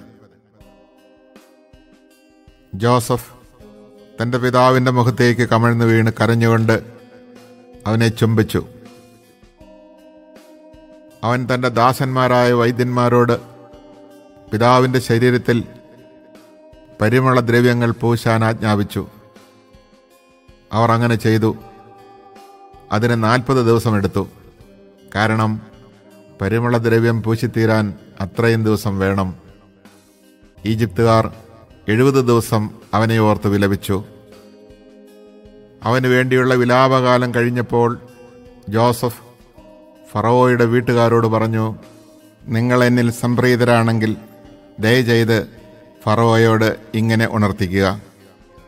എന്റെ പിതാവ് എന്നെക്കൊണ്ടൊരു പ്രതിജ്ഞ ജയിച്ചു. അവൻ പറഞ്ഞു ഞാൻ മരിക്കാറായി. കാനാൻ ദേശത്ത് എനിക്ക് വേണ്ടി ഞാൻ തയ്യാറാക്കിയിരിക്കുന്ന കല്ലറയിൽ തന്നെ നീ എന്നെ സംസ്കരിക്കണം. അതുകൊണ്ട് ഞാൻ പോയി എന്റെ പിതാവിനെ സംസ്കരിക്കട്ടെ.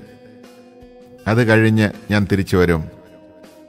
ഫറവോ പറഞ്ഞു നീ പോയി അവൻ പ്രതിജ്ഞ ചെയ്യിച്ചതനുസരിച്ച് അവനെ സംസ്കരിക്കുക. ജോസഫ് പിതാവിനെ സംസ്കരിക്കാൻ പോയി. ഫറവോയുടെ വേലക്കാരും കൊട്ടാരത്തിലെ പ്രമാണികളും ഈജിപ്തിലെ തലവന്മാരും അവനോടൊപ്പം പോയി. ജോസഫിന്റെ വീട്ടുകാരും സഹോദരന്മാരും പിതാവിന്റെ കുടുംബവും അവന്റെ കൂടെ ഉണ്ടായിരുന്നു. കുട്ടികളും ആടുമാടുകളും മാത്രമേ ഗോഷൻ ദേശത്ത് ശേഷിച്ചുള്ളൂ. രഥങ്ങളും കുതിരക്കാരും അവനെ അനുഗമിച്ചു. അത് വലിയൊരു സംഘമായിരുന്നു. ജോർദാൻ അക്കരെയുള്ള അത്താദിലെ മെതിസ്ഥലത്തെത്തിയപ്പോൾ അവർ ഉച്ചത്തിൽ വിലപിച്ചു. അവൻ ഏഴു ദിവസം പിതാവിനെ ഓർത്ത് വിലപിച്ചു. അന്നാട്ടുകാരായ കാനാന്യർ അത്താദിന്റെ മെതിക്കളത്തിൽ നടന്ന ഈ വിലാപം കേട്ടപ്പോൾ ഈജിപ്തുകാർക്ക് വളരെ ഗൗരവമുള്ള ഒരു വിലാപമാണിത് എന്ന് പറഞ്ഞു. അതുകൊണ്ട് ആ സ്ഥലത്തിന് ആബേൽ മിശ്രയും എന്ന് പേരുണ്ടായി. അത് ജോർദാന് അക്കരയാണ്. അങ്ങനെ യാക്കോബ് ആവശ്യപ്പെട്ടതുപോലെ അവന്റെ മക്കൾ പ്രവർത്തിച്ചു. അവർ അവനെ കാനാൻ ദേശത്ത് കൊണ്ടുപോയി മാമ്രയ്ക്ക് കിഴക്ക് മക്പലായിലുള്ള വയലിലെ ഗുഹയിൽ സംസ്കരിച്ചു. അബ്രാഹം ഹിത്തിനായ ഫ്രോണിൽ നിന്ന് ശ്മശാന ഭൂമിക്ക് വേണ്ടി വയലുൾപ്പെടെ അവകാശമായി വാങ്ങിയതാണ് ആ ഗുഹ. പിതാവിനെ സംസ്കരിച്ചതിന് ശേഷം ജോസഫ് സഹോദരന്മാരും കൂടെ പോയ എല്ലാവരുമൊത്ത് ഈജിപ്തിലേക്ക് മടങ്ങി. തങ്ങളുടെ പിതാവ് മരിച്ചപ്പോൾ ജോസഫിന്റെ സഹോദരന്മാർ പറഞ്ഞു ഒരുപക്ഷേ ജോസഫ് നമ്മെ വെറുക്കുകയും നാം ചെയ്ത ദ്രോഹത്തിനെല്ലാം പകരം വീട്ടുകയും ചെയ്യും. പിതാവ് മരിക്കുന്നതിന് മുമ്പ് ഇങ്ങനെ കൽപ്പിച്ചിരുന്നു എന്ന് പറയാൻ അവർ ഒരു ദൂതനെ അവന്റെ അടുത്തേക്ക് അയച്ചു. ജോസഫിനോട് പറയുക അങ്ങയുടെ സഹോദരന്മാരുടെ തെറ്റുകളും കുറ്റങ്ങളും ദയവായി അവരോട് ക്ഷമിക്കുക. അവർ അങ്ങയെ ദ്രോഹിച്ചു അങ്ങയുടെ പിതാവിന്റെ ദൈവത്തിന്റെ ദാസന്മാരുടെ തെറ്റുകൾ പൊറുക്കണമെന്ന് ഞങ്ങൾ അപേക്ഷിക്കുന്നു. അവർ ഇത് പറഞ്ഞപ്പോൾ ജോസഫ് കരഞ്ഞുപോയി. സഹോദരന്മാർ വന്ന് അവന്റെ മുമ്പിൽ വീണ് പറഞ്ഞു ഞങ്ങൾ അങ്ങയുടെ ദാസന്മാരാണ്. ജോസഫ് പറഞ്ഞു നിങ്ങൾ പേടിക്കേണ്ട ഞാൻ ദൈവത്തിന്റെ സ്ഥാനത്താണോ? നിങ്ങളെനിക്ക് തിന്മ ചെയ്തു പക്ഷേ ദൈവം അത് നന്മയാക്കി മാറ്റി. ഇന്ന് കാണുന്നത് പോലെ അനേകരുടെ ജീവൻ രക്ഷിക്കാൻ വേണ്ടിയാണ് അവിടുന്ന് അത് ചെയ്തത്. അതുകൊണ്ട് ഭയപ്പെടേണ്ട. നിങ്ങളെയും നിങ്ങളുടെ കുഞ്ഞുങ്ങളെയും ഞാൻ പോറ്റിക്കൊള്ളാം. അങ്ങനെ അവൻ അവരെ ധൈര്യപ്പെടുത്തുകയും സാന്ത്വനപ്പെടുത്തുകയും ചെയ്തു. ജോസഫും അവന്റെ പിതാവിന്റെ കുടുംബവും ഈജിപ്തിൽ പാർത്തു. ജോസഫ് നൂറ്റിപ്പത്ത് കൊല്ലം ജീവിച്ചു. എഫ്രായിമിന്റെ മൂന്നാം തലമുറയിലെ മക്കളെ അവൻ കണ്ടു. മനാസയുടെ മകനായ മാക്കീറിന്റെ കുഞ്ഞുങ്ങളും ജോസഫിന്റെ മടിയിൽ കിടന്നിട്ടുണ്ട്. ജോസഫ് സഹോദരന്മാരോട് പറഞ്ഞു ഞാൻ മരിക്കാറായി. എന്നാൽ ദൈവം നിങ്ങളെ സന്ദർശിക്കും. അബ്രാഹത്തിനും ഇസഹാക്കിനും യാക്കോബിനും വാഗ്ദാനം ചെയ്ത നാട്ടിലേക്ക് അവിടുന്ന് നിങ്ങളെ കൊണ്ടുപോകും. ദൈവം നിങ്ങളെ സന്ദർശിക്കുമ്പോൾ നിങ്ങൾ എന്റെ അവശിഷ്ടങ്ങൾ ഇവിടെ നിന്ന് കൊണ്ടുപോകണം എന്ന് തന്റെ സഹോദരന്മാരോട് പറഞ്ഞ് ജോസഫ് അവരെ കൊണ്ട് പ്രതിജ്ഞ ചെയ്യിച്ചു. നൂറ്റിപ്പത്ത് വയസ്സായപ്പോൾ ജോസഫ് മരിച്ചു. അവർ അവനെ പരിമള ദ്രവ്യം പൂശി ഈജിപ്തിൽ ഒരു ശവപ്പെട്ടിയിൽ സൂക്ഷിച്ചു.